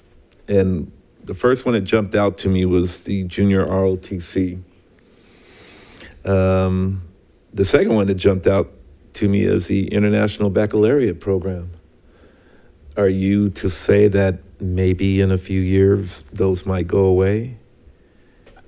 I, I wouldn't want to say that.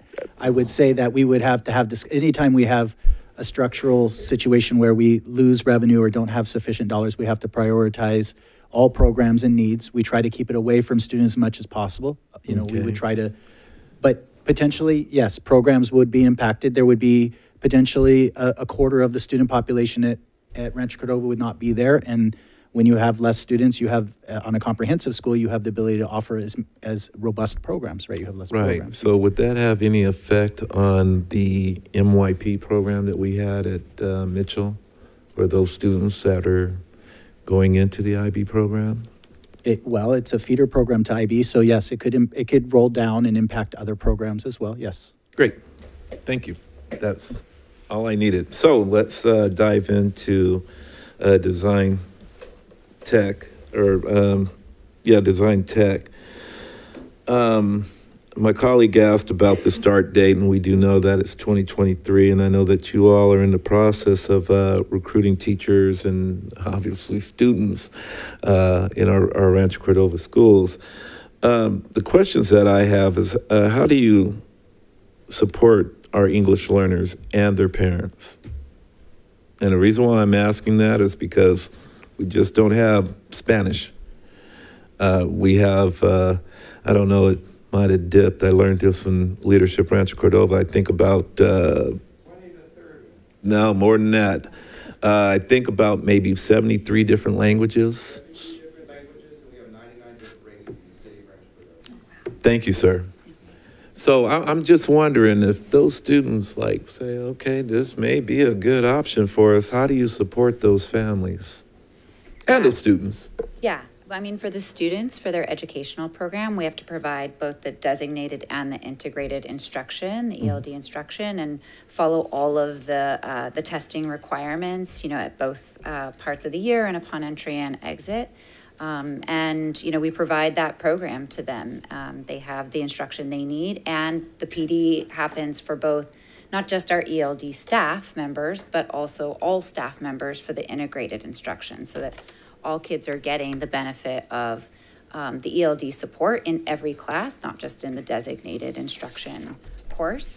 So that's for supporting the students when they're, you know, on campus all day and getting the academic support they need. In terms of the families, I think we have um, some ideas about how we might support them. Yeah, and in terms of the outreach to the families, like um, I contacted three different like translation services to help like review our marketing materials, put them in languages that are representative in the city. Um, two of those meetings I had today.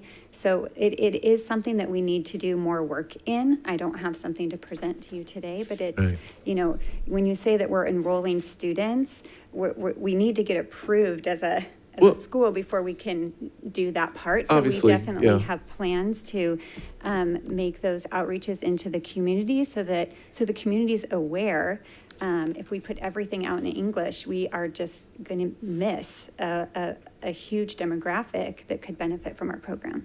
Okay, because especially when you're talking in that area and- and other areas in Rancho Cordova, I mean, you're not just, and I'm just honing in on the Spanish because it seems like that was the only foreign language that you all taught, but I'm talking about your Farsi, your uh, Armenian, your Russian, um, your Tagalog. Um, I mean, we would support students. how? I'm, I'm, I'm asking how. I But mean, I'm saying we would support like all the multilingual learners in our program, regardless of what their native language is.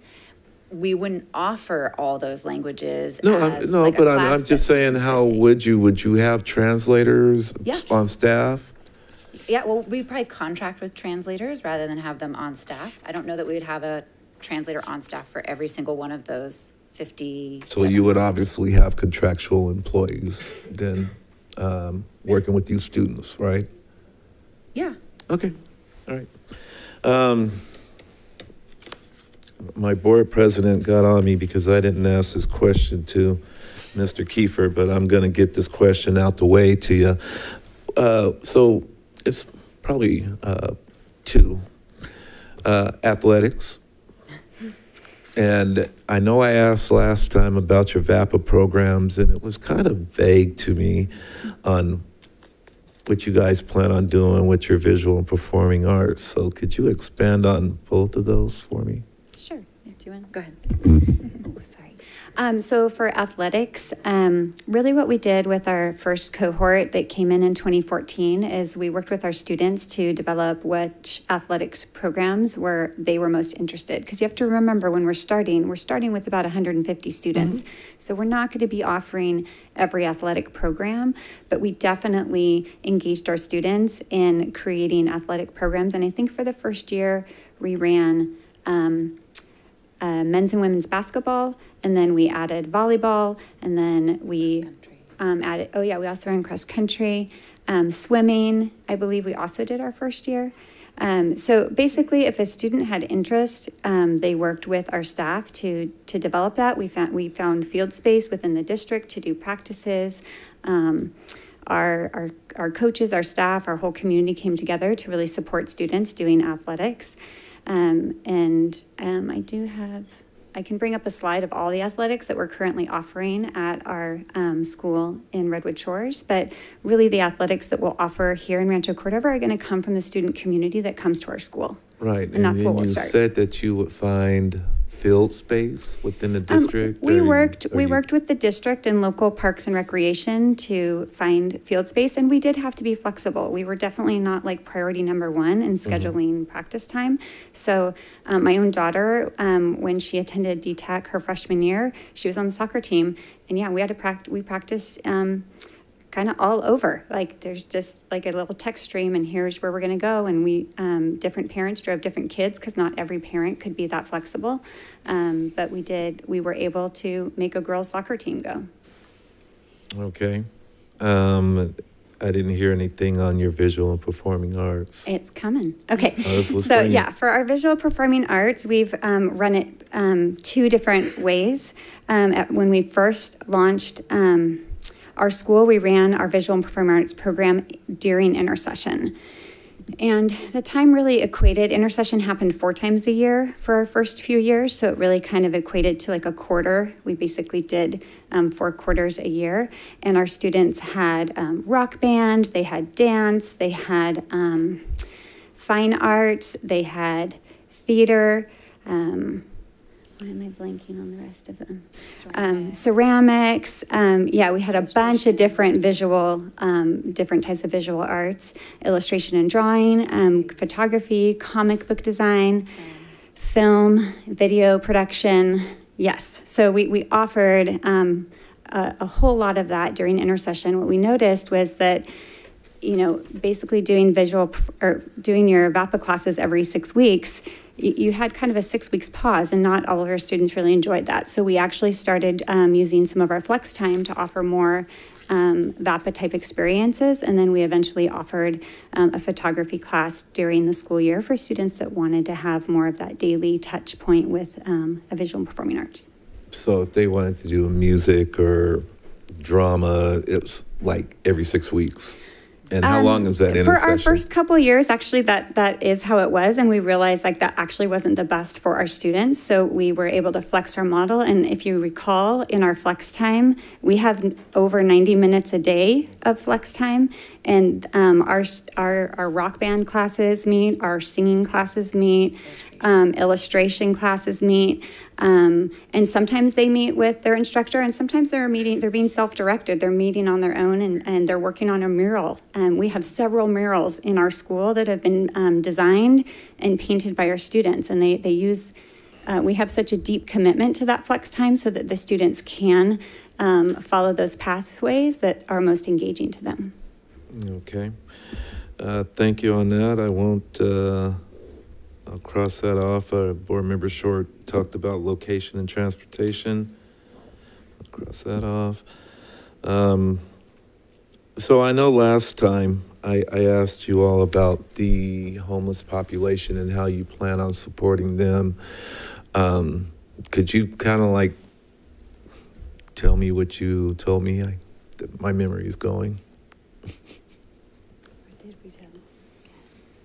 And how you're going to service the homeless um, population our was there any resources how you're going to tap into that Um, well, so one resource I've already tapped into is um, I've met with the Alliance. I'm not sure you're familiar with them. They're a nonprofit organization that serves, I think, about seven surrounding counties. here in rancho Uh, they're not based out of here in Rancho, but they definitely um, have contacts. They, they basically are almost like a chamber of commerce, but for nonprofits that serve um, at risk youth. So it can be homeless, foster, um, adoption, it can be transitional youth. And so I have reached out to them because they are networked with so many different nonprofits. Um, I had an initial meeting. I told them about our school that we were trying to launch and like what sort of support. I myself went through um, some training with them just to educate myself more on how to support um, students from hard places. And um, so I will continue to do that outreach, and especially if we're approved here, we'll do that specifically with organizations in Rancho Cordova. and it's called alliance It's called the Alliance. the alliance oh i must be slipping on my job because i work with and i don't like the word at risk i like the word at promise I- You- I like that too. Okay. Um, and yeah, I never heard of it, so I, I got to look that up. I, I'd be happy to connect you with their director. yeah, I'll look it up. But Okay. thank you. Um, for right, well, actually, no. Um, I, I believe that you guys uh, said that you're working with the city. Uh, was it planning on some office space? Um, I so I did reach out to a couple contacts in the city, um, and I have a meeting scheduled with them next week. And one of the things they told me was they said, "Hey, if you have any properties that you are considering, please come talk to us first because we are connected with." All the people and all the organizations that you need to have signed off, whether it's fire or building code, um, et cetera, et cetera, to make sure that you are looking at areas that can feasibly and productively be used as a school. So we are going to have, I have to look at my calendar, but it's early next and week. just out of curiosity, because I'm pretty familiar with that city staff, do you know who you're meeting with? You don't have to tell me if you don't want to divulge that information, but I'm just curious. Um, I'm meeting with Micah Renner and Laura Fickle. Yeah. Okay. Is that, I hope that's okay to say. no, you know that's uh, that's fine. Um, so I wanted to uh, talk to the gentleman. He was talking about you know some of the CTE programs going away in about ten years. Um, I just had a few questions for you. Um, one of the questions would be: So, do you think that um, engineering is going to be going away in ten years? I think the skills you need as an engineer now is going to be will be very different than the skills you need as an engineer in ten you years. You think construction will go away in 10 years? I don't know. I mean, if I knew, then I would be out there There's like a method to my certain that- madness, but I'll say it in closing. I mean, are you sincerely asking me, or are these rhetorical? Do you want an uh, I'm, answer? I'm asking, yeah. I mean, I don't think anybody knows. If you would have said, do you think in Well, I three mean, years were going to have a that pandemic that of shuts down the whole CTE world? programs said may no. go away in 10 years. I, I just. No, I didn't say to ask it. CTE programs. I said some careers will disappear. Some that, careers. That, deal, Okay, that, that deal uh, that we used to have with kids of go to high school, get good grades, go to college, get a good grades, graduate, and there's a 40 year career out there waiting for you. If we keep telling kids that that is the deal, that's the world that they're going to be in, then we're not doing that. So the then right we're thing. saying like engineering, that's a career. Do you think that'll go away? it's going to look very different. Okay. I mean, it's it's a thing that needs to get done. Construction is a career. Do you think it'll go away? It can be heavily automated.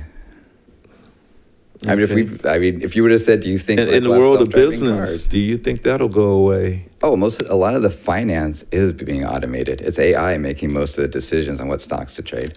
Like most of those mutual funds are managed by AI now. Uh, So well, yes. More to that in business, but you know, it's not just about stocks and making those predictions. Um, Well, do, okay. do you think they'll look the same? No, I don't think it'll look the same, but I think the training will still be there and the education will still be there to learn, don't you think? Oh yeah, that's why we think the best thing Then, we can do then why would we say that it would, I mean, these careers would go away? I because mean, the best thing you can do is give kids the transferable skills. So when a career does go away, they have the skills. to I understand the career themselves. transferable skills, but I think that's what we're probably teaching our students too, is transferable skills, right? I mean, even with us in the district, I know you guys are, I think we are too. I don't. But think I was we're, just- we're probably not saying fundamentally different things. I understand. maybe I we are. I understand. Maybe your- we are. I understand your point. I do think that like some of the career pathways, and this is what we're saying, like to get into this comparison of what you're doing versus what are doing, what we're doing. I don't know if that's beneficial to any of us. What we're saying is, it's not one size fits all. Give the families a choice. Give them an opportunity to make the decision. Especially those families that basically, well, that area, Cordova Villa. Mhm. Okay. Yeah. Why, why would you not give them an opportunity to You don't have know that control their demographic. education? Um, anyway, um, tell me a little bit about this innovation diploma. Kind of, I mean, something that you said that you made up? I mean, we've created it that over you the last created? several years, yeah. Okay, uh, could you tell me more about it? Yeah, it's a um, it's a two year program, and um, students take two classes. The first one is a foundations and design thinking class, where they learn what design thinking is. They work several challenges. They're all really different, so they build up that design thinking toolkit. And then in the second year, they take a class called Design for Impact. Um, and this is where they select an issue to work on in the community, something they care about, something that's meaningful for them. Um, and they use that design thinking skill set to work on that project. Over the course of that year, they have to defend their work in three design reviews and then a defense at the end. And those are externally validated and assessed design reviews and defenses. Um, and then students have to defend against 11 different rubrics. Um, and if they can do that, then they earn the Innovation Diploma, which is a credential they get in addition to their high school diploma that just says, hey, I'm a person that also has skills in um, creative problem solving and leadership. Um, I know how to take initiative, I know how to start things. Um, and it's helped our students with their college admissions I was process. going to ask, does that make a difference in their college admission? I mean, they look at that and say, oh, innovation diploma. I mean, has set you apart. really? And that's what our experience was this year. Okay. All right. awesome. Especially because colleges are relying less on the SAT than they once did. And so this is one way for students to distinguish themselves. Yeah, that's, but it's created, correct? Okay. Um, yeah, I think that's probably all that I have right now. Um, you know, the CCI data that you came up with, and um, gosh, I think that was different from what we saw last time, but I guess if it We never works. it- presented that data. This is the first. it was never presented? I thought it was. I stand corrected. I think the, it was in the district report. It was. But Okay, we but found you had another, report. another report that, I mean, Well, the district report included the year 2017 in the CCI data, which we didn't have a cohort in 2017. And Mhm. it did not include the year 2021, which we did have. So we just made those adjustments. uh, Betty Joe, can I get some, uh, clarity on that? Oh, maybe I lost her. Yes, I'm here. Oh, okay. on the CCI data, if, um, Let me if get we're to the not, slide. pardon me? Yes, I think um, I corrected it in the presentation tonight because the, uh, the percent in the first, in that first year was incorrect. There was actually only two years of data, not three. But there are three years of data. The year that wasn't included was the most recent year, 2021, so our table included that year. All right, I Yes. stand, I stand corrected. Thank you, ma'am. Um, those are all the questions I have right now. Thank you. Uh, Mr. Hoover. Okay. All right, let's see here. Uh, uh, let's start with staff, I guess, uh, since that seems to be the order we're going. Um, so, uh, can someone on district staff uh, clarify for me? Because I, I'm trying to understand these findings. So the four findings. Is it accurate to say that finding two and three have been resolved? Or they're easy to resolve? I guess I'm trying to understand where we stand on two and three, because it seems like, you know, there's been some conversations on those two points and they seem to have been somewhat resolved. Yes, findings, finding two and three could be remediated. Our Okay. recommendation would be that we would um, um, do something along the lines of a conditional approval with an MOU to clarify Okay, the remaining concerns on those issues, but we feel they could be remediated. But you, but that's not your opinion of finding one in four? Correct. Okay. Um, and I don't want to pick on Betty Joe all night, so please, anyone else, feel free to chime in. um, um, based based on this analysis, the district's analysis, um, would would any district staff would like to answer this question? Um, say that it's our opinion or your opinion that FCUSD has a better educational program for students than Design Tech.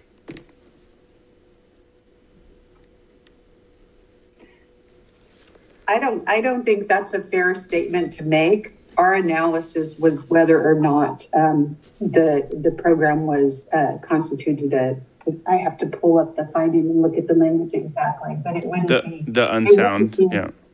Yeah, it wouldn't be that we have a better program than Design Tech High School. Okay. And if I could add, that would be more subjective in nature, and our role as a district and our due diligence is to make sure that it's meeting the elements that Ed Code requires of the authorizing agency when you're reviewing a Correct, petition. yeah. So it's, it's more objective based. Okay.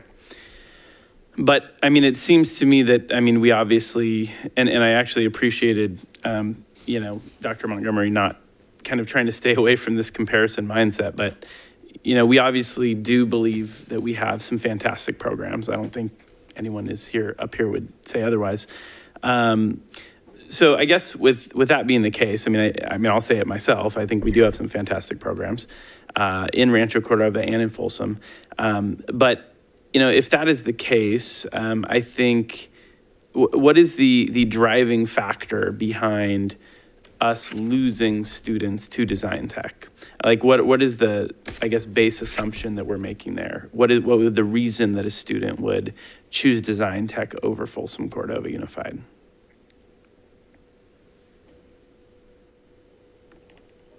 Well, that, the, the assumption is in, in looking at the petition that, uh, the student, the target student population is students in Rancho Cordova.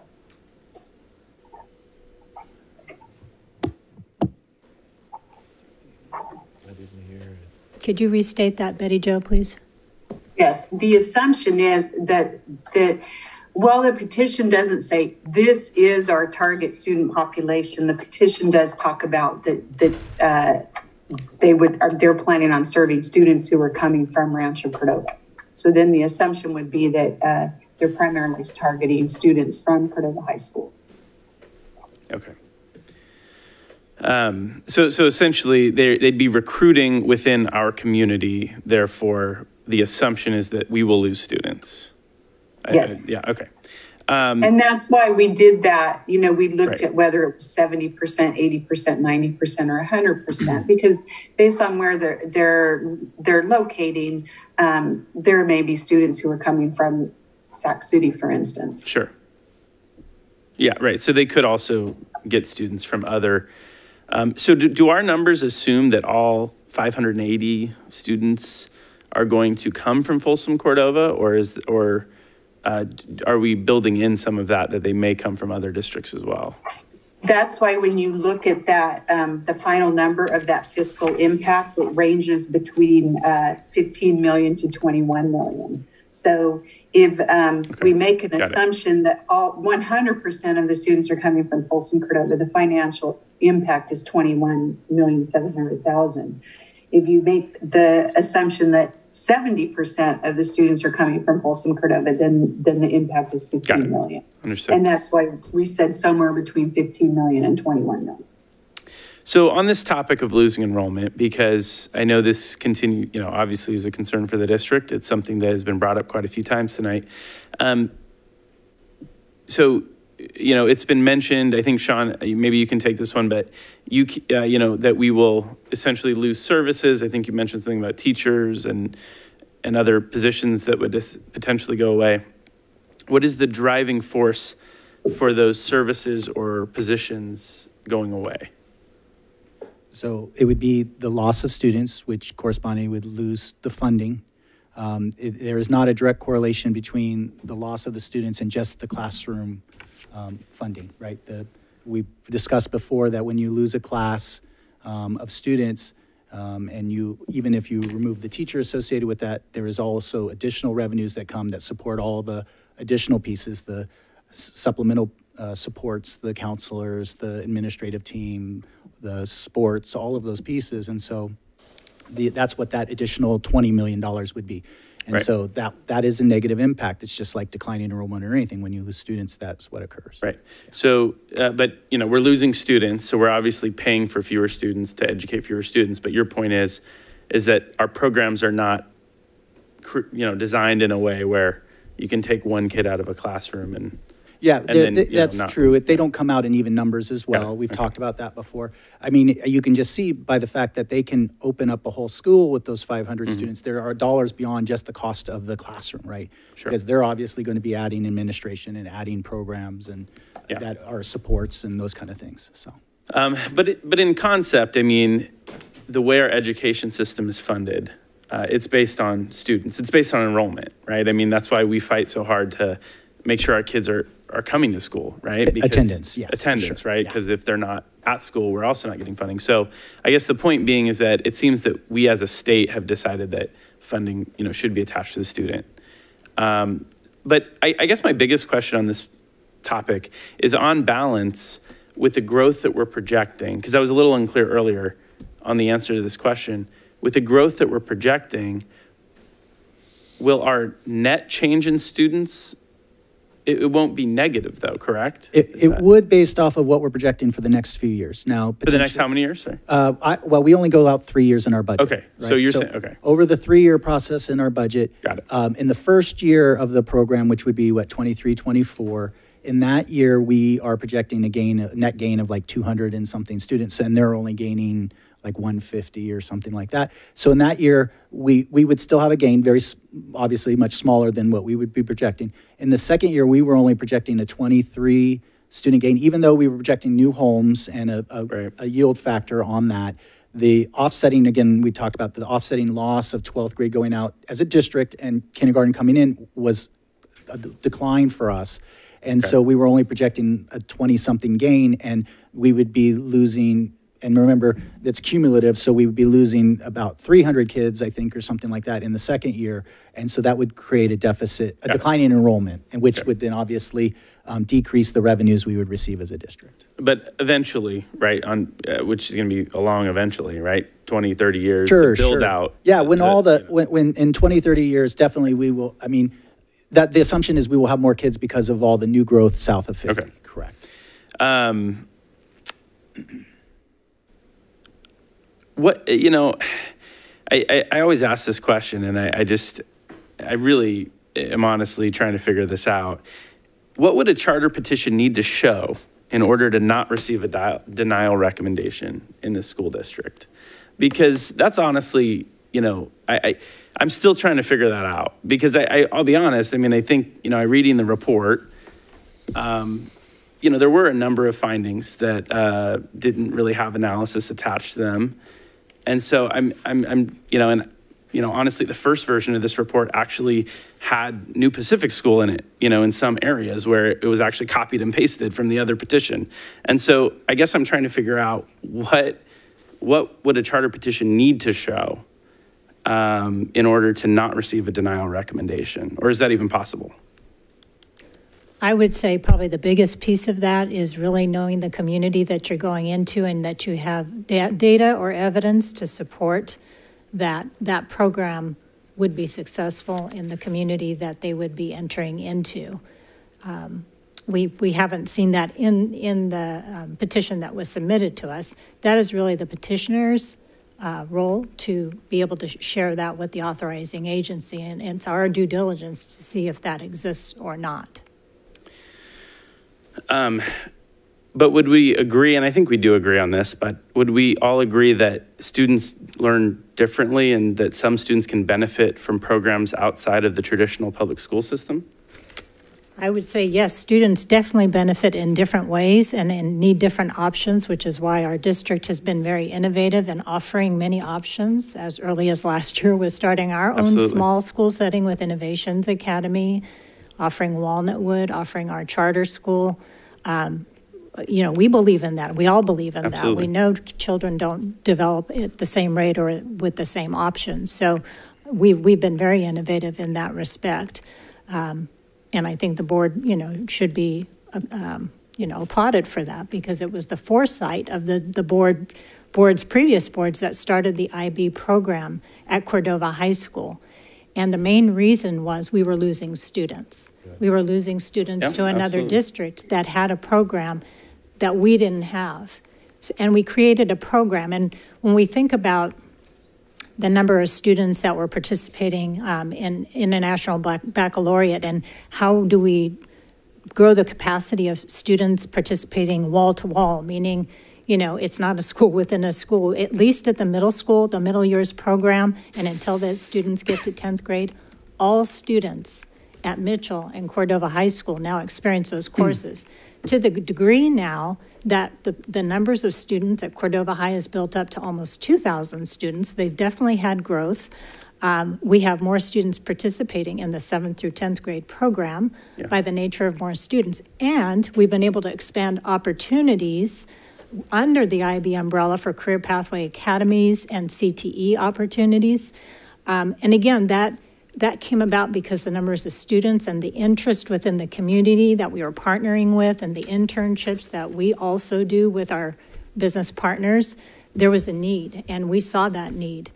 Our, you know, CTE coordinator has applied for $14 million in CTE grants and has received those for our district. So, you know, in respect of looking at how numbers impact what we can do, I think there's a direct example right there of Right. how we've been able to grow that for our students in Folsom Cordova. Yeah, no, I couldn't agree more. And I think, you know, to be honest, some of that came from uh, the fact that we were being challenged. Sometimes you need to be challenged in order to grow. And um, when this district finds itself at a point when they are losing kids or losing enrollment or losing, you know, whether it's charter schools or other school districts, we step up to the plate and we improve our programs. So, you know, I absolutely agree with that. Um, uh, on this point about duplication, um, you know, we, some of us had the opportunity to go out to the Oracle campus and, and tour it, take a look at it.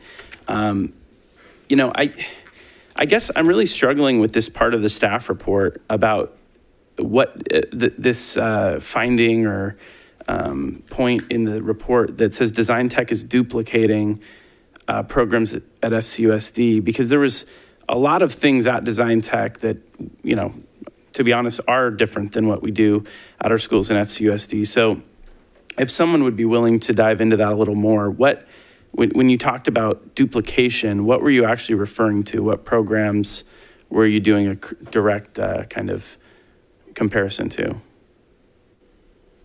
I think it would be helpful for Jim to talk about the international program, the International Baccalaureate program, and all of the components that are uh, design thinking that are um, embedded in that program.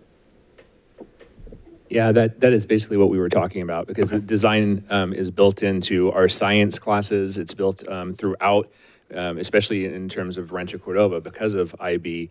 Um, the MYP program, starting in sixth grade all the way through, you know, uh, 12th grade, has design programmatic thinking built all the way through. So uh, again, in terms of definitely a different approach in terms of the difference in terms like of CTE and um, the design tech in terms of the, their push out to the community. So there's some there's some differences in terms of like nuance there, but a lot of the experiences kids have or have access to, um, there is duplication. At least in, in our view, there is duplication across those programs. Okay.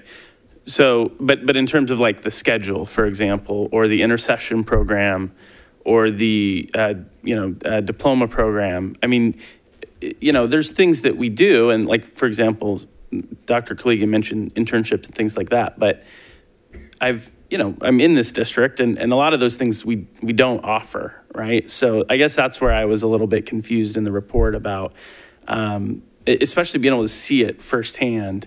Um, there are does seem that there's certainly things that uh, are, are different in some ways. Yeah, I mean, there's differences in terms of scheduling. There's differences in terms of ways you might approach different experiences or how kids might have those experiences.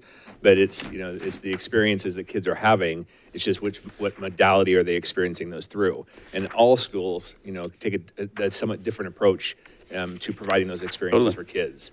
But I, I think that is the duplication that we were talking about. Is you know there's there's different ways of doing that. Um, but you're right. I mean, we don't have an intercession in terms of the the program that um, Design Tech has, and so Okay. we look for other opportunities um, like Yeah. the summer preceptorship and things like that that um, our district does. Okay. Um, uh, my last question for staff, actually, it's really for our legal counsel, if I may. Um, you know, I obviously there are gray areas in law, and and that's that's very true. I, I don't I don't know if I would say they're necessarily um, subjective, but there are a lot of gray areas. So, I guess my question is, eh, without going into too much detail, obviously. Um, based on case law or other petition denials or any experience you may have in this, um, do, does our district face any potential legal liability for denying a petition? So I'll speak, one, we don't want to give too much legal advice in open session, but in terms of, is there potential liability? There always is if there's a denial. There's a process by which the charter, charter school can appeal to the um, county board, and then it can go up to the State Board of Education. So that's a process that's afforded in the Charter Schools Act. Whether or not they choose to exercise it, that's up to them. Um, And so in answering a response is sure, in any scenario, there's always a chance of some sort of litig, uh, risk of litigation, either way, approval or denial. So. um, Got it. Okay, that's helpful. Thank you. Um, so just a few questions for design tech, and then I'll um, pass it along to public or to the president. Um, so actually, you did kind of already explain some of. So I was kind of confused about some of the data presented in the staff report. So I think you've mostly cleared that up.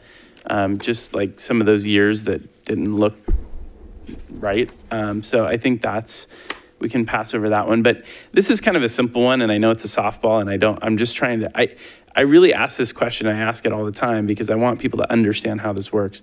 How does charter school enrollment work? And do or can you cherry pick students in any way? That's kind of uh, just a basic charter school question, but So no, you cannot. You can put preferences in your lottery, but there are only certain things that are allowed to be preferences. For example, in our current school, we have a preference for children of staff, design tech staff members, a preference for siblings, a preference for students who qualify for free and reduced lunch program, and a preference for students who live within the district. So the state is very clear that you there are only certain things that you can put a preference in your lottery, and even that preference doesn't it doesn't guarantee admission. It just weights the lottery a little bit differently. So we cannot. So the way the enrollment works is that students. Um, it's not even apply. They fill out a form saying, you know, their address and things like that. It's sort of an application, I guess, but it just all it does is put them in the lottery. Like we don't read the application. There's there's no like essays or anything like that. So charter schools, any student in the state of California is able to enroll in any charter school in the state of California. So it's just completely open. Okay. Um, and with that in mind, what are the preferences that you would would would see for Rancho Cordova? So the preferences that we have in our petition are similar. The staff members, siblings, we want to keep families together, um, families, students that qualify for free and reduced lunch, and students that live within the district. This is one of the things, though, that um, we're open to working at the district. The, this is what we worked with San Mateo last time. They passed it and said, we want you to work with district staff so we can get to some preferences we agree on. Okay, actually glad you mentioned that because that was my next question. What what has your experience been with your current authorizer? It's been great. Okay. It has been, um, like I said, they really, they, I mean, it's been great that they've been very supportive of our program and we, we learn from each other. Like we'll pilot different programs, well, especially like in technology and HR that I talk about, like they give us support on some of the credentialing. Like it's very much like if we have a question on something, like they'll, they'll answer it for us. So it's very much, um, our authorizer was very clear that they're all our kids and they treat us like that, that they're all our kids.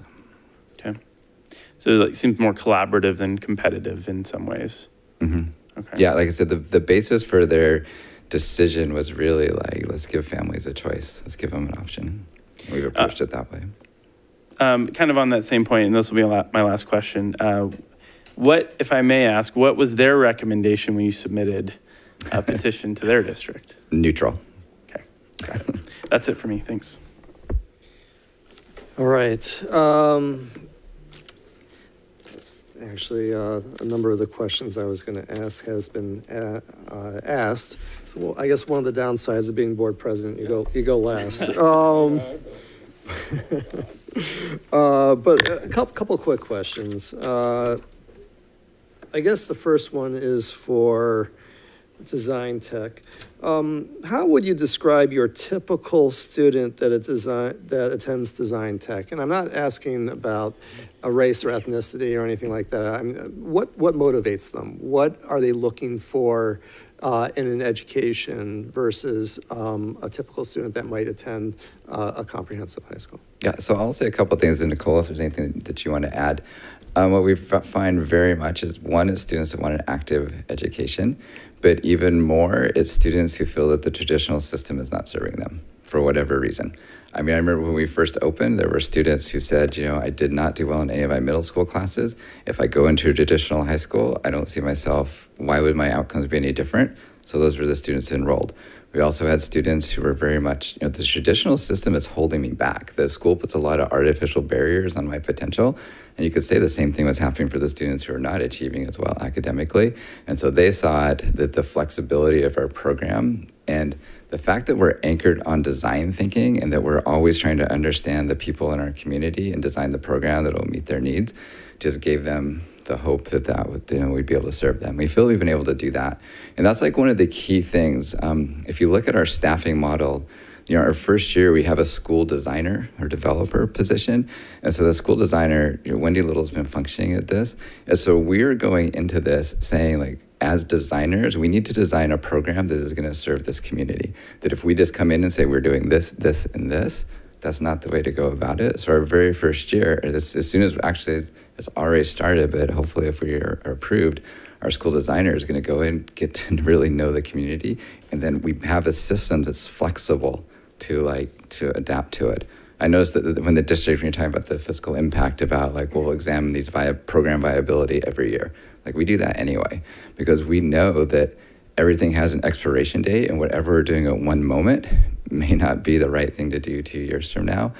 So that's why we attracted those kinds of students who really felt like I'm not succeeding in traditional school. If I go right in traditional high school, it's going to be the same. And then the students are like, the traditional system's holding me back. I don't know, Nicole, is there anything else you want to add to that? All right, so I'm just, you know, this whole trying to compare different demographics, it, it does, you know, make your head spin at some point. Um, but I do understand your point about it's difficult to compare different communities that are separated by great distance. Um, so if the traditional, or if, if your typical student is one who potentially, potentially struggles uh, at traditional school, I would assume that that's the same student that probably wouldn't necessarily excel in traditional testing, Right. including CAASPP testing. In the traditional testing, yes. because a lot of times those students, a lot of the students that um, that might struggle in the traditional uh, system, the main thing they, they have the skills. Sometimes they just lack diplomacy, and so they'll look at those tests and say, well, "There's no benefit in it for me," and so they're not going to do their best on them. So what we put all our resources and all our energy toward is getting them a diploma, getting them eligible to participate in the public school, the university system in California, and making sure they have the skills to achieve there. So then, I mean, would it be fair to say if you wanted to try to compare design tech to Cordova High, you would have to identify a subset of population at Cordova High that, that would fit the typical um, student that would attend design tech, rather than compare it to the entire population of a comprehensive high school? Um, you could do it that way. I mean, this is one of the things that I did. Um, I did my, my doctorate in education studying under Linda Darling Hammond. It was one of the, she's the president of the California Board of Education, but she's also the um, probably the best policy analysis expert in the country. One of the things that's um, really difficult with education to comparing data, if you want that like gold standard answer to your question, you have to have a control group. Yeah. And we, don't have a control group. And so you could do that. And even if you did that, you're not, it's, it's, it's, I don't, I'm afraid it wouldn't rise to the level of what you're hoping to see. Okay. Um, I, I guess this question is perhaps to staff regarding uh, finding number one. Um, couldn't an aggressive marketing campaign focused on diverse populations help ensure applications from those populations? Yes, and, and um, similar to what we talked about in, uh, in regard to findings two and three, there are probably some things that we could do in terms of um, working out um, the concerns that we have with finding number one. Okay. Um, I don't believe that we would feel the same way about finding number four, but we would feel, I, I think we could do that with finding number one. All right. Uh, and as it relates to finding number four, um, so it, it, I, I get the sense that the loss of revenue is viewed as highly problematic for a district um, uh, and a reason not to approve a charter. And yet the state of California created the charter school law. So uh, if every single charter school in the state of California takes money away from their uh, parent or home district, then, and that was a basis for not approving a charter school, we wouldn't have any charter schools in California. Well, it couldn't be made on that, that uh, piece only. It would have to be, and, and it has to be more than a uh, fiscal impact, impact. It has to be a significant fiscal impact, and then you, it also has to uh, be a duplicity in program. And the, the um, school has to have capacity in their program. So it has to meet all of those requirements, not just the fiscal impact. The, and this was already, I think, uh, delved into, the 580 students wouldn't necessarily all be from Folsom Cordova. Um, But I guess, uh, kind of a tangential question here.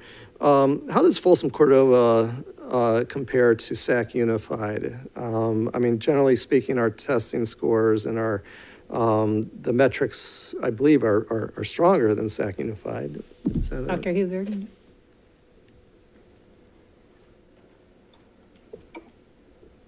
Um, I don't have the data in front of me. I'd have, I'd have to look it up, but, you know, uh, anecdotally or, you know, from recollection, we tend to do better than SAC Unified um, as a district. So if this school is literally within a couple of miles of SAC Unified, which SAC Unified does represent one-third of the city of Rancho Cordova, um, it's fair to say that students that are looking for a stronger educational option could potentially come, be coming from SAC Unified and not Folsom Cordova. Yeah, again, that was the reason that for the chart of the different numbers is because we're, we're unsure of how many students would come from outside of Folsom Cordova, but certainly students could be coming from other districts. And if the first preference was for, or one of the top preferences is for students from the city of Rancho Cordova, that would include one-third of the population of the SAC Unified. It could.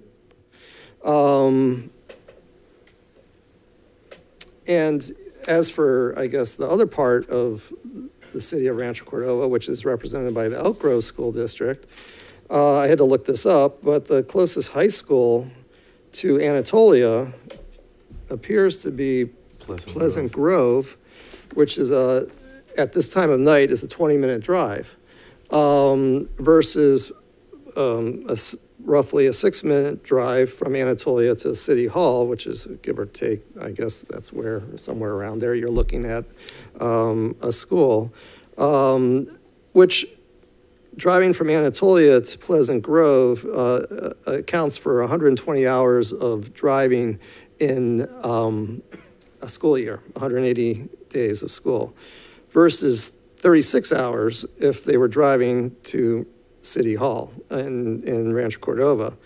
So would it not be fair to say that a potential large number of students from Anatolia in the Elk Grove School District could potentially opt to go to um, a high school that um, is only six minutes away versus 20 minutes away?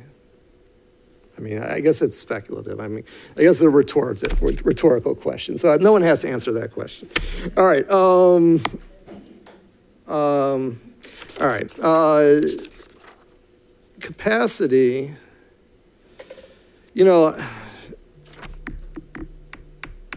I mean, yes, uh, we potentially stand to lose students. Uh, I think it's, it's already been addressed that uh, it could also, you know, over time, we will increase students as well uh, based on uh, growing uh, and developing the areas of the city. Um, um, you know, the rest of the questions have already been answered or asked and answered. Uh, let's take it to the public for public comment. Uh, let's start with uh, Chris Bertelli, followed by Casey Shingara. Uh, good evening again. Uh, now I'm back up here to support uh, Design Tech's petition to open a charter school in Rancho Cordova. I think from what we've heard tonight, it's abundantly clear that there is not a school like Design Tech anywhere in Folsom Cordova. Attempting to deconstruct this school into discrete pieces for the sole purpose of trying to claim that it duplicates what is already happening is cynical and disingenuous, and it reduces a school to a sum of its programs and parts. Culture matters, leadership matters.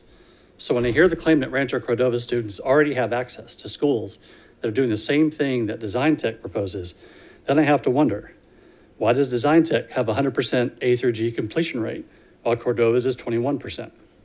Why are 35% of Design Tech's graduates accepted at a UC compared to only 7% of Cordova's if the same programs are already available? Perhaps it is because, because there is a culture, an ethos at Design Tech that starts with the proposition that they will do whatever it takes to make certain all students complete the work that ensures college is at least an option upon graduation. Maybe the better question for this board to consider, better questions for this board to consider are, is it okay that only one out of three Cordova graduates is, graduates is considered prepared for life after high school? Is it acceptable that four out of five Cordova graduates do not meet the minimum requirements to even apply for admission to a UC or a CSU? If not, then how could you justify turning away a school that has shown it can achieve better results? How would you be helping students by giving them less options? What percentage of under, unprepared graduates do you find acceptable? The passage of LCFF in 2014 13 made it clear, abundantly clear that money follows the student regardless of the public school choice that student makes. Approving Design Tech does not take any money away from Folsom Cordova because it does not belong to Folsom Cordova. It simply doesn't pass through this building before it gets to the school. I encourage you to support the rights of Rancho Cordova families to choose a better option for their students by voting to approve Design Tech. Thank you. Thank you. Uh, next speaker is Casey Shingara, followed by uh, Garrett Gatewood. Alrighty. So I am in favor of the denial of the petition. Um, I sat through the presentation two weeks ago, and I'd like to reiterate some of those points. Uh, they do not have a concrete plan for Rancho Cordova that is reflective of, inclusive of, supportive of, and empowering of Rancho Cordova kids and families. It's not Rancho specific. It's not tailored to Rancho. Um, to compare some Cordova High data to Design Tech data, most recently, Cordova High had 1,100 students who were socio socioeconomically disadvantaged, um, and there were only 40 at Design Tech. Cordova High has currently 102 students experiencing homelessness. Design Tech has none. Cordova High has 327 English learners. Design Tech had two in 2019 and four in 2020. What this shows me is that their lottery preferences seem problematic and they don't have the infrastructure, the support, the experience to support these students that we have. In their presentation two weeks ago, they spoke about transportation and encouraged the use of bike trails for our students. That was the extent of their plan. No updates to this plan at this time. Um, our high priority needs of our students are not addressed in specifics. They have zero bilingual support, zero ELD instruction, zero instructional aids, no mod severe support. Does that mean there's no mod severe students at this school? No ILS program. A loss in funding to Cordova High, because the money goes with the kids, will cut the people who make our amazing programs, which does limit the opportunities and the options for our current students. Look at all the great programs we have at Cordova High. Look at the IB program. Look at CTE. Look at these partnerships we have that go beyond core curriculum. Look at our ELD, our IB, our, J, our junior ROTC, our VAPA program. Those will suffer, they will diminish, and they will domino and cannibalize each other. Um, VAPA two weeks out of the year, I don't know how you're A through G compliant when you need a year of VAPA. Thank you. Thank you. Uh, Next speaker is uh, Garrett Gatewood, followed by Ketan Patel. This is weird. Ugh. Sorry, I'm used to being on that side. Uh, my name is Garrett Gatewood. I'm the city councilman of the Rancho Cordova. Um, first of all, uh, I want to say thank you for what you guys do. It's a terrible job and you get paid nothing. So I want people to understand that. Nothing. Um, if you were to accept uh, two charter schools, you are getting the luckiest acceptance ever. You're coming into the most diverse, most substantial, most competitive city in the region by far.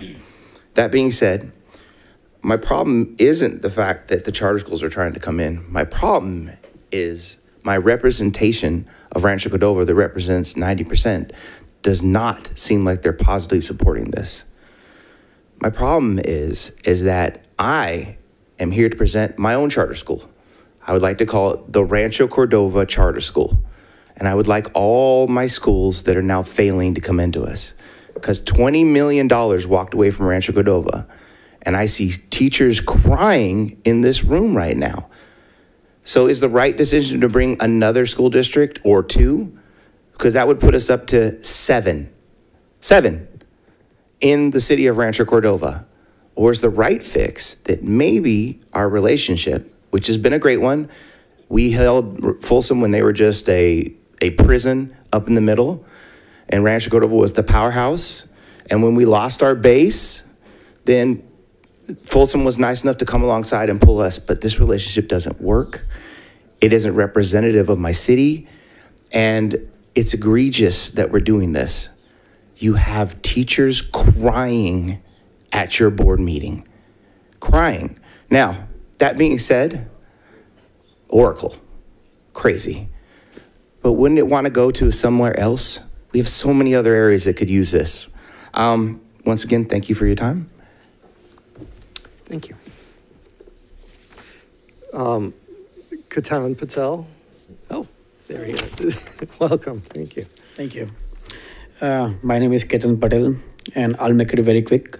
I live in Stone Creek from last, 20, I think, 10 years. I have two kids. Every day I'm driving to the Folsoms.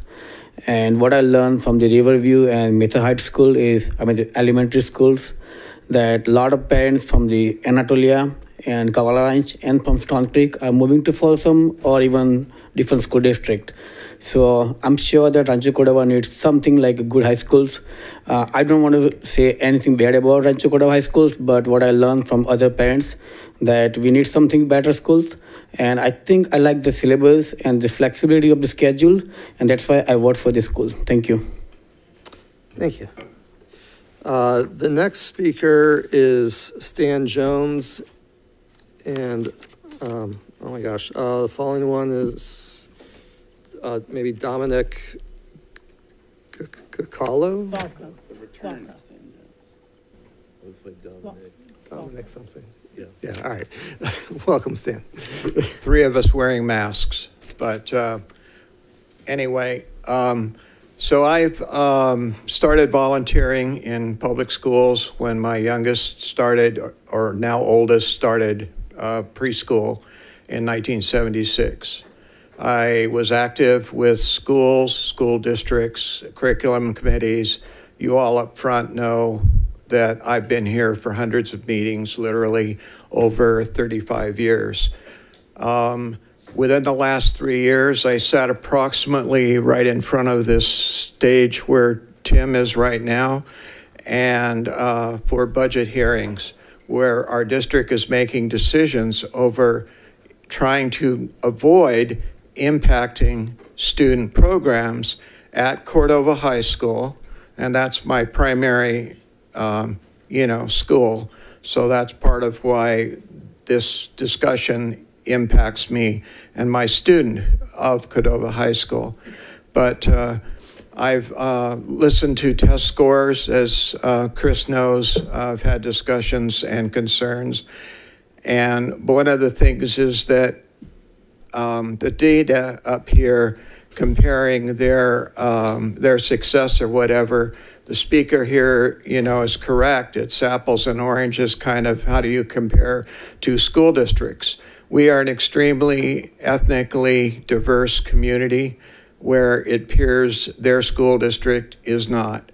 Um, that's just you know fact of life. There is a difference between Folsom and Cordova, which we who live here for 40 years know.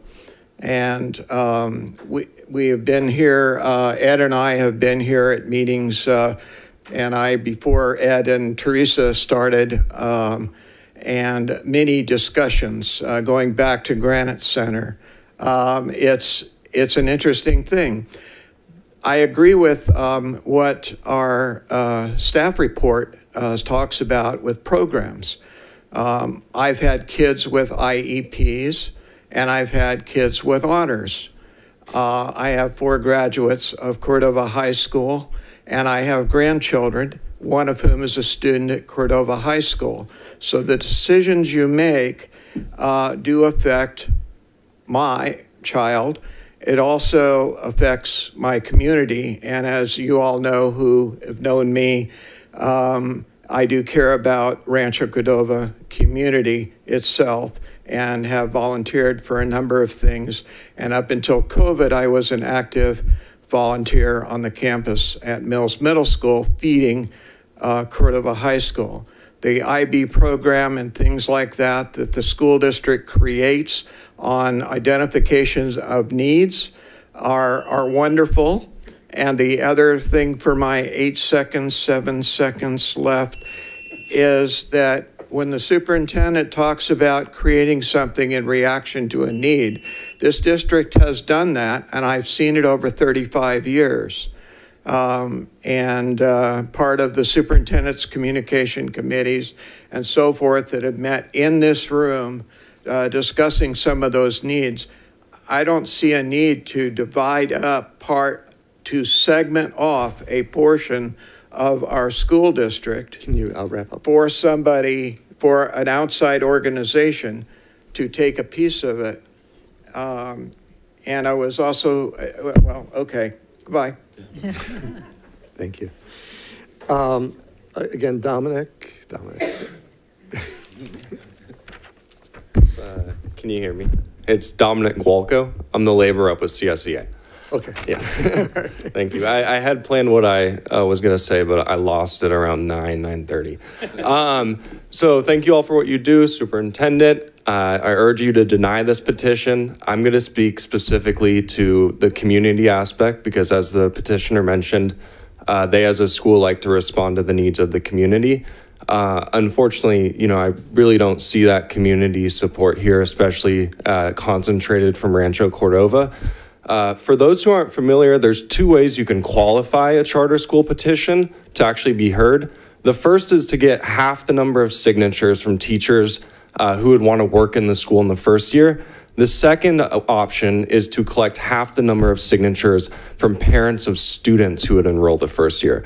Uh, the way this charter school, and you know, it satisfies the statutory requirement, I'm not saying otherwise, they qualified by submitting, I believe, five signatures from teachers who all live in Redwood City and San Jose.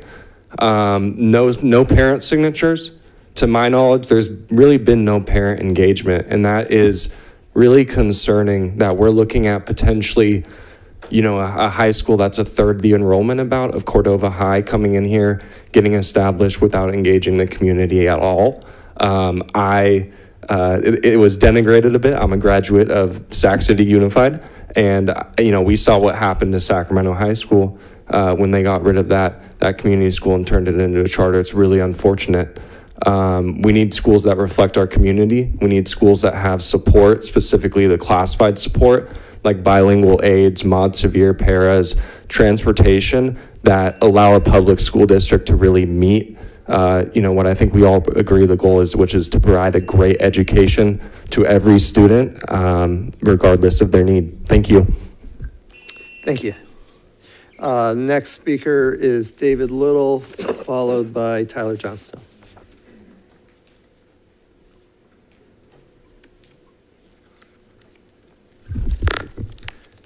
Hello, um, I'm here to read um, a message from a DTech uh, student who is not able to, to be here, who's a graduate of DTech. Good evening, everyone. My name is Taline Kervanian, and I am an alumni of Design Tech, graduating class of 2019, and I am here in support for the new Design Tech. It was because of this school that I was able to achieve so much, and I'm here to speak upon those achievements today, specifically how I got into the university of my dreams. Being a first generation college student, navigating my way through the enrollment process was a massive challenge, but thanks to the faculty and resources DTech provided me with, I was able to overcome these difficulties. I have attended community college for the past two years because it made the most sense for me and my situation. Applying for transfer was nerve wracking, to say the least, however. The DTech faculty and staff made it a point to always support me and remind me they were one email away if, if I ever needed any guidance. It was because of this assistance and motivation that I am proud to say that starting this fall, I will be transferring to UC Berkeley. I'd always wanted to go to Berkeley, but I never thought that I was good enough and convinced myself I didn't have what it takes to become a golden bear. Little did I know that DTech prepared me for it all. I had the design thinking skills to curate a plan for my application, the problem solving skills to make sure that I could handle whatever comes my way, homework and all, and most of all, I have the necessary empathy and communication skills I needed to start connecting and befriending my new fellow classmates. DTech allowed me, a first generation college student, to be able to live out my dreams beyond my high school experience, and it showed me that anything is truly possible when I set my mind to it and have the support of so many. It's because of experiences and achievements like mine that I have encouraged the yes vote to approve Design Tech High School because this high school made me truly believe that the world can be a better place and that I, a woman from a graduating class of 2019, can be the one to make it happen. Thank you. Thank you. Uh, Next speaker is Tyler Johnstone, followed by Diane Rogers.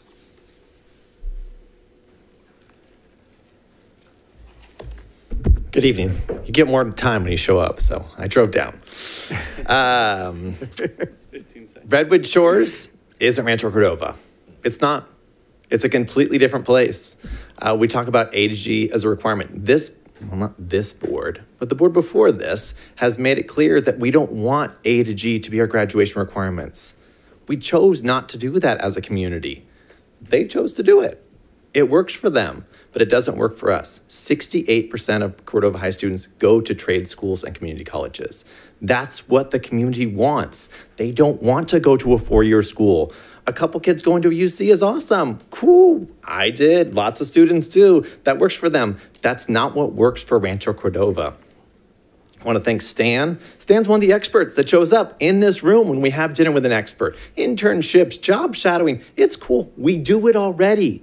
We keep talking about how we don't want to compare, and then we compare with programs that they have and we don't have. The statistics are there. We have CTE programs. I'm concerned about the curriculum. 30 days of intersession. Again, it sounds like a fun program. That's 30 school days when the kids aren't in Spanish, government, economics. They're not doing the core classes. They had to change VAPA to not be an intersession because there's no way that counts as a G requirement. When we meet for six weeks a year, working through this system, you can call it year long. It's not year long, it's six weeks. That's why they switched to having every kid take the same class. The innovative diploma, yay, it's a made up program. Like we made it up, cool. We everybody gets it, yay. We have a GPS program. We don't have made up programs. We have Perkins and CTIG that are state and federally recognized that our students go through. We follow up all the way through. We follow post secondary. We file reports, state and federal government. They don't do any of that. Um, they did. They talked about their close being school being Carsdale High, and it's very similar. Hillsdale High School, 0.5 miles farther, is very different. They didn't show you those statistics. And what happens when this school fails? They get 100 students that sign up, not the 500. Do they open? What happens when it's 80 the next year? Where do those students go back to?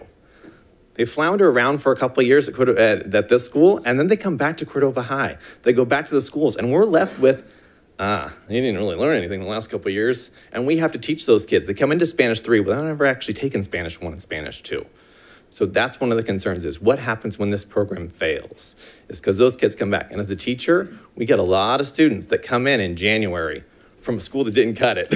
and then we're like, okay, what happened? Let's, let's get you caught up. And that's our job as teachers. And so let's do what's best for our students and deny this petition. All right. Mr. President, Yes. it's that time. Uh, It's 10:30. I'd like to move that we extend this meeting, good Lord, to uh, 12 a.m. All right. I As have a being on the safe I have a side. That's morning, right? Is that 12 a.m. I have a motion. Is there a second? Second. Second. Uh, Motion by Mr. Clark, second by Mr. Hui. Um, Superintendent Koligian, take the vote. Mr. Reed?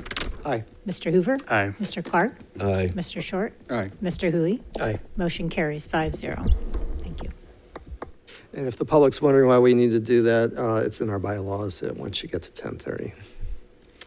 Uh, Let's see, uh, Diane Rogers.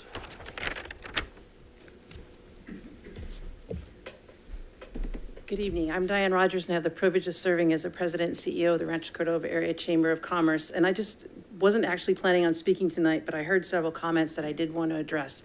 Um, first of which is that uh, Design Tech has been involved in our community and they have made an effort to be, to reach out, to learn about Rancho Cordova, to be a part of Rancho Cordova. They have joined the chamber, they've participated, and I've personally seen that um, active engagement with the community. So I do take issue with the fact that anyone who's saying that they aren't trying to find out more about Rancho is incorrect because I've personally seen it and experienced it.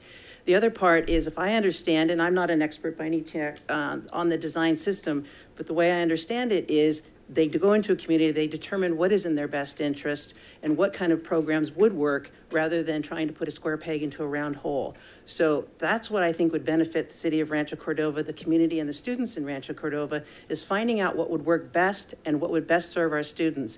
We can't, we, we need to know those things. And it could, it's, again, it's not going to be a perfect situation. We, the, the, the variety needs to be out there and choice needs to be out there. So just on behalf of the chamber, we do support this program and we, I urge you to consider approving it. So thank you. Thank you.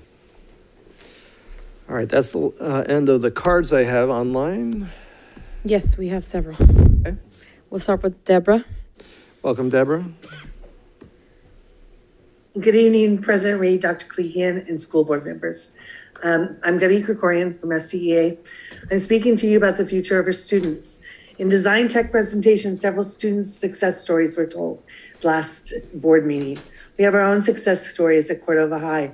We have students who've gone on to become professional athletes, such as Seneca Wallace, well-known media, media and entertainment professionals, such as Lester Holt of the NBC Nightly News, many engineers, teachers, business owners, entrepreneurs, carpenters, doctors, nurses, lawyers, bankers, inventors, state workers, carpenters, um, servicemen and women, emergency responders, landscapers, farmers, wine and beer makers, and more. Cordova High has the Mentors of Cordova High program to support students through their pro, through their journey, called um, MOCH is is the acronym. The staff and community depend on each other in the school. Cordova students have achieved greatness through their discovery of asteroids officially recognized by the Small Planet Center of Harvard University, award winning films recognized by SIVA, service to our community through the Air Force Academy, culinary wins and CTE competitions, History Day competition award for outstanding use of academic English by English language learners, engineering design competition through ACE, Samsung contest, Skills USA, business achievement awards for students design business, multiple future um, Future Farmers of America contest winners and state winners in agriculture and art, and more with our medical programs developing. Each of these CTE and academy schools are small schools within a large school, giving students a one to one education that students desire. On Saturday, June 4th, the board was given an outstanding presentation by our CTE coordinator, Alicia Cadell. We have approximately 600 students in our academies, and they are supported by the state dollars. If we lose students, the programs will be in jeopardy. This will hurt other students. She showed how Cordova High is growing in CTE programs and expanding in middle and elementary schools to prepare students for CTE. As Tyler Johnston t- talked about, Thank you. Next, we have M. Easton. Oh, welcome, I'm guessing Monica? Yeah. Can I give my, um, my two minutes to Deb so she can finish? Okay. Deb- Debbie, are you there? Uh, I need to find her. Give me a second.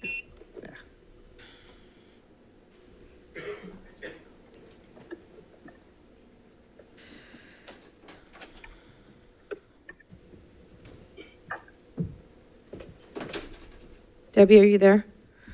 Thank you, Monica. I appreciate that.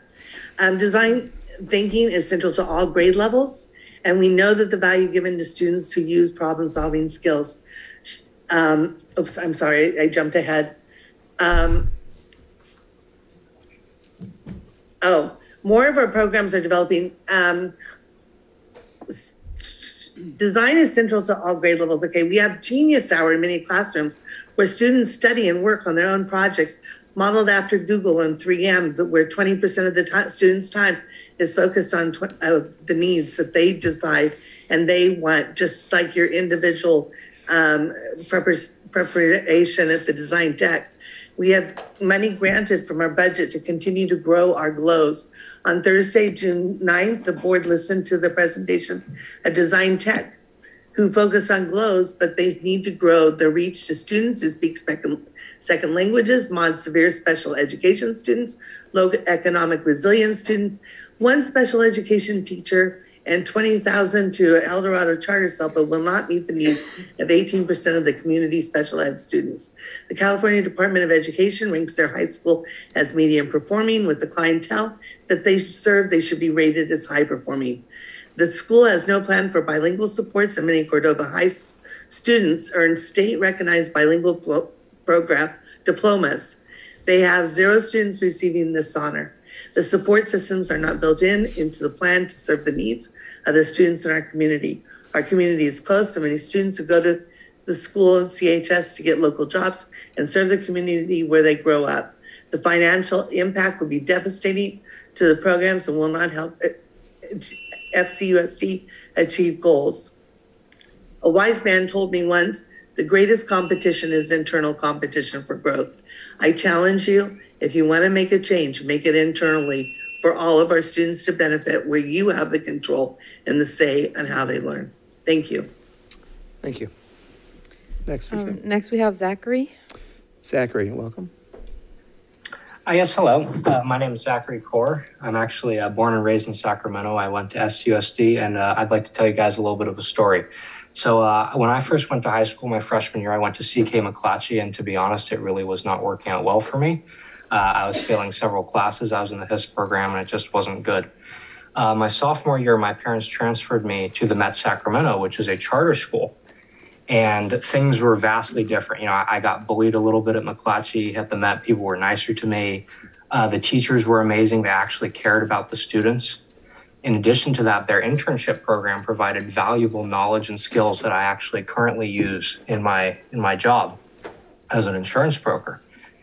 And uh, another noticeable change for me is I actually had a 2.4 GPA um, over there at McClatchy. And I went to the Met, I started doing better academically, and they helped me fulfill my A through G requirements and go to San Jose State University, where I graduated with a 3.3 and a degree in economics. Uh, in addition to this, I started up a, uh, a business of my own, which is called Collectible Coffee. And I've taken a lot of the skills I learned in high school, such as public speaking, you know, creativity, ingenuity, hard work, uh, entrepreneurship, all that good stuff. And I've been applying that to both my job, my career, my startup. And uh, I also learned the value of community service. Uh, recently, you know, I've been just dropping off water bottles to homeless people and doing all kinds of stuff like that. And to be honest, as a freshman at McClatchy, I really wasn't that into that. But once I went to the Met and they taught me about those important things, I was able to learn the value of that. And I love to help my local community. And so I saw this charter school up for, uh, you know, up on the chopping block here. And I said, you guys should definitely approve it. It's just a great thing for kids like me who really just don't fit in with a traditional high school. And uh, this kind of school would be really, really helpful. Anyway, have a great day. Thank you. Next, we have Meg. Welcome, Meg. Okay, can you hear me? Yes. Oh, great. Okay, I I actually was going to donate, donate my time to Deb, but I don't think she needs it. So I just want to reference a comment that Mr. Hoover made um, just a little bit ago, that, um, um, when he said that um, when we, FCUSD, finds that we're losing students to other schools or programs, we step up to the plate to meet that challenge. I am hopeful that this board will do the same and apply that, that, that thought process to our teachers' compensation and keeping our teachers. Thank you. Thank you. Next speaker. Next, we have Rob. Welcome, Rob. Uh, Good evening, President Reed, Dr. Koligian, and school board members. Um, Like the 218 people who signed the, uh, the denial petition, which I believe uh, you have access to, I believe that Design Tech has um, unimpre- unimpressive academic outcomes for low-income students, a poor track record for enrolling English learners, low-income and female students, fewer supports for vulnerable students, and that and I just particularly have to emphasize the diversity of needs in in Rancho Cordova and and how those supports are critical to the success of those students, and um, that there's a there will be a negative impact on our IB and CTE programs. Additionally, um, I know you are all committed to improving our district and strengthening our IB and CTE programs. So, how do we do that? Um, well, we, we don't get better by reducing our resources, decreasing our student body, or having others provide redundant services. We get better like our students get better by working smarter, harder, and doing it for ourselves. So let's focus on using our resources to build our competencies and our IB and CTE programs. CT, uh, CSEA asks that you deny the design tech petition. Thank you. Thank you. Next, we have Claire. Welcome, Claire. Hi, um, Claire Crawford within the Public Interest. And in addition to the numerous and uh, well-detailed reasons for denial based on uh, fiscal impact, et cetera, that the staff report laid out, I do want to um, clarify something about the educational outcomes data. Design Tech presented just the percentage of students that had gotten threes and fours on the CAASPP. So that's why their numbers look closer for socioeconomically disadvantaged students, whereas the district presented the dashboard, which is a real snapshot of the whole school. And there's a 35 point difference between Rancho Cordova, between Cordova High School and Design Tech. Um, that's because almost 60% of socioeconomically disadvantaged students at Design Tech are at a level one, standards not met. These are 11th graders who have been at the school for three years and they're still at level one, standards not met. And this is with um, almost a million dollars a year going to the school in addition to their regular funding. It is absolutely the case that they're not serving as diverse and needy a population as Rancho Cordova. They made it clear why they want to locate in the Rancho Cordova community. It's because they want access to SB 740 funding and they need to be located in a low, in the jurisdiction of a low, predominantly low income elementary school. That's state law. Um, there's a high school three miles away from them that they keep referring to, saying they're similar in diversity. There's another high school four miles away from them, almost the same distance, Redwood City High, with 81% low income students and 35% English learners. They're supposed to be engaged in design thinking and they cannot figure out how to enroll any of those students in their existing schools. They are not designing their schools to serve the students in Rancho Cordova that need the support. They have zero moderate severe disability students. They're not looking to serve these students that Rancho Cordova needs support for. Thank you. Thank you. Next speaker. Next, we have Sumit. Welcome, Sumit. Hi there. Uh, my name is Sumit Jain. Um, I'm part of the engineering leadership team at Stripe. Uh, I also founded and ran a post-secondary school for engineers in Omaha, Nebraska, and I'm from San Diego. So I have learned some things about needing to know a community if you want to serve its students. I'm also a DTech board member. I'm not a DTech parent yet. I hope to be, but my daughter is a long way from that still. Uh, I wanted to comment because it sounds to me like perhaps the district staff and DTech might have a path forward if they can work together to resolve some of their outstanding concerns. I would encourage them to do that, not to argue over whose school is better. Approaches to education are as diverse as the communities that they serve. If you've met the students from DTech, you'll know that they have a joy, not just for learning, but for building, for changing, enabling, for challenging.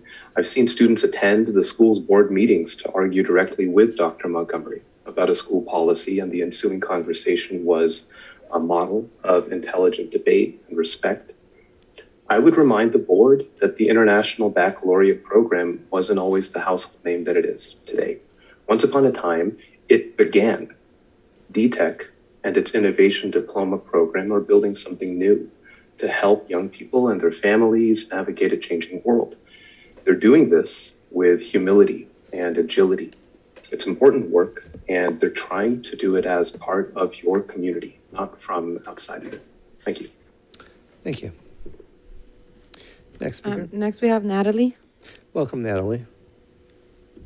Hi, um, I've already sent an email to the board outlining all the reasons why I believe you should deny the petition for design tech. Um, I just wanted to take a minute to point out there's been some comments about the differences in demographics between Rancho Cordova and Redwood City, and I understand that. I agree that to a certain point we're talking about apples and oranges, but I would urge you not to dismiss those demographic differences because they really do matter. Um, somebody brought up earlier the A through G requirements and how many students at CHS are meeting A through G requirements. Um, and I want to point out that 16.7% of our students are English learners, many of whom are newcomers to our country and therefore are still learning English when they are at our schools. We are a magnet for refugees. We provide services to um, all sorts of immigrant communities, and you know those go into our numbers too. And that's just something that um, Design Tech is not prepared to provide for our students. Um, and that's a huge gap in the services they have to offer our community. Thank you. Thank you. Next, we have Rush Kumar. I'm so sorry. Welcome. Uh, welcome, Rush. Um, uh, good evening. Um, so some DTech students have asked me to relay a, a prepared statement on their behalf. Um, and my apologies if there's any uh, background noise.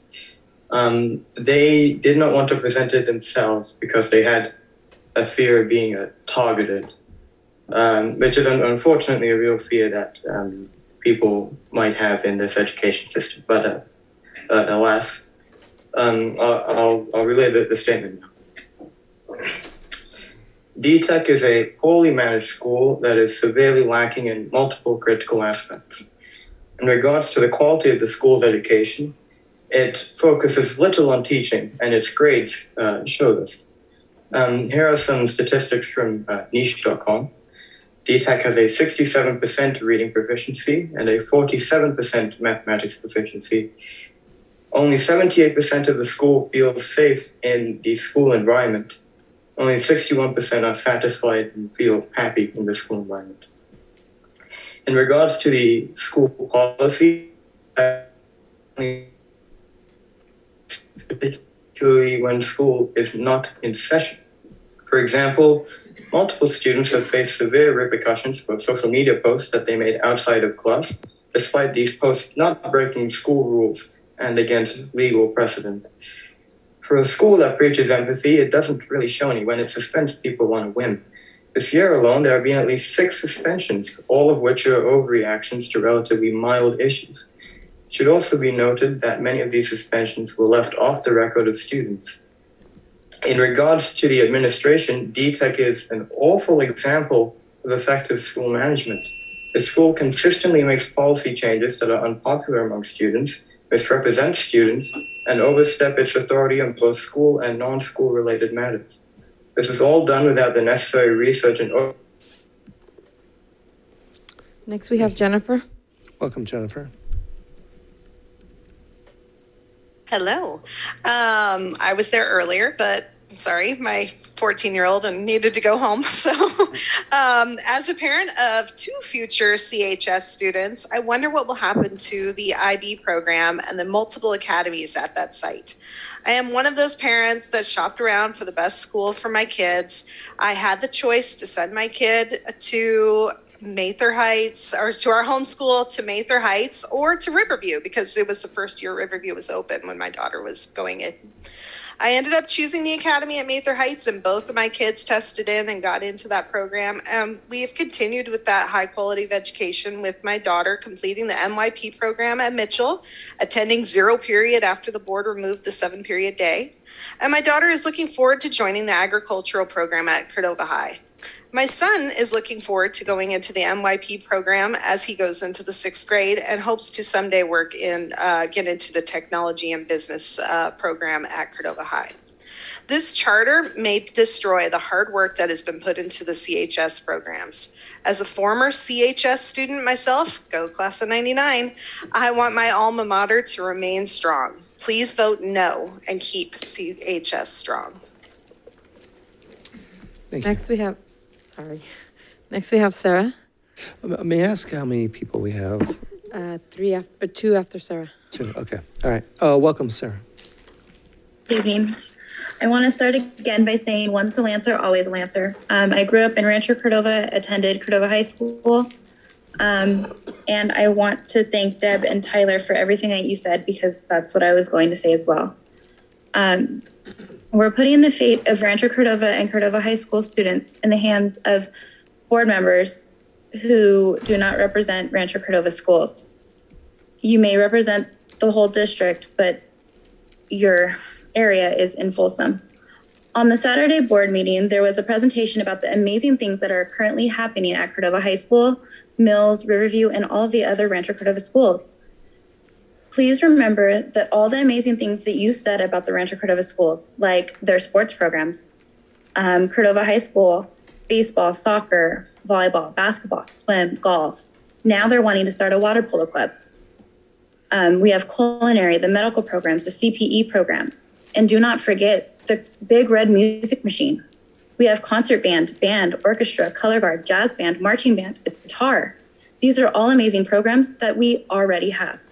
Please remember that you all are making a decision for students that are not in your area. You are making a decision for Rancho Cordova students. We have a traditional school, an online academy, and even a homeschool within our district. With all these amazing programs, please remember your students first and the community that you serve before voting on this charter. Thank you. Thank you. Next. Um, next, we have Courtney. Welcome, Courtney. Hi, thank you. Um, I did not plan on speaking, but after listening to others speak, I felt the need to. I am a teacher in Folsom, Cordova. I have been teaching in the district for about six years. Uh, my first year, I taught in Twin Rivers, and I moved to Folsom, Cordova, and taught at Cordova Villa for three before I transferred to Natoma Station. So I have had the pleasure of working on both sides of the district. And as someone who has worked on both sides of the district, I know the importance of knowing your community and knowing their needs. Um, hearing that the charter does not have experience working with students that are of the needs of our Rancho Cordova students is very concerning. I live in this community. I live in Rancho Cordova. When I have children, my children will be going to these schools. And it is very concerning as a teacher and as an educator of someone who's of schools that I've um, that are in Rancho Cordova that these the school will not be able to provide what our community needs. Thank you. Thank you. Mr. Reed, we have one more ri- uh, hand go up. I'm sorry, what's that? There was one more hand that was raised after I gave you my final count. Okay, Go ahead and call. what, yeah, Yeah. Ashley? welcome, Ashley. I, I just wanted to donate the rest of the time to Raj Kumar if he's still there to finish his letter from the students at E DTech. Mr. Reed? Yeah, if he's there. Okay. Let me find them.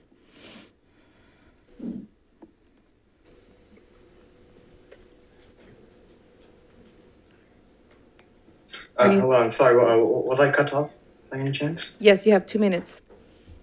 Oh, Okay, uh, thank you. Um, so I'll, I'll continue the, the statement from the, the, the students. Um, so, uh, I believe I left off from the student records. Um,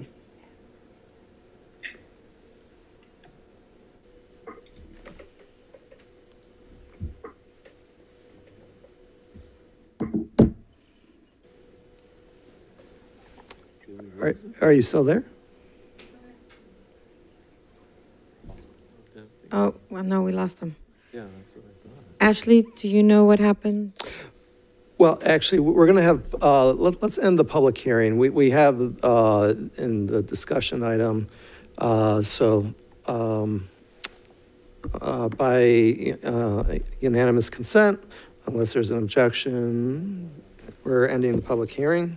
So even though this guy, We have public comment on the next. okay, oh, oh, that's right. All right. Um, Moving on to item 12 on the agenda, discussion action. Uh, Item A, approve or deny uh, Design Tech High School Rancho Cordova Charter Petition. Uh, Superintendent? Yes, and in this um, actual agenda item, we have a, a resolution that we are presenting that supports staff's finding on denial of the petition based on the significant um, discrepancies that we found in the petition. So we'd like the board to um, consider that resolution for action. All right, we're going to take uh, um, comments from the board and then public comment. When we get to public comment, we're just going to do a minute because we don't have the time. Mr. Hui? Thank you. I appreciate everybody's time tonight and the work that's been put into this, uh, both from Design Tech and from the district staff. Uh, I'll just say right up front, it's my hope that Design Tech is approved tonight uh, and that this school is seen as a partner and not a threat. Uh, I don't think Design Tech being successful necessarily means that Cordova High School will fail. Uh, one school succeeding, I think, actually may instead be good for all of the schools in our district. Uh, I do think Design Tech offers our district something we do not have currently and will be beneficial to many students and families. The educational model Design Tech offers is different than what any one school in FCUFD, FCUSD offers. Design Tech would offer a system that has the potential to meet the needs of students that the traditional system might not currently serve. From what we've heard tonight, it sounds like one of our biggest fears would be Design Tech actually working. Uh, I just want to say what that would mean is that we would have as many as 600 students excelling at one school, Design Tech, while we continue to pour into students at Cordova High. Uh, I fundamentally disagree that one school succeeding will necessarily decimate the other. Uh, so I do plan on voting yes tonight. Mr. Short? Well, I, I've been on this board for 20 years and I, I heard a lot and I've seen a lot. And I'm just kind of disheartened that we're at this stage in the game of looking at charters. Nothing against charters. I, I am for charters. We have charters. I've talked about dependent versus independent. There are charters that will fit into our community as we seek. Um, so I want to, to, to the board to really think about before they make these huge decisions. We had a workshop just recently, and we all agreed that we wanted to expand uh, opportunities in school choice for all our kids with, within uh, expanding our CTE programs, our academies. And we, we had a great presentation, and we discovered that most of the community, because of COVID, we've been closed, that most of the folks that were pro charter don't even realize what we have being offered here. So we haven't even had the chance to uh, get our word out on a lot of new folks moving into the community that these are the uh, type of school choices we have. And that is a school choice. STEM education school choice, all the academies are school choice, all the schools within a school is a school choice. So we keep hearing school choice, which parents are ones that are going to make those decisions. I didn't see any community here when Garrett was talking here. He's correct. 90% of the community is not for this. Hey, he represents Rancho Cordova. He is Rancho Cordova. He's telling us directly it doesn't fit in our community. We have three board members here. We were for local control. We were for area district uh, to do representation of boards being elected. We have three Folsom board members that don't understand our Rancho Cordova schools. They haven't lived and breathed in that area. They don't know our kids. Not like Garrett does, like I do, or Chris Clark knows. If you really support area representation, you have two Rancho Cordova representatives right here that are telling everybody right now, this is not a fit for our kids and for our district at this point. You should respect that. You should listen to that. I, am just telling you. So I'm just getting a little irritated because a lot of things that we did over the years, external competition is why we grew it. I was part of that, the STEM education, the academies. We spent years doing that, and the staff stepped up and did all the work and to make this a great district. We talked for years, we're going good to great. We're a great district right now comparing whatever. We have critical thinking, we have design. I'm an engineer, right? I went to UC Davis.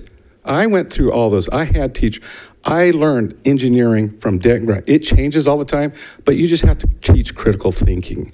Design is critical thinking. It's solving problems. We do that. It's that simple. You know, so having another charter coming here is is it's dichotomous to us even thinking that we want to expand Rancho Cordova, do all these things for our kids, and then we're over here. Oh, let's put a charter in here, two charters that might take $40 million away, hypothetically, in five years, and completely undermine all the work we've taken up for the last two decades. It's appalling. It's appalling to me that we have teachers in here, like Garrett said, crying that we we need to support them. If we if we vote on this tonight to approve it, we don't, it's saying a message to our teachers and our staff that we don't value them for all the hard work they've done and for all the things we've done. $14 million in grant money. That was amazing what the staff is doing. We should show that, that we value them, that we want to continue to be innovative and, and, and ourselves become critical thinkers and be the leaders that we should be, not depend on outside charter that is not even from an elected officials. We are elected to, to, to represent our areas and represent our parents and our kids. This is about our kids and our kids. If you even look at the area that they're proposing, Cordova Valley, you're going to look at Cordova, Cordova, uh, Cordova, Cordova Villa, and Navigator. If you, and, and then uh, uh, just a stones away is going to be the next Charter Pacific. That is put there because of SB 40. They're just going to completely siphon off that whole area, and it's going to happen. It's going to happen. We're going to have school closures, layoffs. We're going to have all this. This is going to happen in two years. There's a fiscal cliff. So why are we even talking about this? You know, if we want to get political about it, yeah, we have GOP, we have Republicans on this thing. I, I don't want to talk about that. But yeah, if you want to talk about school choice, we are school choice. We, we provide the best we can. Sorry, I'm getting a little bit, but I have more that we should, the board, I question the board not the people here. You know, we have a fiscal responsibility. That is our biggest responsibility. We do need to think about that. We're, we, we really do. We're going to be in fiscal problems. I've been through hard times and had to make layoffs at school. That is not a fun thing to happen. Laying off people, giving pink slips to teachers and tell them sorry. And, and it's horrible to watch that. You're going to be in that position in just a couple of years. Why, did why would the board approve a deficient thing? Are we going to set the bar really low by accepting deficiencies in a petition? It's incumbent upon the applicant to, to fix those. They can come back, they can do whatever, but let's see how they fix them. Let's have more information. Let's see the actually community come over here and support it. Garrett can go out there and say, or the chamber, hey, what, what, hey, let's get this people together and hey, let's see if this really is for a fit for it. But we're going to have a few people here make that decision. We don't have the people out here. That's insane. It just doesn't make any sense. It doesn't make sense. Why? You know, um, ADA funding. Yeah, we talk about funding. It's taxpayers' money. It's, it, we pay for that. We're supposed to represent the taxpayer. They don't. They have some board members from the Bay Area, from Google or whatever. They don't. They're going to take the money and they're going to spend the money and they're going to represent things. They got five years to do it. We have very little oversight and little control. We lose local control. So, so we talk about family choice. Do we really, they, you know, I hear Diane saying that they, they went out to the community and did, they only been members of the chamber only for four months. They went to iFest, a couple of festivals, had a couple of luncheons. Do you call that really knowing the community? Have you walked that area? Did you go knock on the doors in those apartment complexes? You did? You did. You did. Okay. In the Cordova Villa area? Cordova Villa area, you did? Um, you felt you felt safe? I went to the areas with someone You, you don't know the area, do you? Okay, I'm just asking if you walked it by yourself. Okay. Point of order. It, it's, I'm- what I'm saying is that this, this area. Probably Yeah, just- this area is, I'm, I'm, I'm just asking, I'm sorry, I'm not gonna Yeah, go let- through it. let's not have It's a very poor area that doesn't represent our, our kids. It doesn't rep anything they do in our community. So I want the board to understand that the comparison is, needs to be done. It is, they don't represent, they're only 0.9. It does, and the equity issue on this thing is very difficult. So the board really needs to listen to the Rancho representation and listen to the voices of the people. That's us. Thank you. Thank you. Uh, Mr. Clark. Okay. Um, actually, Mr. Short kind of, I share the same sentiment that he does, but I, you know,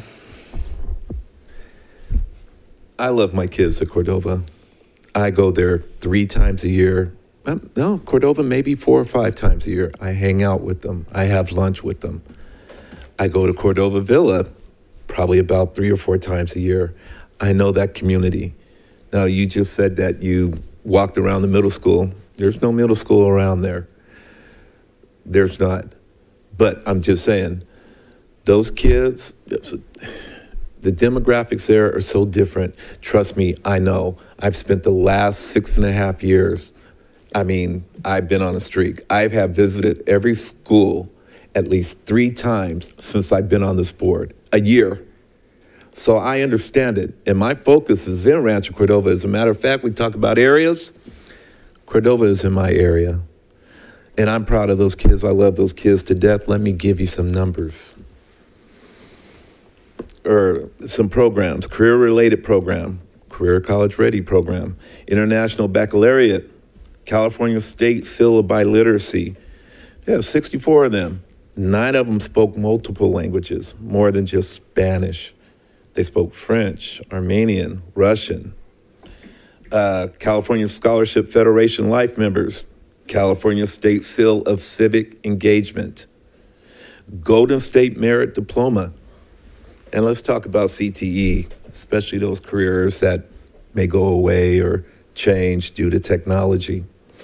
Agriculture Academy, uh, Engineering Academy, Business Academy, uh, Education Academy.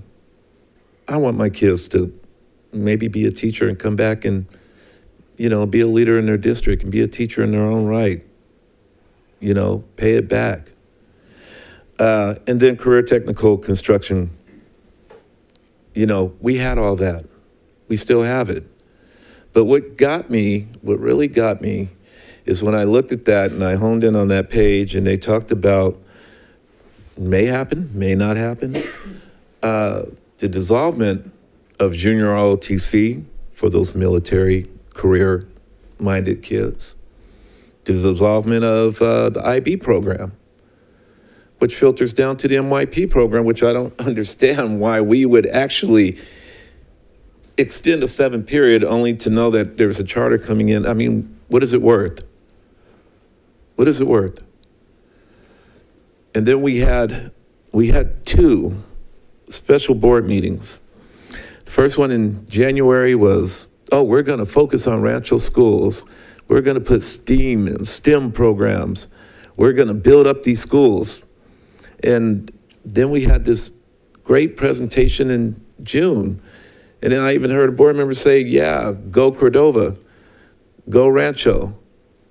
Um, I'm going to ask my colleagues what happened to that because now we're entertaining a charter school coming in that one, I don't believe that you are going to take care of my mod severe babies. I believe that. You're not going to take care of them. I also believe you're not going to take care of our social economically disadvantaged kids. I don't believe you're going to take care of our homeless kids. That matters to me. That matters to this community. That matters to Rancho Cordova. Will it be taken care of? Absolutely. We've got the staff, we've got the resources. We've got teachers that speak multiple languages to take care of those EL students. I'm going to tell you this the VAPA program, every six weeks, I guess that's cool, but what if somebody wanted to go into journalism? Don't tell me it's going to be automated. It's not. It's here to stay. So, I'm, and I'm thinking about those other ones. I mean, these other programs that these kids are focused on. Yeah, they're not going to all go to a four year college. I mean, I was blessed to go because, you know, the military paid for it. But some of these kids just want to look for a trade, not something that, in hearing that, oh, well, you know, it'll be all automated by then or it may go away in 10 years, that's discouraging for a kid to hear. It's discouraging for me to hear. It is. Now, maybe we can work together. And, and for the record, I am not knocking your school. I think it would be a great fit, but not in Area 4, not in Rancho Cordova. I don't think it would be. Maybe up the hill, it might. I mean, there's some programs that you can off- offer up there. But in Rancho Cordova, I, I'm sorry, I'm going to have to support the um, staff recommendation on it, just for those simple facts that I named. Um, like I said, I was just concerned about the elimination of programs. And what if this program doesn't work out? And these kids kind of got into it, and now they want to go back, and guess what? No IB, no junior ROTC. None of that exists anymore.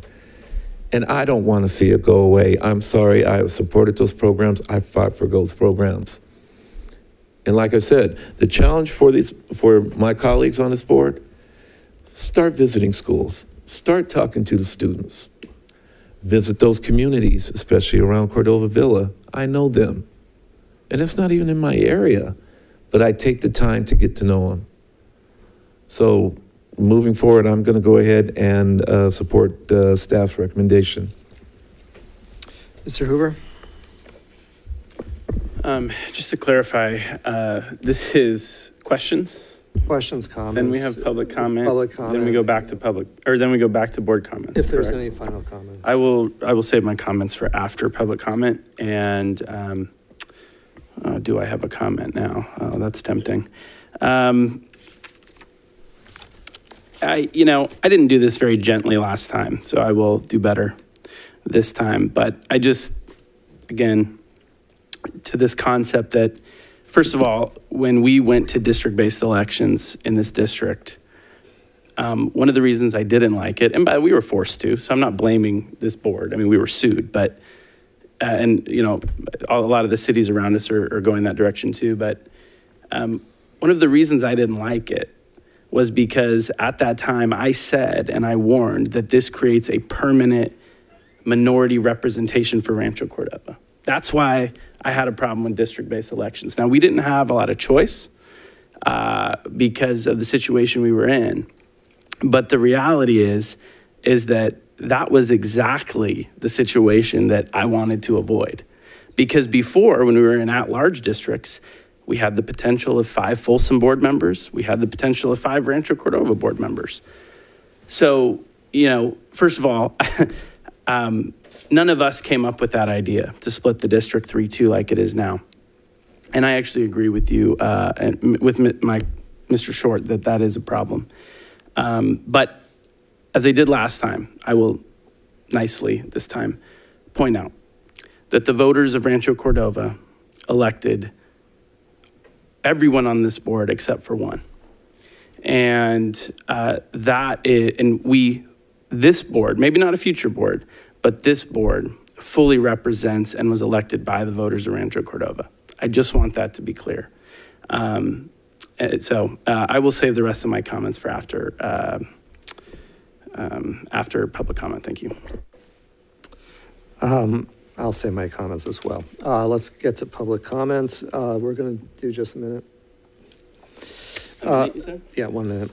Uh, we have uh, Tyler Johnstone followed by Dominic uh, Kelsey.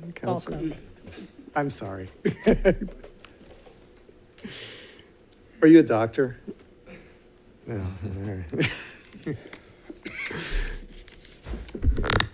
Good evening again. Um, do what's best for the students. The students of Rancho Cordova are asking you this. Uh, we've talked about representation. We've made comments on what we're already doing. Um, it, this is why you're on the school board, to do what's best for the families of Ranch Cordova. We've had students from the school tell you it's not a good fit. We've had the city council representative tell you it's not a good fit. Pacific Charter School brought a lot of representation. That's not here. There's not support for this petition right now. And so for you to go ahead and support the petition, I'm not concerned about them winning. Like, yeah, it'd be great again if students succeed. I'm concerned about them failing, as they brought up. And so I'm wondering what happens, and there's not a plan for that. And I'm also concerned that there's any way that taking students out of Cordova High doesn't hurt Cordova High. It will. And if you don't understand that, reassess. Dominic, followed by Casey Shingara.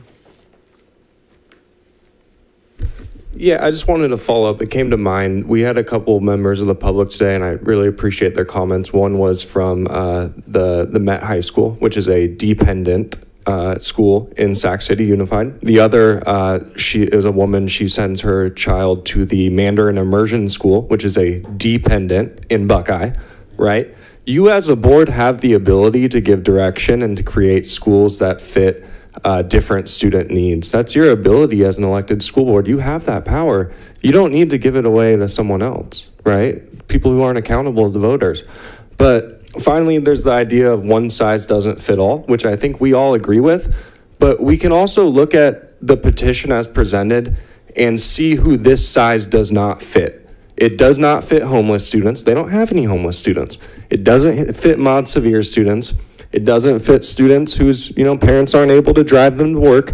It doesn't fit students who are learning a language uh, and their their primary language is a language other than Spanish. Right? We know that this size will not fit those students. We don't need to guess. Right? Thank you. Thank you, Casey.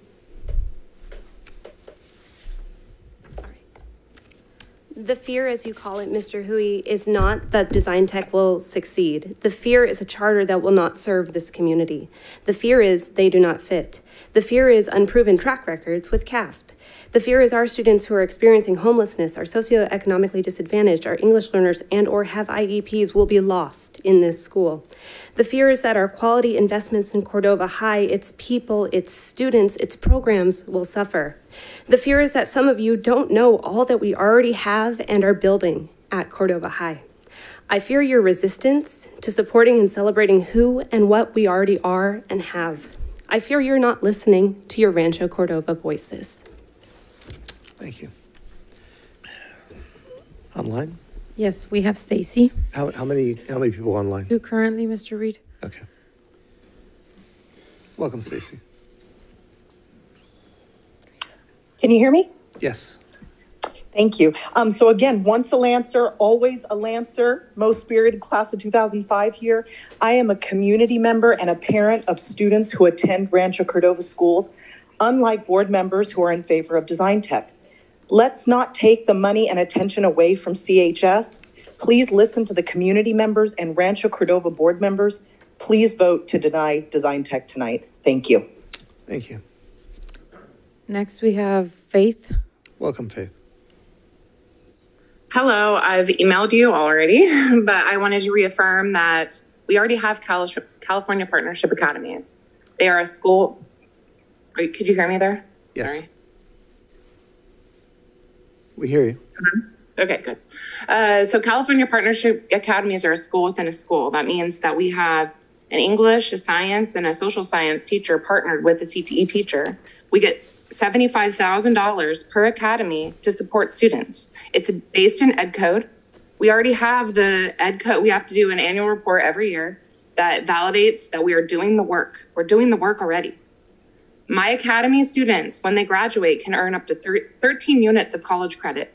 All of my courses are A to G, and they have the opportunity to get all the other A to G courses. I have nine of my seniors, one third of my seniors are currently employed on Sunrise Boulevard in manufacturing internships because I took them there in a van. So don't take that away. Say no. Thank you. Mr. Reed, we have two more hands. All right, and that'll be it. Okay. All right. Sarah? Welcome, Sarah. Welcome. Again, it's a little late, but once a Lancer, always Lancer. Um, the comment that was just made saying that Rancho Cordova vo- uh, voters voted for this board, um, you may be correct. So with that being said, 90% of your community is saying no. Please listen to your constituents and vote no on this charter. Next, we have Courtney. Welcome, Courtney. Hello again. I just want to radi- reiterate the importance that um, as a teacher who's taught on both sides of this district, it is important that you know what your students need. And um, the Cordova side has a vastly different um, need than the Folsom side. And as our, our uh, board members that have um, visited those schools, um, I'm sure that they can agree with me that those needs are very different. And um, I think we need to be considering those things when we are making the decision as to whether or not a charter school that does not have experience with students of um, these needs. Um, so I, I really would like you guys to take that into consideration. We are your teachers, we are your community members. Thank you. All right. Uh, back to the board. Um, any final comments? Mr. Hoover, you wanted to wait. I mean, yeah, if anyone else has any, or, All right, any, yeah, I can go. all Doesn't matter. go ahead. Oh, go ahead. I'll follow you. Um,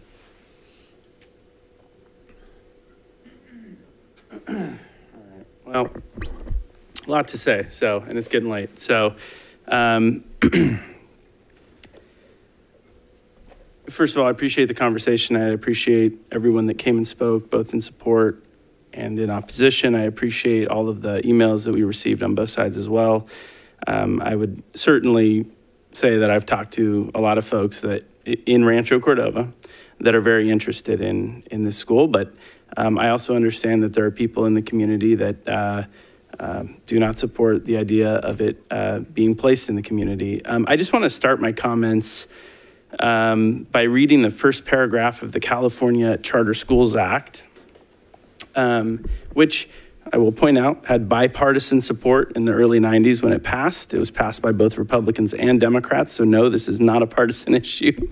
Um, but the, the California Charter Schools Act, when it was passed, stated uh, that the chartering authority, or the school district, shall be guided by the intent of the legislature that charter schools are and should be an integral part of the California educational system and that establishment of charter schools should be encouraged. Now, of course, it is our job as a school district to make sure that any charter school that ever submitted a petition to this district uh, met the standards that we wanted to see. Absolutely.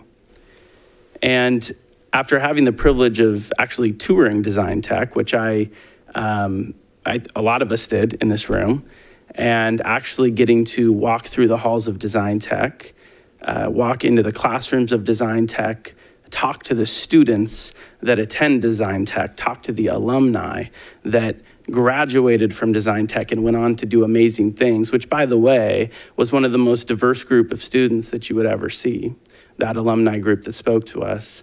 Um, I, I can tell you, and you can tell by the feeling in the room, and every teacher in this room can attest to this.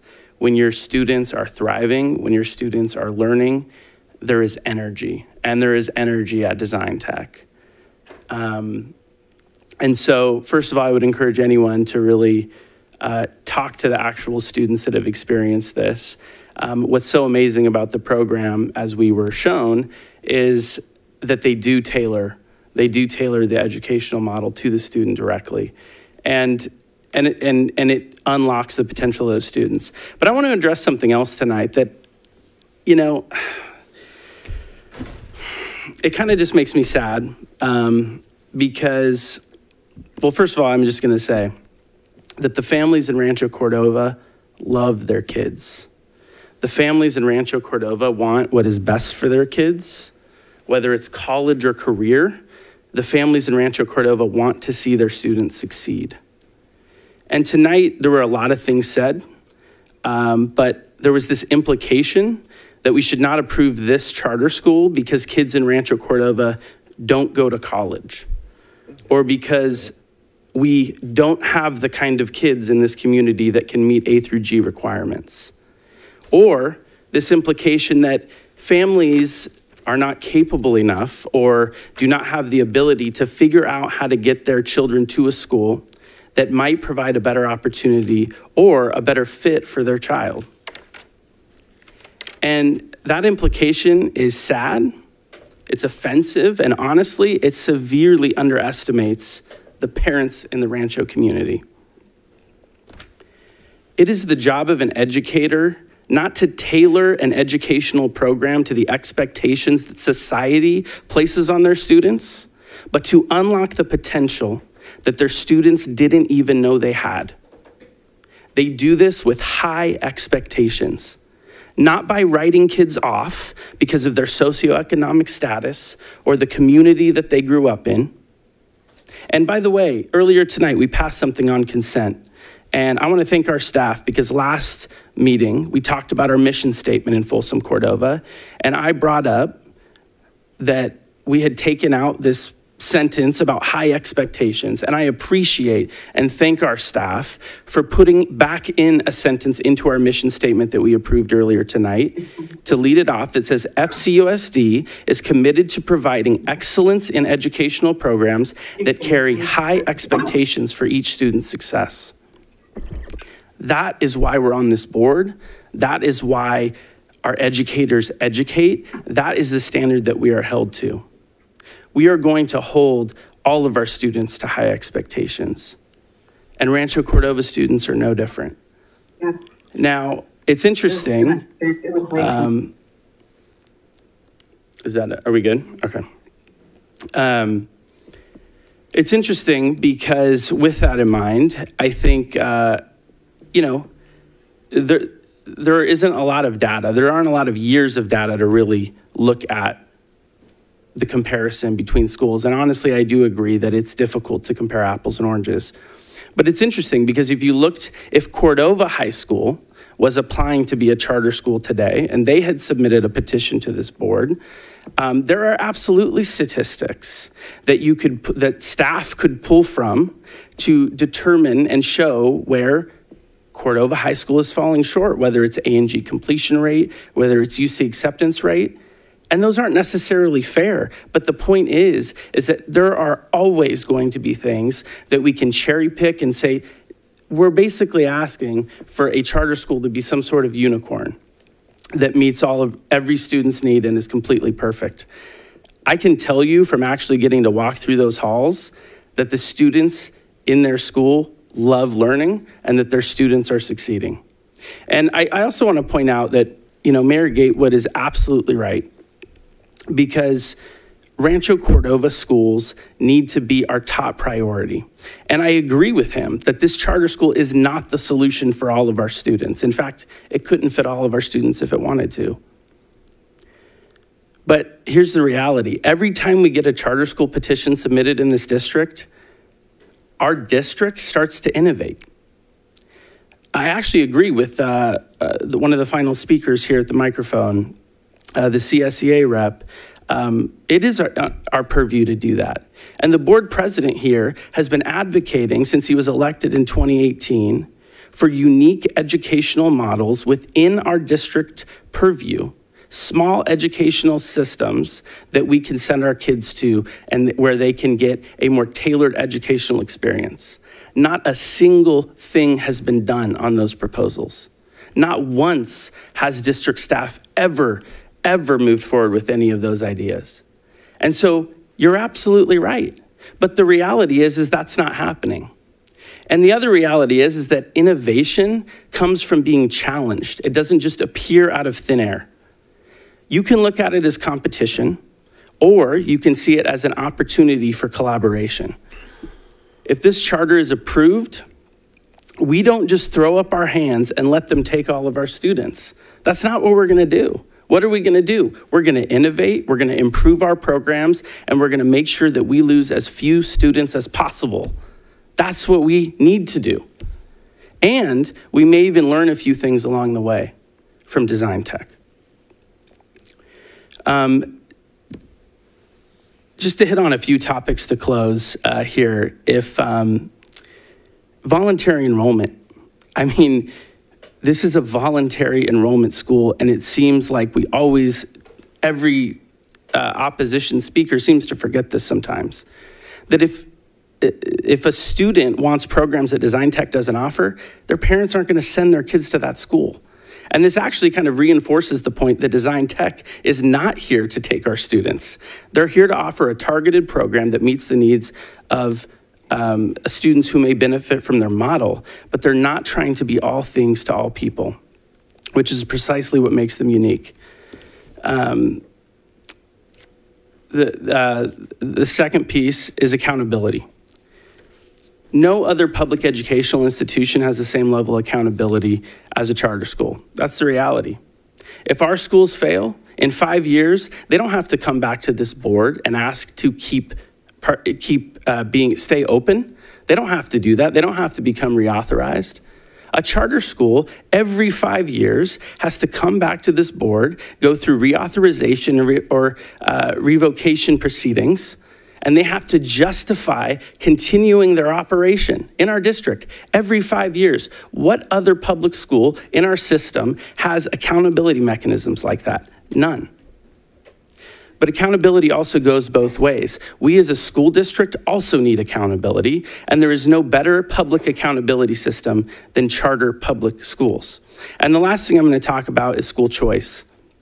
And as, uh, you know, I'll just say it, many of the kids from up the hill, as my colleague from Rancho Cordova put it, many of them have the privilege of school choice because many of them have the income to move to a community that has high performing traditional public schools, or they have the income to send their kids to a private school. The reality is, is that every student or family with means has school choice by default because they have the resources that they need to go to any school that they want. The kids, so many of our kids in Rancho Cordova do not have that privilege. And this is an opportunity for them to get a different educational model that might better serve their needs in a free public school. And so I would encourage my colleagues to support this petition tonight. Um, and I'll close with that. All right. Um, you know, given the hour, uh, I could probably talk for a, little, a while. Uh, President, hopefully I will be allowed Okay. some time to talk. Go ahead. Um, it won't be long, trust me. Okay. Um, I just want to clarify something. I didn't uh, say that none of our Cordova kids would ever go to college or have an opportunity. If that was the case, I wouldn't offer a scholarship to those kids every year that I do. Um, it's great that Board Member Hoover has gone to this high school and talked to the students and felt the energy. But the one thing I will ask is, or anybody on the board is, again, have you gone to Cordova and talked to those students and actually felt their energy? That should be the main focus. Our Cordova kids, not kids that are down in the Bay Area. I mean, what about our kids here? Something that we need to think about. I mean, it's, yeah, it's it's great. Heck, I wish I could have went down there and, and, and talked to him. Um, I did want to comment on the Alliance, uh, that organization that you said you can connect me with. They're in Oakland. I'm not interested. I looked it up. So if you can send me the link, that's fine. But I was like, okay, I'm going to look for this organization because me knowing nonprofits and been in the nonprofit field for, gosh, probably close to 30 years, I would have heard about this group. And I mean, with me working with that risk youth, especially our African American men, yeah, I would have heard about it. But send me the link, email it to me. I mean, I just looked it up online. I, I didn't see anything. I saw a healthcare facility in Minnesota and and then the alliance, the alliance in Oakland. So if there's one closer, please, I mean, let me know. But again, you know, we're trying to struggle to, and God knows I, I want nothing but the best for our teachers. And the last thing that I want to see is if this thing goes south and we start losing funding and students and closing down schools, we lose teachers. And right now, I want to see our teachers taken care of. Yeah, I said that. It's, it's public record now. I want to see our uh, classified staff taken care of. We're not going to be taking care of them, folks. We're going to be closing down a facility. And guess what? Yeah, maybe another charter will come in. And, and this is not the uh, end of charter schools. We are a solvent district with a positive certification. We are an easy target for any charter to come in. And mark my words, in the next two or three years, they'll be here.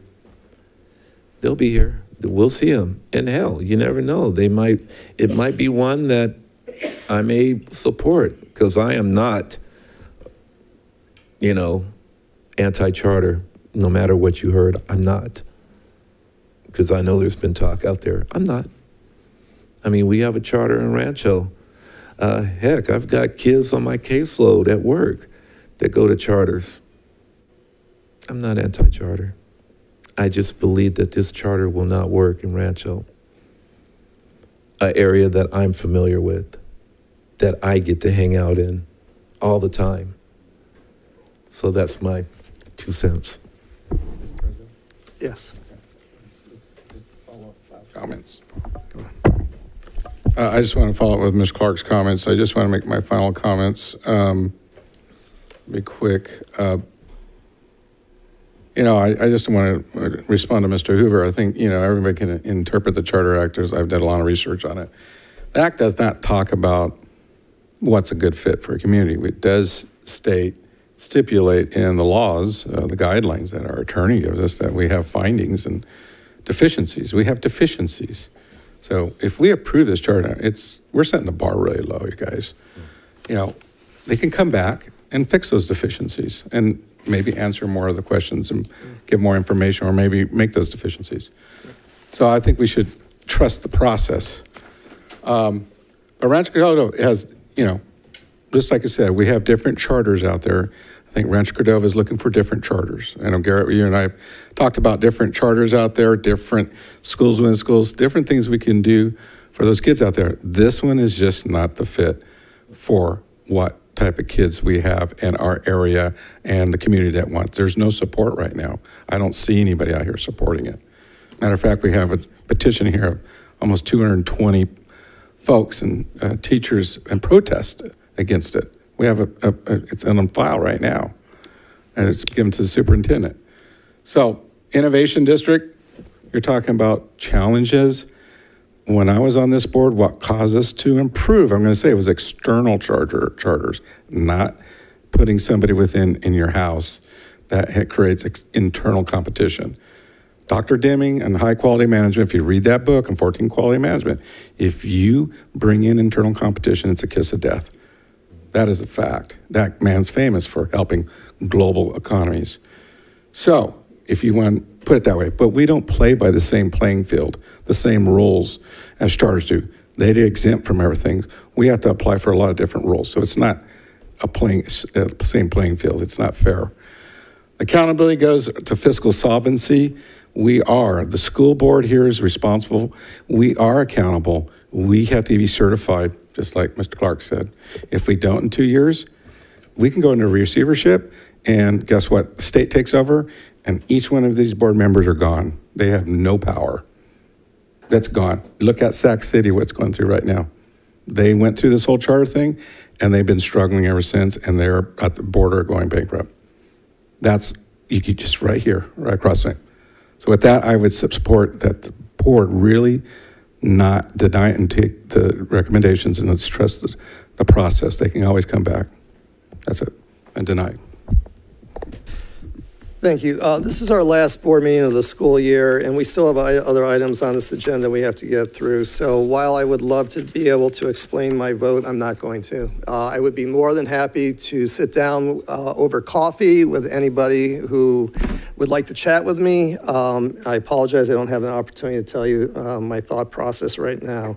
Um, But I will say that um, I would be willing to support this charter provided that we condition it with an MOU, memorandum of understanding, and I would insist on eight elements being included in that memorandum of understanding, including a preference uh, to students that reside in Rancho Cordova, um, identifying an acceptable location for the campus, uh, language requiring similar or higher CAASPP testing scores uh, uh, to Cordova High School, uh, language addressing special education requirements, language requiring a local representative on the design tech board, language requiring all teachers to be credentialed, uh, a requirement, um, a recruitment plan to encourage diversity of applicants, and details related to the reporting and, uh, and FCSD oversight roles. Um, If uh, the applicant isn't interested in those eight uh, uh, items, then I will vote against it. Uh, If they're willing to uh, entertain those eight items, then I'll vote for it, assuming that I have board members that would go along with that.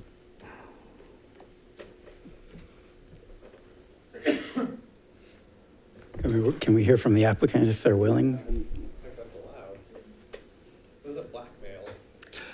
Well, let's, let's take a, they, they don't have to sign the MOU. So let's just go forward. Uh, Either let's, someone make a motion to support or oppose and, uh, I'll make a a motion to support uh, with the, the eight. with the eight uh, items on the MOU you mentioned. Okay. Is there a second? I'll second. All right. Um, Superintendent, take the roll. Mr. Reed? Aye. Mr. Hoover? Aye. Mr. Clark? No. Mr. Short? No. Mr. Hui? Yes. Um, Motion for the eight items on the MOU carries three, two. All right, uh, moving on to the next item on the agenda. Uh, approve special education local plan area SELPA. Um, Superintendent. Yeah, This is following the public hearing, defining what this SELPA plan is in program and services and budget. And with your approval, we get it in place for the next year. Any discussion? All right, any public comment? Any online? Hearing none, back to the board. Is there a I'll move motion- it. Motion by Mr. Clark, second by Mr. Hoover. Superintendent, take the roll. Mr. Reed? Aye. Mr. Hoover? Aye. Mr. Clark? Aye. Mr. Short? Aye. Mr. Hui? Aye. Motion carries five oh. Thank you. All right, uh, agenda item uh, 13, discussion, overview of Measure M projects and financing. Superintendent. Yes, this item's coming back to the board as a request to look at our SFID three projects, which we spent time at our June 4th workshop doing so, and the financing models and mechanisms that we have. And we've got our um, financial advisors from KNN Financial. Um, Danielle Aruta's here in person, and then we've got Joanna Bose virtually with us. Thank you. And uh, Mr. Martin will be uh, tag teaming with uh, Ms. Aruda. Yes, we, we had uh, a presentation all planned out for you guys, but uh, to be concise with time, I think um, I'm actually going to probably take the lead on it. But Danielle is here to answer specific questions. Joanna is also available, but I think at this point, um, we're going to really just get it down to the, to the nuts and bolts of the conversation. Um, At the June 4th meeting, we discussed the projects, outstanding construction projects that had been identified. And so now we just really want to talk about the financing mechanism, one of the three primary ports, uh, I'm sorry, uh, primary items that we, we are financing our projects through. One of the things that we really wanted to do, and it was actually a, a conversation early on in my time here, was that um, we, we wanted to really understand what dollars we have available in conjunction with the state funding and developer fees for the projects that we have uh, identified, at least for the next 10 years. Um, Additionally, there was requests uh, from uh, local developers that we want to work as partners with on kind of what were our plans, what do we think the tax rate would be, and we didn't really have a, a great mechanism to do that. And so what we've been doing is working with KNN and Danielle uh, and uh, Joanna have helped us create a more or less a kind of a calculator that will allow us to kind of see where we are and help plan for the future. Now, just like the multi-year projection, this is more of a compass, right? It's giving it because there are so many factors involved, and it's much more complicated even than the, the budget when it comes to new home developments and what the assessed value rates will become and uh, how many homes will be sold and all of the things. And then, of course, what will the costs be for the projects that we're developing? And I know Matt spent quite a bit of time with, with the board discussing that on the meeting on the 4th, right? So just, just, we have some overviews, but we've already discussed this. This was kind of more for the audience in general. So we're just going to skip through kind of talking about what SFID 3 is. But really, it's the area south of 50, the new construction area, and Measure M overlaps with SFID 3. Um, there are two other SFIDs, and just, just to remember, SFID are specific zoned areas that the district has created for um, going out for individual bonds or debt service. So um, there is some overlap with them, and that's why it looks like a hodgepodge up there on that first uh, um, map there. So, um, so the next slide here just talks about what Measure M was. It was a proposition that was passed $750 million of bonding authority. Um, And so at this point, we have, um, I believe we have about 500, yeah, 545 million remaining uh, to, au- to issue out. And we've issued approximately 200 million, a little over 200 million dollars of the dollars so far. So that's kind of where we are. And then this just has the information related to that. Um, This is a list of the expenditures that we've, we've actually spent to date. So we've spent uh, about 125 million of the work. The big projects that would be identified is the Mangini Ranch project, which was about 65 million. Um, And then the Education Service Center, the building, beautiful building you're in now, which was about $35 million. Uh, You can see a list of a lot of, a lot of these projects, believe it or not, are, are related to soft costs. Um, It costs a lot to do the preliminary planning, the development, all the designs. And so you see that for, for different projects. It- the- Some of it, like the Mather High location and Boris Creek Middle, we don't talk about those sites because that, those were originally, when the bond was originally passed, that was the area that was supposed to be developed out first. And so th- those dollars and projects were, were way back in, in the, you know, 2000, what, 12 or, or earlier than that, I'm sorry. Mhm. Uh, uh, What was it, 2008? 2000. 2008, yeah. And so that, we started spending money very early on to start building out because we anticipated um, construction happening out there and homes being built, and, and that never occurred. And that's a common theme that you'll see with this is, there's a, again, with the assumptions, we didn't assume that there was going to be a housing bubble, right, and a recession. We didn't assume that COVID would happen. And so all of those things really impact uh, the planning that we, you know, we, we strategically do with financial advisors and with the developers and, you know, all of those things. And so we have to keep that in mind.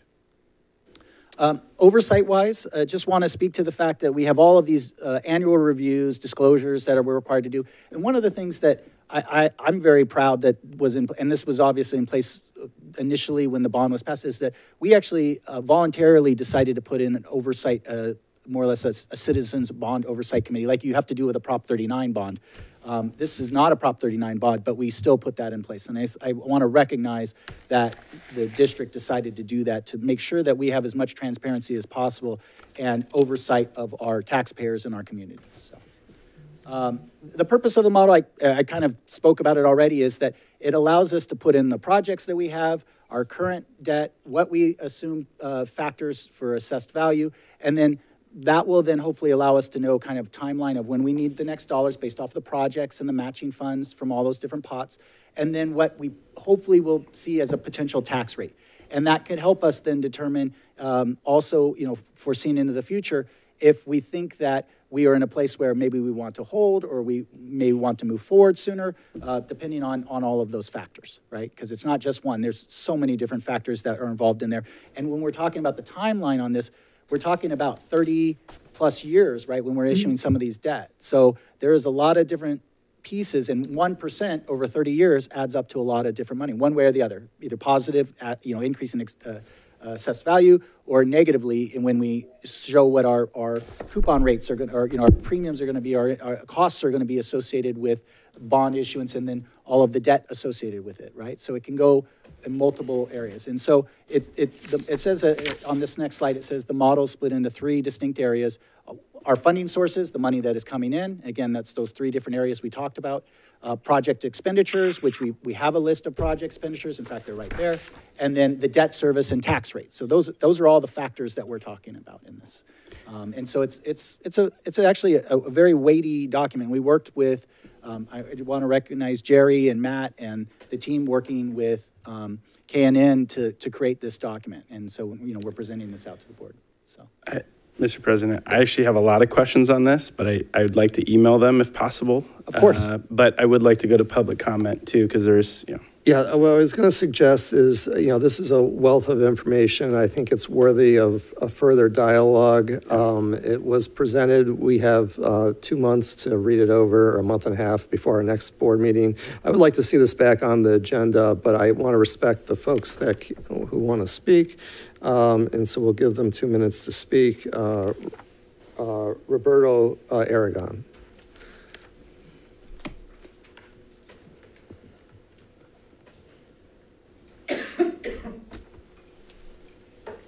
Good evening, uh, President Reed, members of the board. Rob Aragon with uh, Westland Capital Partners in Folsom Ranch. Um, And uh, Dr. Koligian, thank you for your, for your time. It is late. I, I, I literally just have a couple of quick comments for you. One is, you know, the oversight committee that's been highlighted, Measure M Oversight Committee, it really is a tool for you to help with this process. I'd encourage it. I, I, I really think that if you sit down and bring the community together, bring some talent together to help kind of guide this conversation so that it doesn't kind of get kind of unwieldy, it would be really a big thing and would be very helpful. To my knowledge, I don't think that that Measure M Oversight Committee has really kind of been meeting. And to the extent we could get that group meeting, um, I'm happy to participate and help and provide that guidance and absorption and details about how development is occurring. That's, that's, uh, you know, a recommendation. One of the things that we also noted that's lacking in this information that would be helpful is um, the, the financing pieces. There's really three, three legs to this stool, right? You've got the SFID bonds, you have fees coming in from the development community, the builder community, and you have the state component. Those are the three legs. We really need to get those working, because right now it feels like there's only one, or one of those are working, and that's this SFID bond. And plus you have collected, I'm gonna speculate, close to $40 million in, in fees. We really need to figure out how to get that state piece to work with us together. We've got some $1 billion worth of schools on this list, $340 million in high schools, 250 in middle schools. Candidly, it's unheard of. I'm building in multiple jurisdictions, and it's unheard of. Um, finally, one quick one. Keep meeting with the BIA. We're a part of this process. We want to work with you. Thank you for your time. Thank you. Anybody? No? All right. Um, Can, can I suggest that we move Improve Your Tomorrow, uh, do, do Improve Your Tomorrow next so we can hear from our uh, speakers or? Okay. Is that okay? I don't know if the yeah. board objects to that, but. All right. Um, all right, so, uh, improve, improve your tomorrow? Yeah, they've been here all day. Yes, we'll, we'll invite Michael Lynch and Michael Casper to the podium and thank them for being here tonight. They are uh, the, the two folks from Improve Your Tomorrow that have been working with our um, middle schools and high schools in Rancho Cordova. Um, Just completed uh, pretty much the first year of implementation because COVID, the COVID year didn't really count. So I'm going to turn it over to both Michaels. Welcome. And my sincere apologies, I didn't realize we had um, people in the audience that were waiting to speak on this. I would have probably taken you a long time ago. Okay, it's part, it's part of the job sometimes. Uh, well, look, thank you all so much for hearing about our, first year and right, the, the work that we've done. Um, I'm Michael Lynch. I serve as the co-founder and CEO of Improve Your Tomorrow. And good evening. My name is uh, Mike Casper. I'm the co-founder and COO. Um, and I'll, I'll just say that I'm, um, when it comes to Folsom Cordova Unified, it's a special place in that I went to um, Cordova Middles, um, Cordova Meadows, forgive me, and Mills Middle School as well. So thank you all for um, for the time. Uh, we have some packets for you all that has all the information that we'll go over today and some additional information as well. Um, uh, but Improve Your Tomorrow, we are a college access thank you, college access and completion program. Our mission is to help get young men of color to and through college. Our values are resilient, authenticity, and passionate. And what makes us unique is the long-term commitment. So our brothers are within IYT for up to 12 years, starting as early as seventh um, grade in middle school. They participate in IYT College Academy, and then they matriculate into um, our feeder high school, which is Cordova.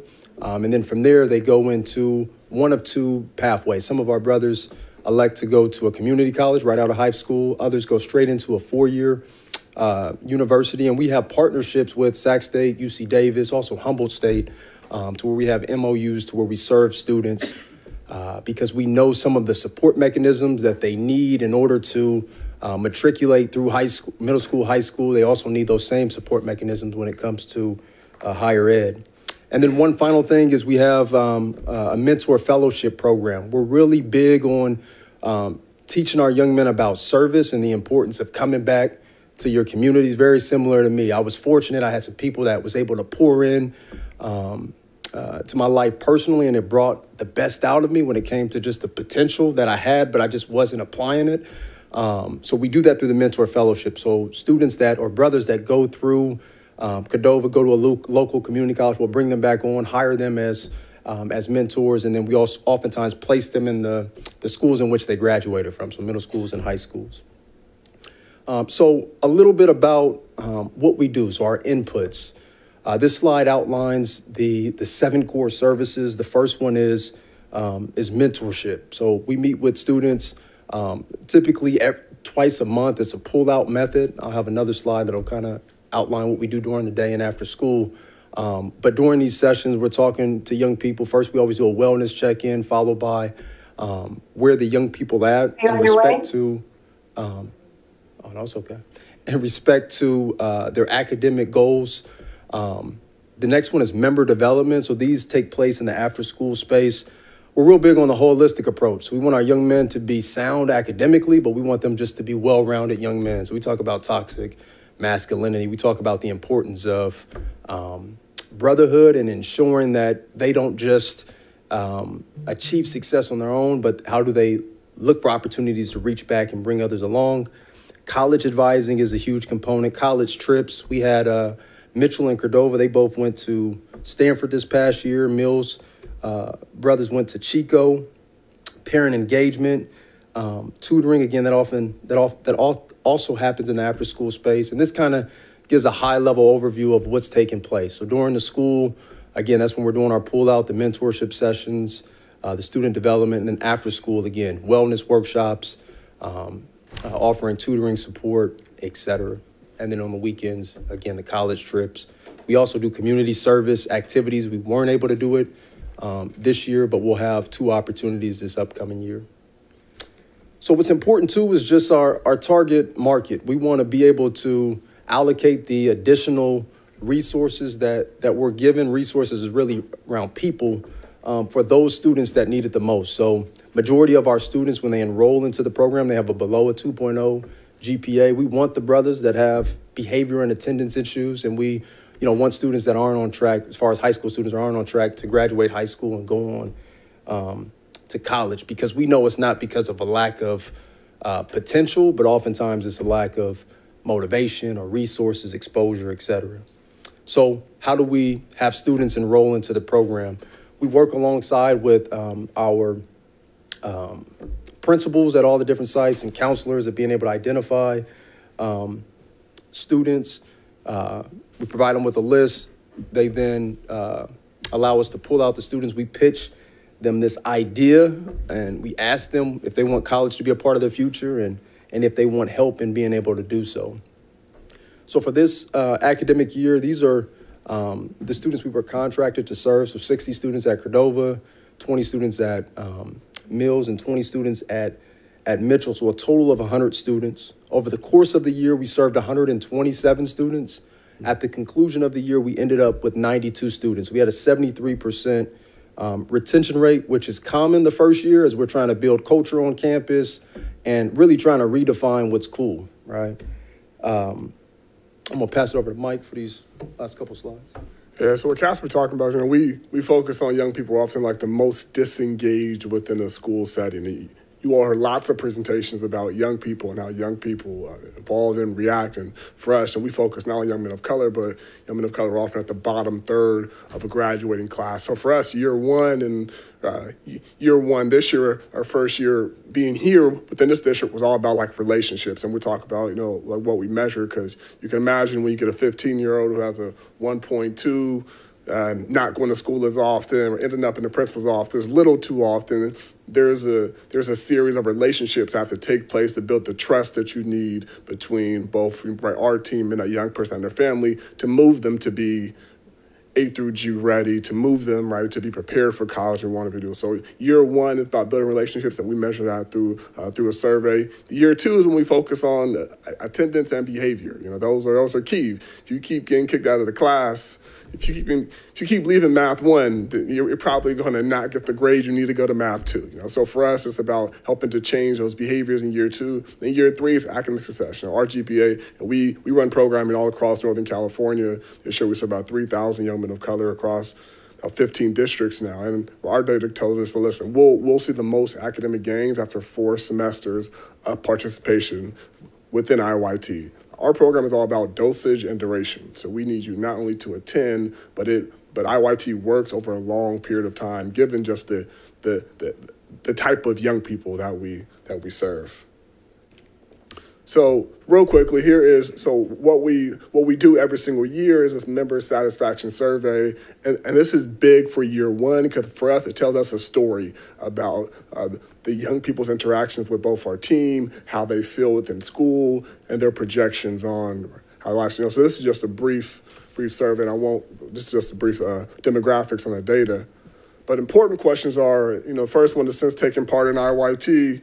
Uh, how since taking part in IYT, my academic confidence has improved. And for us, you know, 74% says that they agree or strongly agreed. Second question was taking part in IYT, attending college has become a reality. That you know that you know, for young men of color who often don't see it within the classroom, it's not as easy as you know like I'm going to be there. You know, so for that one, 75% was strongly agree, uh, uh, agree or strongly agree. And there were some other highlights. You know, a big part is you know when you take part in IYT we make a difference in your community. Casper talked about his story. You know, growing up within this district, you know, my story, growing up within Sacramento, Stockton communities that can be challenging. We want to implant service. So, and that's a big part for us. And, you know, over half of our young people start to think about service differently now because of IYT.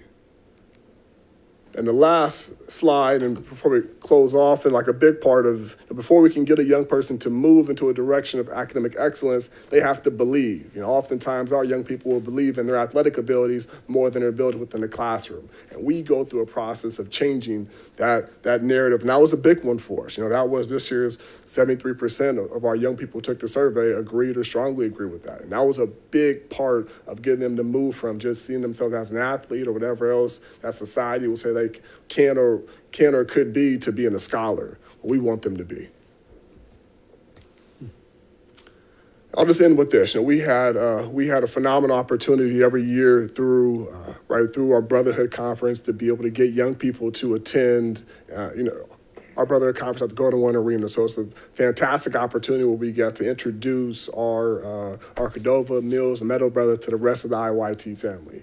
And for us, you know, seeing 400 young people from all across the city and county joining and uh, joining around a common mission of, of, of college education. And that is not always present within our community. So, you know, we are, um, despite the challenges that we face within this year one, we are appreciative of the opportunity to continue to serve, to continue to get better, and continue to work towards the goals of this board. Thank you.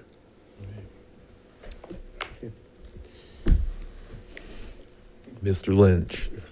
Oh, by the way, congratulations. Oh, thank you. No, you're welcome, sir.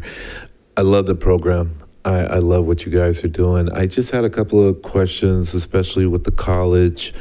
Are are you working with any other organizations like maybe UCAN with Dr. Allen Rowe? Yeah, so we don't have any uh, direct partnerships with UCAN, but we do have partnerships on like Sac State's campus. We have we have a physical program on campus called IYTU on Sac State and UC Davis. The Sac City is that with Michael Benjamin?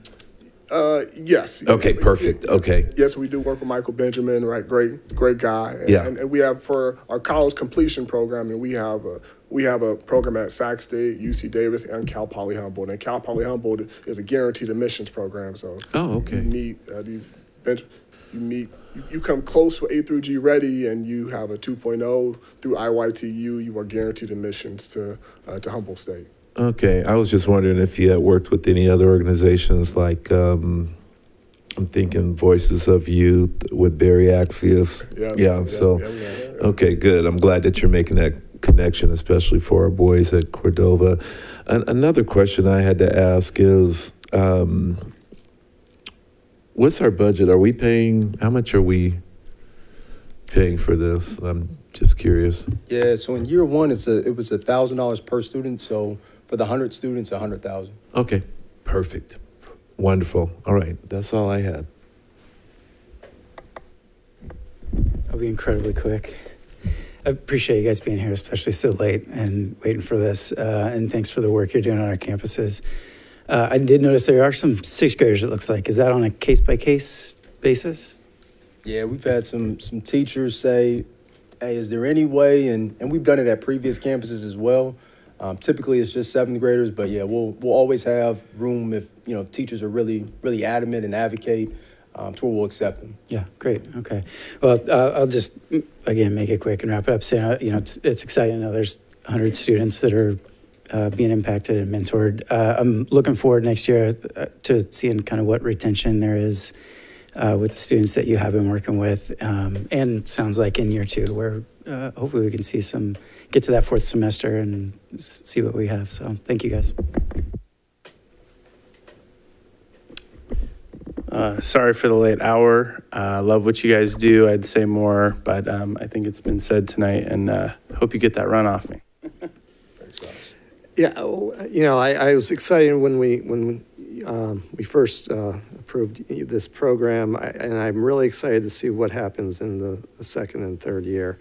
Um, And uh, I, I assume, Superintendent, that we will have additional follow-ups. uh, But let's get it early on the agenda, that's a little later, so that we can get more detail and ask more questions. But um, this, sound- this is such a wonderful program, and I'm, I'm very excited to see um, the results uh, as we uh, end year two and, and then year three. So, thank you very much, appreciate it. And we'll, we'll, we'll have an open house in the fall, and- and we, you know, we'd love to have you all out to come I'd and love check to. out, or check out IYT. Thank you. Please be sure to send that my way, and I'll make sure we've got the information out. Thank you. All right. um, uh, you guys. So uh, just uh, Superintendent, on item B, status of naming of the new elementary school in Folsom planning area, there wasn't any uh, action on that. Uh, Was there any direction that you were looking for? It was just uh, coming back with the, um, who we wanted to recommend to be on the committee, so we'd be seeking um, membership from the committees there in, a- in addition to the Historical Society from Folsom. I think you had mentioned that at one point. Yeah, I, I, you know, um, when, when we drafted, or when I drafted the, the new um, revised policy on that, I, I really was envisioning that we would have at least two members from the Historical, uh, Historical Society, and since this is being located in Folsom, I would love to see two members from the Folsom Historical Society, or um, uh, there maybe, I think there's two different uh, um, historical societies, so maybe one from both um, uh, uh, on there, in addition to the, the individuals that you've identified. And we'll go ahead and get that timeline moving then. Mr. Washburn has that mapped out. Yes. Yeah. Okay. Um, Anything else on there? No, all right. Uh, And then the dashboard, is that something we can do in August? Actually, this one has to be done before the end of June. Okay, so, all right, um, then let's- Ms. let's Cabrera's quickly going to do do it. it very quickly. I also want to thank the board for approving the LCAP tonight, which was part of the consent agenda. That's, that's a huge guiding document. Good evening again, and I'm going to try to say names without messing up um, this, at this late hour. Uh, President Reed, members of the board, Superintendent Dr. Koligian, and my esteemed colleagues, thank you for having me. I promise not to take a long time. I know that you have the information before you. It's not that I'm rushing, it's that I know you have it. But for the purposes of uh, the LCAP, this is something that we do need to provide as a discussion option. And so with that, I'm just going to dive right in um, and um, get started. So it's the local performance indicators. Those of us who have uh, seen these before, you normally might have seen them around December. So I'm going to explain a little bit of why, why it's different this year and where this point takes us next to. All right, next slide. Uh, oh, I have the clicker. Elena, next slide. I'll just give myself directions. How about that? Um, elements informing the LCAP, basically the timeline that you see here, as, as was mentioned by Dr. Koligian, we did adopt the LCAP. We also adopted the federal LCAP. Uh, I, I know that you know this, but as a reminder, the LCAP is, um, our state funding, and then the federal LCAP addendum is the federal dollar. So there's two actual LCAPs included in this, and there's other components as well. Um, what we're looking at today is the local indicators, and, um, those are the measures that we self measure, okay? So.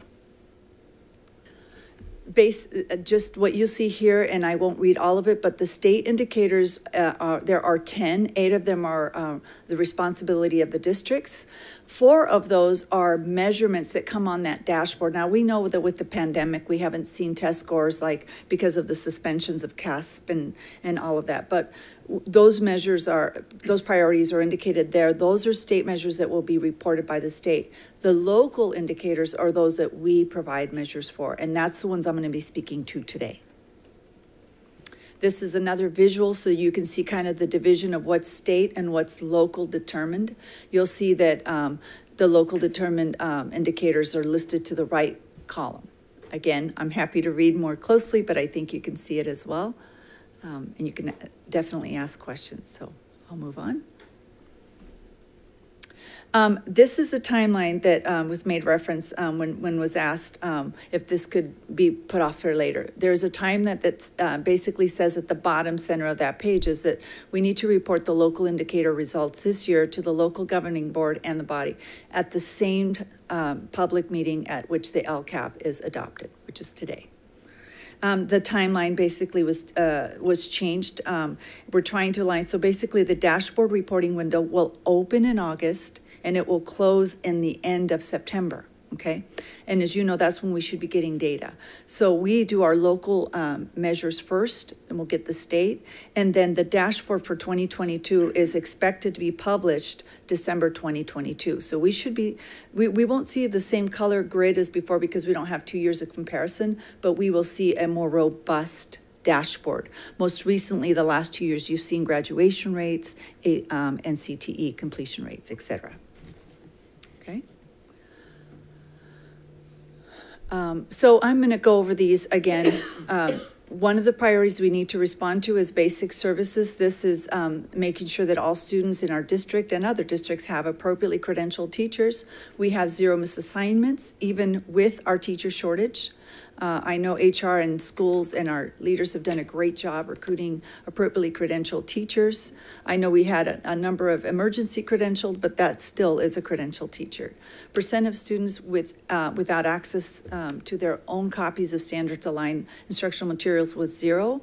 All of our students have access to material. In fact, some have them at home as well. And then lastly, our facilities, um, that were, and that did not meet good repair, None. All of our facilities meet good repair, and there's many components to this, so more details on the report if needed, okay? So, next slide. Priority two, and these are some considerations that I do invite you to read more closely. Um, some considerations we had to, uh, we had to look at as equity considerations are a big key factor now with the indicators and ensuring that, um, not only our facilities are clean and that our books are available and that our teachers are credentialed, but they are, that we are, uh, representing demographic needs, that we are partnering, um, some of these, uh, considerations are listed here. So I do invite you to re- read those and review those and, and, um, and ask questions of us as needed, okay? Priority two is uh, essentially the implementation of the state standards. We measure the state standards with CAS, but we, we're asking ourselves as a district how we are doing with the implementation of these standards. So overall, FCUSD, the summary of progress is that we rated most of our areas at full implementation or higher with the other adoptions rated to be an initial development. And um, there's varying degrees. Um, the one would be the, um, we are exploring something. That would be normally during a pilot year. We are not in a pilot on any of our content areas in this last year. Two is beginning development. That often happens right after we've begun an, an adoption process. Three is an initial, maybe in the early stages of an initial adoption. And then four is a full implementation. Five is full implementation and sustainability. So as noted here, our summary of progress is at full implementation or higher. Most of our adoptions um, have been around for uh, three to five, even more years. Okay. Next slide. Um, Again, there were some equity considerations here. Um, I'll let you uh, ask questions on those as, as you uh, review them. Um, Priority three is the parent involvement and family engagement. We, um, not only for the LCAP, but for many things, including, as you can tell, for the requirements of charters, how important it is that we engage our um, educational partners. And a big focus is our parent. Educational partners is our teacher leaders, our classified leaders, our administrative leaders as well. But it's really an emphasis on our parents and being actively um, uh, in engaging not only their efforts, but us connecting, um, them connecting with us and being available. So we do utilize our school site councils, our ELACs, our DLAC, and our district advisory committee, our CAC, to gather this information. So I will take a minute to review those because that's um, some notes that I have. The very first part, um, On building relationships, some notes were to continue to provide direct outreach to underrepresented groups, meet them where they are, and build trust, allow authentic feedback, and create a safe space for honest dialogue and exchange for ideas through parent summits, ELAC, school site council, DAC, CACs. Create a welcoming learning environment and provide translations and childcare as needed. So that was what was noted in building relationships. Under building partnerships for student outcomes, um, the information was to continue to focus on, to continue focused and active participation in those committees noted above and build trust to understand with the school and families, develop ongoing training and build capacity to integrate resources and support. And the last one is seeking input, which is to again, focused outreach and creating affinity group space for dialogue, bridge resources, and have staff to go, staff go to parents, provide data and create opportunities to show progress their students have made, and lastly, identify with families what they, they think works and what doesn't, and what next steps make sense. So that's the feedback on priority three.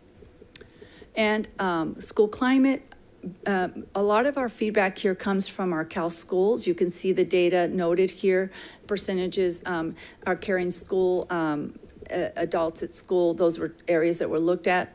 And we also, we look at data, we look at meaning, so what does that data need, uh, mean to us?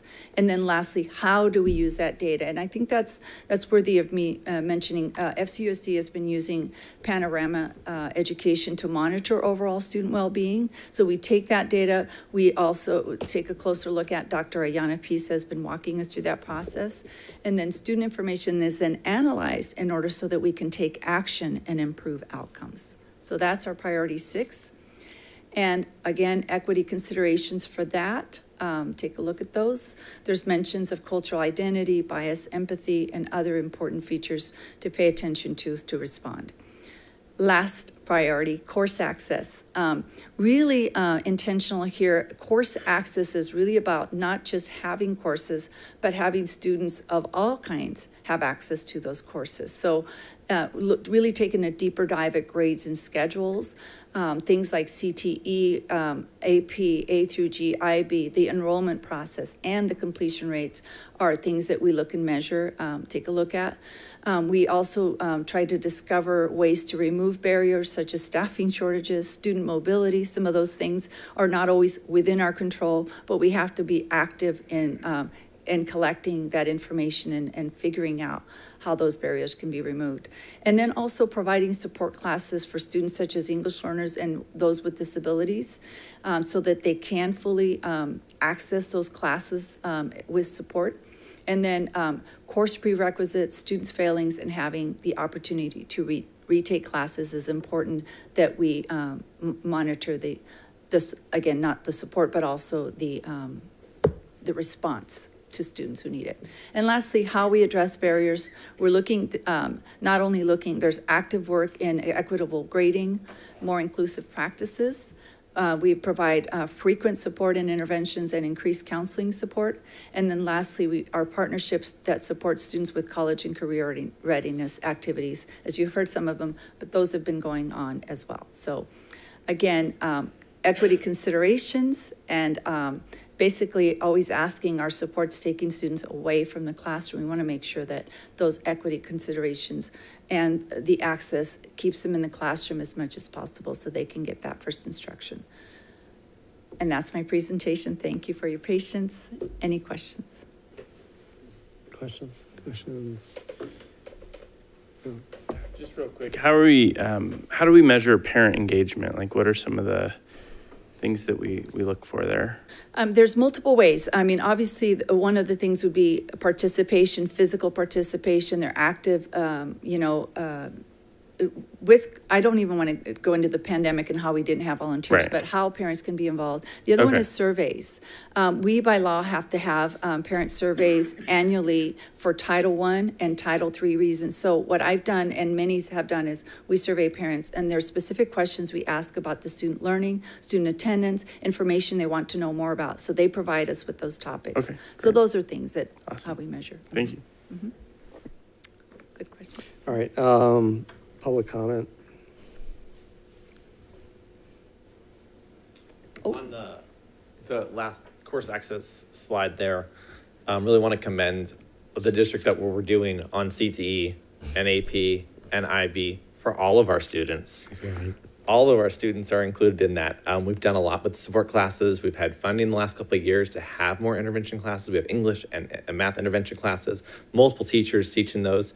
Those are the programs that we have at our schools that serve all our students that smaller schools don't have the resources for. And so when we're thinking about how we go forward, it's important that we keep our funding to keep those things because those are the programs that unfortunately we've been around this district a while um, that we've been laid off and we've laid off teachers that teach our intervention classes. And we lose those things when funding goes away. So it's really important that we focus on those and celebrate the successes that they are now and see what can we do to keep them going as we go forward Thank you for that. It's fantastic. I know that we've all had the opportunity to witness students that come in as immigrants or have struggled and they come and share their stories. And it's through the access opportunities that we have in our district. We know that we have room to grow and improve, but we have some successes and I really appreciate that. So, yeah. All right. Um, That finishes the discussion items, information, you have that there for your reference. Um, Superintendent's report? Um, Mr. President? Yes. We've exceeded the 12 a.m. uh, threshold. I need to make a motion that we extend the meeting. Uh, Under the bylaws, we can't extend more than one time. Oh, okay, well, I guess we're just rolling along with Well, everything. I huh? mean, we got all of the action items were done before midnight, so Okay. um, we're, we're not taking any votes for the. I just want to make sure. Yeah. Um, Superintendent's report?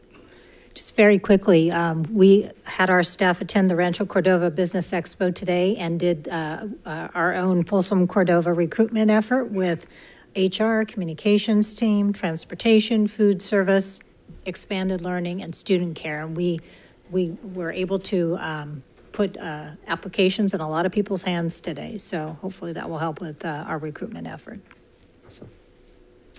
Uh, Let's see, uh, board member reports, Uh, Mr. Hui, Mr. Short, Mr. Clark. Um, yeah, I want to say congratulations to all of our summer school participants. I had an opportunity to visit Cordova Villa, Rancho Cordova Elementary, Peter J. Shields, and Williamson during the uh, course of the program. Very impressed, and uh, with the students and as well as the teachers uh, who. Um, you know, actually gave up their time. Well, they didn't give up their time, but they were actually glad to be there and, and work with the students. Uh, looks like in about eight hours from now, I'll be delivering a keynote address at Cordova High's graduation for summer school, and then uh, I'll follow up with the keynote address at Folsom High at 11:30, if I make it. Right. So that's it for me. All right, Thank you. Uh, Mr. Hoover? No report tonight. And no report from myself. Uh, Item uh, 17, advanced planning, you got the next uh, board meeting is August 11th, 2022. Hope everybody has a nice summer. Mr. Uh, President, if I yes. can make a request on the advanced planning, uh, that we uh, get blessings in a backpack in to do a presentation on the families that they're serving in Rancho Cordova and the, uh, I believe, Theodore Judah and F- and Folsom. Um, Any other suggested future board items under C? Nope, all right. Uh, None from myself. Uh, I hate to uh, do this, but um, we need probably 10 minutes in closed session. There, for the public's benefit, there's no votes or anything going on in closed session. We just have to finish the topic that we started um, at, uh, right, um, between five and six. Uh, So we'll be back out in probably 10 minutes uh, to gavel out. So uh, we are adjourned to closed session.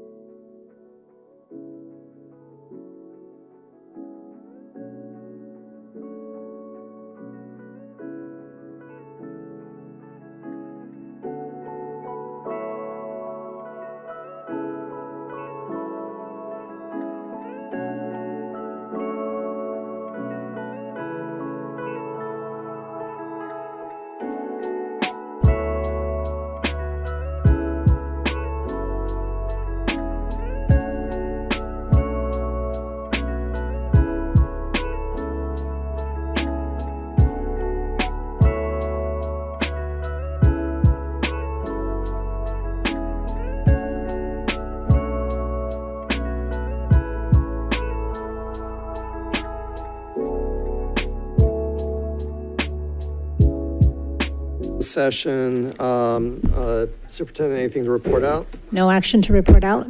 Okay. Um, uh, uh, Just simply say, uh, again, I apologize to the public for the late meetings.